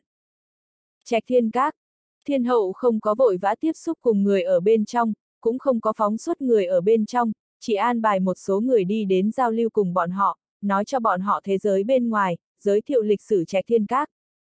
Thiên hậu chỉ là ái náy đối với Trạch Thiên Các, cho nên không muốn đảo loạn sinh hoạt ở trong đó, càng không nghĩ đến muốn vận dụng nhóm người này, chỉ là chỉ dẫn thích hợp cộng thêm điều chỉnh, để người ở bên trong sống càng tự do, mà không phải xúc sinh như trong trại chăn nuôi. Sau 8 ngày, Triệu Thế Hùng thành công vượt qua sinh tử cảnh để rất nhiều người đang lo lắng an ổn trong lòng. Lập tức, xí thiên giới nhấc lên cơn sóng bế quan oanh oanh liệt liệt. Bất luận là kiều gia, ác nhân cốc, hay là huyết kiếm đường mới tiến tới, bất luận là bọn người giả an nhiên, khương bân, hàn ngạo, hướng vãn tình, hay là kim hống, địa long các loại, thậm chí là người của chiến quốc cùng thánh quốc, đều bắt lấy bình tĩnh khó có được, bắt đầu bế quan chiều sâu. Các thế gia của xí thiên giới thì bắt đầu bận rộn luyện chế đan dược, cam đoan nhu cầu của bọn hắn. Bọn hắn đều hiểu, tiếp theo chính là thời khắc vạn thế thần triều quật khởi, xuất hiện đặc sắc, điên cuồng thảm liệt, đều ùn ùn kéo đến, nếu như không muốn bỏ qua cơ hội, không muốn chỉ làm quần chúng thì phải trở nên càng mạnh. Bọn hắn càng hiểu hơn, Khương Phàm khiêu chiến quần hùng thương huyền là đang chuẩn bị tài nguyên chiến tranh, đến lúc đó từng khối bảo cốt thánh vương đều sẽ tiến đến, ai muốn có được, ai muốn thay đổi vận mệnh liền phải tận lực chứng minh mình. Một tháng sau, chiến tranh ở đại địa man hoang Đông Bắc dần dần kết thúc. Sau khi liên quân hoàng đạo tại bỏ ra cái giá thảm liệt đã thành công đánh tan phòng tuyến cuối cùng của chiến tộc. Các cường tộc thương huyền mấy vạn năm lần đầu tiên liên thủ giết tiến vào man hoang nội địa. Nhưng, man hoang chiến tộc không có tháo chạy, càng không có thảm bại, mà là chủ động lui về đến tổ địa, giải phong, hồng hoang cổ thành, bị mai táng. Sau đó, 100.000 chiến tộc huyết tế tổ từ thu hút đế hồn hồng hoang, bày ra tư thế ngọc đá cùng vỡ. Tất cả hoàng đạo thương huyền không thể không ngăn chặn thế công. Sau hai tháng ác chiến tấn công mạnh để bọn hắn lĩnh giáo thật sâu sự nhanh nhẹn dũng mãnh cùng cường hoành của man hoang chiến tộc, cũng chân chính cảm nhận được nội tình của man hoang chiến tộc. Nhiều loại bảo cốt bí khí tầng tầng lớp lớp, mà còn có số lượng khổng lồ, uy lực kinh người, mỗi lần bọn hắn tiến lên 100 dặm đều phải bỏ ra cái giá thê thảm đau đớn, một đường giết tới cho đến bây giờ, thương vong đã cực kỳ thảm trọng. Cho nên khi đối mặt với hồng hoang cổ thành, bọn hắn thật sự không nguyện ý tấn công nữa, chỉ chờ thiên khải chiến trường xuất hiện kết quả. Nếu như phía trên thắng liền có thể rút càng nhiều cường giả về, nhất là thánh vương cảnh, hơn nữa còn có thể tan giã lòng tin của man hoang chiến tộc, bọn hắn có thể thuận thế khởi xướng một kích cuối cùng. Nếu như phía trên thất bại, bọn hắn nơi này lại cố gắng thế nào đều không có chút ý nghĩa nào nữa cả. Thiên khải chiến trường ác chiến thảm liệt, cho đến khi khởi xướng tấn công mạnh, cửu thiên thần tôn, chu thiên thần tôn, xích thiên thần tôn, mới đột nhiên phát hiện, man hoang chiến tộc lại còn cất giấu hai vị thánh hoàng trong hoàng thành thiên khải. Chuyện này không chỉ có chấn kinh bọn hắn, càng khiến cho thế lực cấp hoàng đạo khác tại thiên khải chiến trường khiếp sợ. Ba vị man hoang thánh hoàng phối hợp tài nguyên rộng lượng, bằng vào pháp trận điên cuồng chống cự, cuối cùng ngay cả thần cốt bọn hắn phong tồn trong thời gian vô tận đều tế đi ra. Nhưng nội tình của man hoang chiến tộc cũng đã kích thích đám người cửu thiên thần tôn thật sâu hơn, đều triển khai tấn công mạnh càng khốc liệt hơn. Nếu như đế cốt thật sự ở trên tay bọn họ, chẳng phải muốn tạo nên ba vị thần linh. Kỷ nguyên năm thứ 10, ngày 18 tháng 8, tại thời khắc hoàng thành man hoang chiến tộc lung lay sắp đổ, huyết ma đế tộc phía sau bọn hắn rốt cuộc cũng đã nhúng tay. Số lượng lớn cường giả lao tới cửu thiên thần giáo, chư thiên thần điện, xích thiên thần triều tại thiên khải hoàng thành, còn có thần linh, thánh hoàng xuất hiện, khiến cho cửu thiên thần tôn rút lui, kết thúc vây công. Ngày 20 tháng 8, man hoang chiến tộc uống máu tuyên cáo với thiên khải thậm chí thương huyền, lấy danh nghĩa đế tổ hồng hoang thể, đế cốt không ở bọn hắn trên tay, đúng là bị hoàng phi vạn thế thần triều kiếp trước, thiệu thanh duẫn cướp đi. Tháng 8 hạ tuần, tất cả hoàng đạo lần lượt rút lui từ man hoang cùng thiên khải, man hoang chiến tộc gian nan sống tiếp được. Nhưng, sau mấy tháng chiến tranh thảm liệt, man hoang chiến tộc đã bị thương cực nghiêm trọng. Một vị thánh hoàng chiến tử, hai vị thánh vương, tám vị thánh linh chiến tử, còn có hơn 5 vạn con dân chiến tộc, nội tình tiêu hao bảo cốt càng nhiều vô số kể. Ở trình độ nào đó mà nói, đây cũng không phải là tổn thương nguyên khí, mà là nửa tàn phế. Bọn hắn hận thấu thiệu thanh duẫn kia. Nhưng, cũng may bọn hắn đã bảo vệ được bí mật, man hoang đế tổ. Sau khi vị, man hoang đế tổ, kia thoát khốn từ chiến đấu tại thượng thương đã lặng lẽ lẻn về hồng hoang cổ thành, lập tức hạ đạt tử lệnh, lùng bắt thiệu thanh duẫn. Liền xem như tìm khắp cửu châu thập tam hải đều muốn móc thiệu thanh duẫn ra. Cùng lúc đó, các hoàng đạo khác đã bắt đầu lùng bắt thiệu thanh duẫn, nếu man hoang chiến tộc đã dùng danh nghĩa đế tổ phát thệ, đế cốt 89 phần chính là bị nữ tử kia mang đi. Tuy nhiên, tất cả hoàng đạo vẫn không có từ bỏ giám sát đối với man hoang chiến tộc. Dù sao năng lượng đế cốt cũng quá kinh khủng, nếu để cho loại thế lực như man hoang chiến tộc này đạt được, hậu quả thật sự không tưởng nổi. Cứ như vậy, Thương Huyền cùng Thiên Khải đều tạm thời khôi phục lại bình tĩnh. Nhưng theo thời gian trôi qua, ước chiến của Khương Phàm cùng Hoàng đạo lại càng ngày càng được chú ý. Rất nhiều người sớm đã xuất phát, chạy tới Đại La Sơn chờ đợi. Xung quanh Đại La Sơn còn dựng lên san sát thành mới, đều là khoảng cách chừng trăm dặm. Trong thành tất cả đều là chỗ ở cấp cao, chuẩn bị cho hoàng tộc hoàng đạo sắp đến, còn có các loại sòng bạc, dùng để đặt cược cho đại chiến sắp đến. Tất cả các cường giả được chọn trong các hoàng tộc hoàng đạo cũng đều bắt đầu bế quan cùng chuẩn bị sau cùng. Kỷ nguyên năm thứ 10, ngày mùng 8 tháng 11, xí thiên giới giáng lâm Tân Hải Tây Bộ, mở ra hỗn độn thần nhãn. Sau ba ngày, bọn người kiều vô hối điên cuồng liên chiến tại các nơi hải vực đã trở lại lục địa, được hỗn độn thần nhãn tiếp nhập xí thiên giới.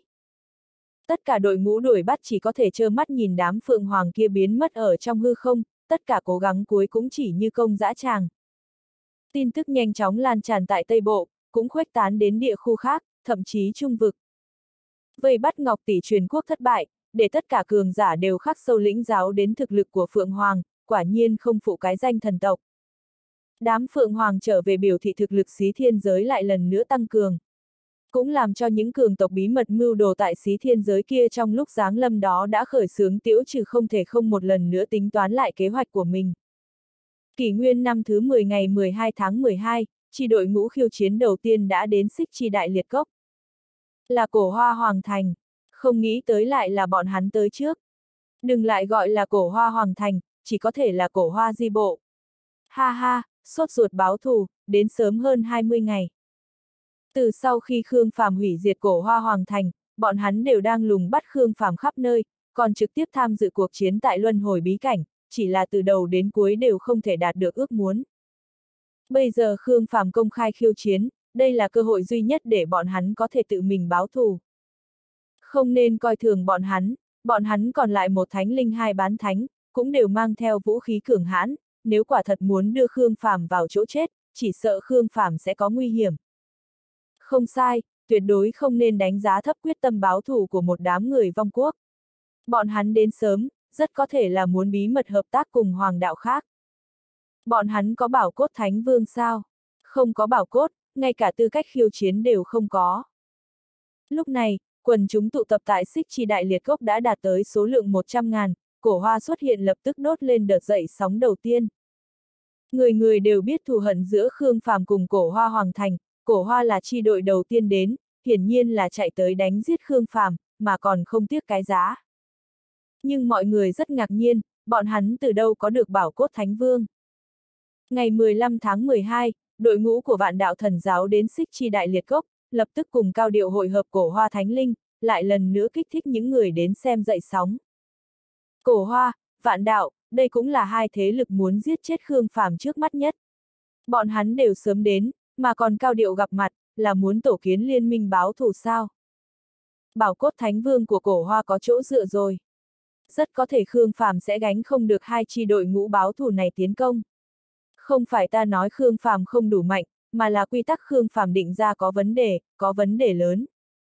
Không giới hạn nhân số, không giới hạn quy tắc, không giới hạn vũ khí, đủ loại không giới hạn, đã định đủ loại biến cố. Nếu như là luận võ bình thường, Khương Phàm có thể tiếp tục gánh vác, nhưng giã quy tắc man như thế này, nhất định khiến Khương Phàm cửu tử nhất sinh. Ta thực sự không nghĩ ra, tại sao Khương Phàm lại muốn định ra quy tắc như thế này. Đây rõ ràng không lý trí, mà còn là vô cùng khinh thường, chẳng lẽ người bên trong xí thiên giới không ngăn cản sao? Khương Phàm hẳn là không có cách nào, nếu như không phải đưa quy tắc như thế, hoàng tộc hoàng đạo toàn thương huyền sẽ cho hắn 5 tháng chỉnh đốn sao, sẽ nguyện ý tới đây khiêu chiến sao?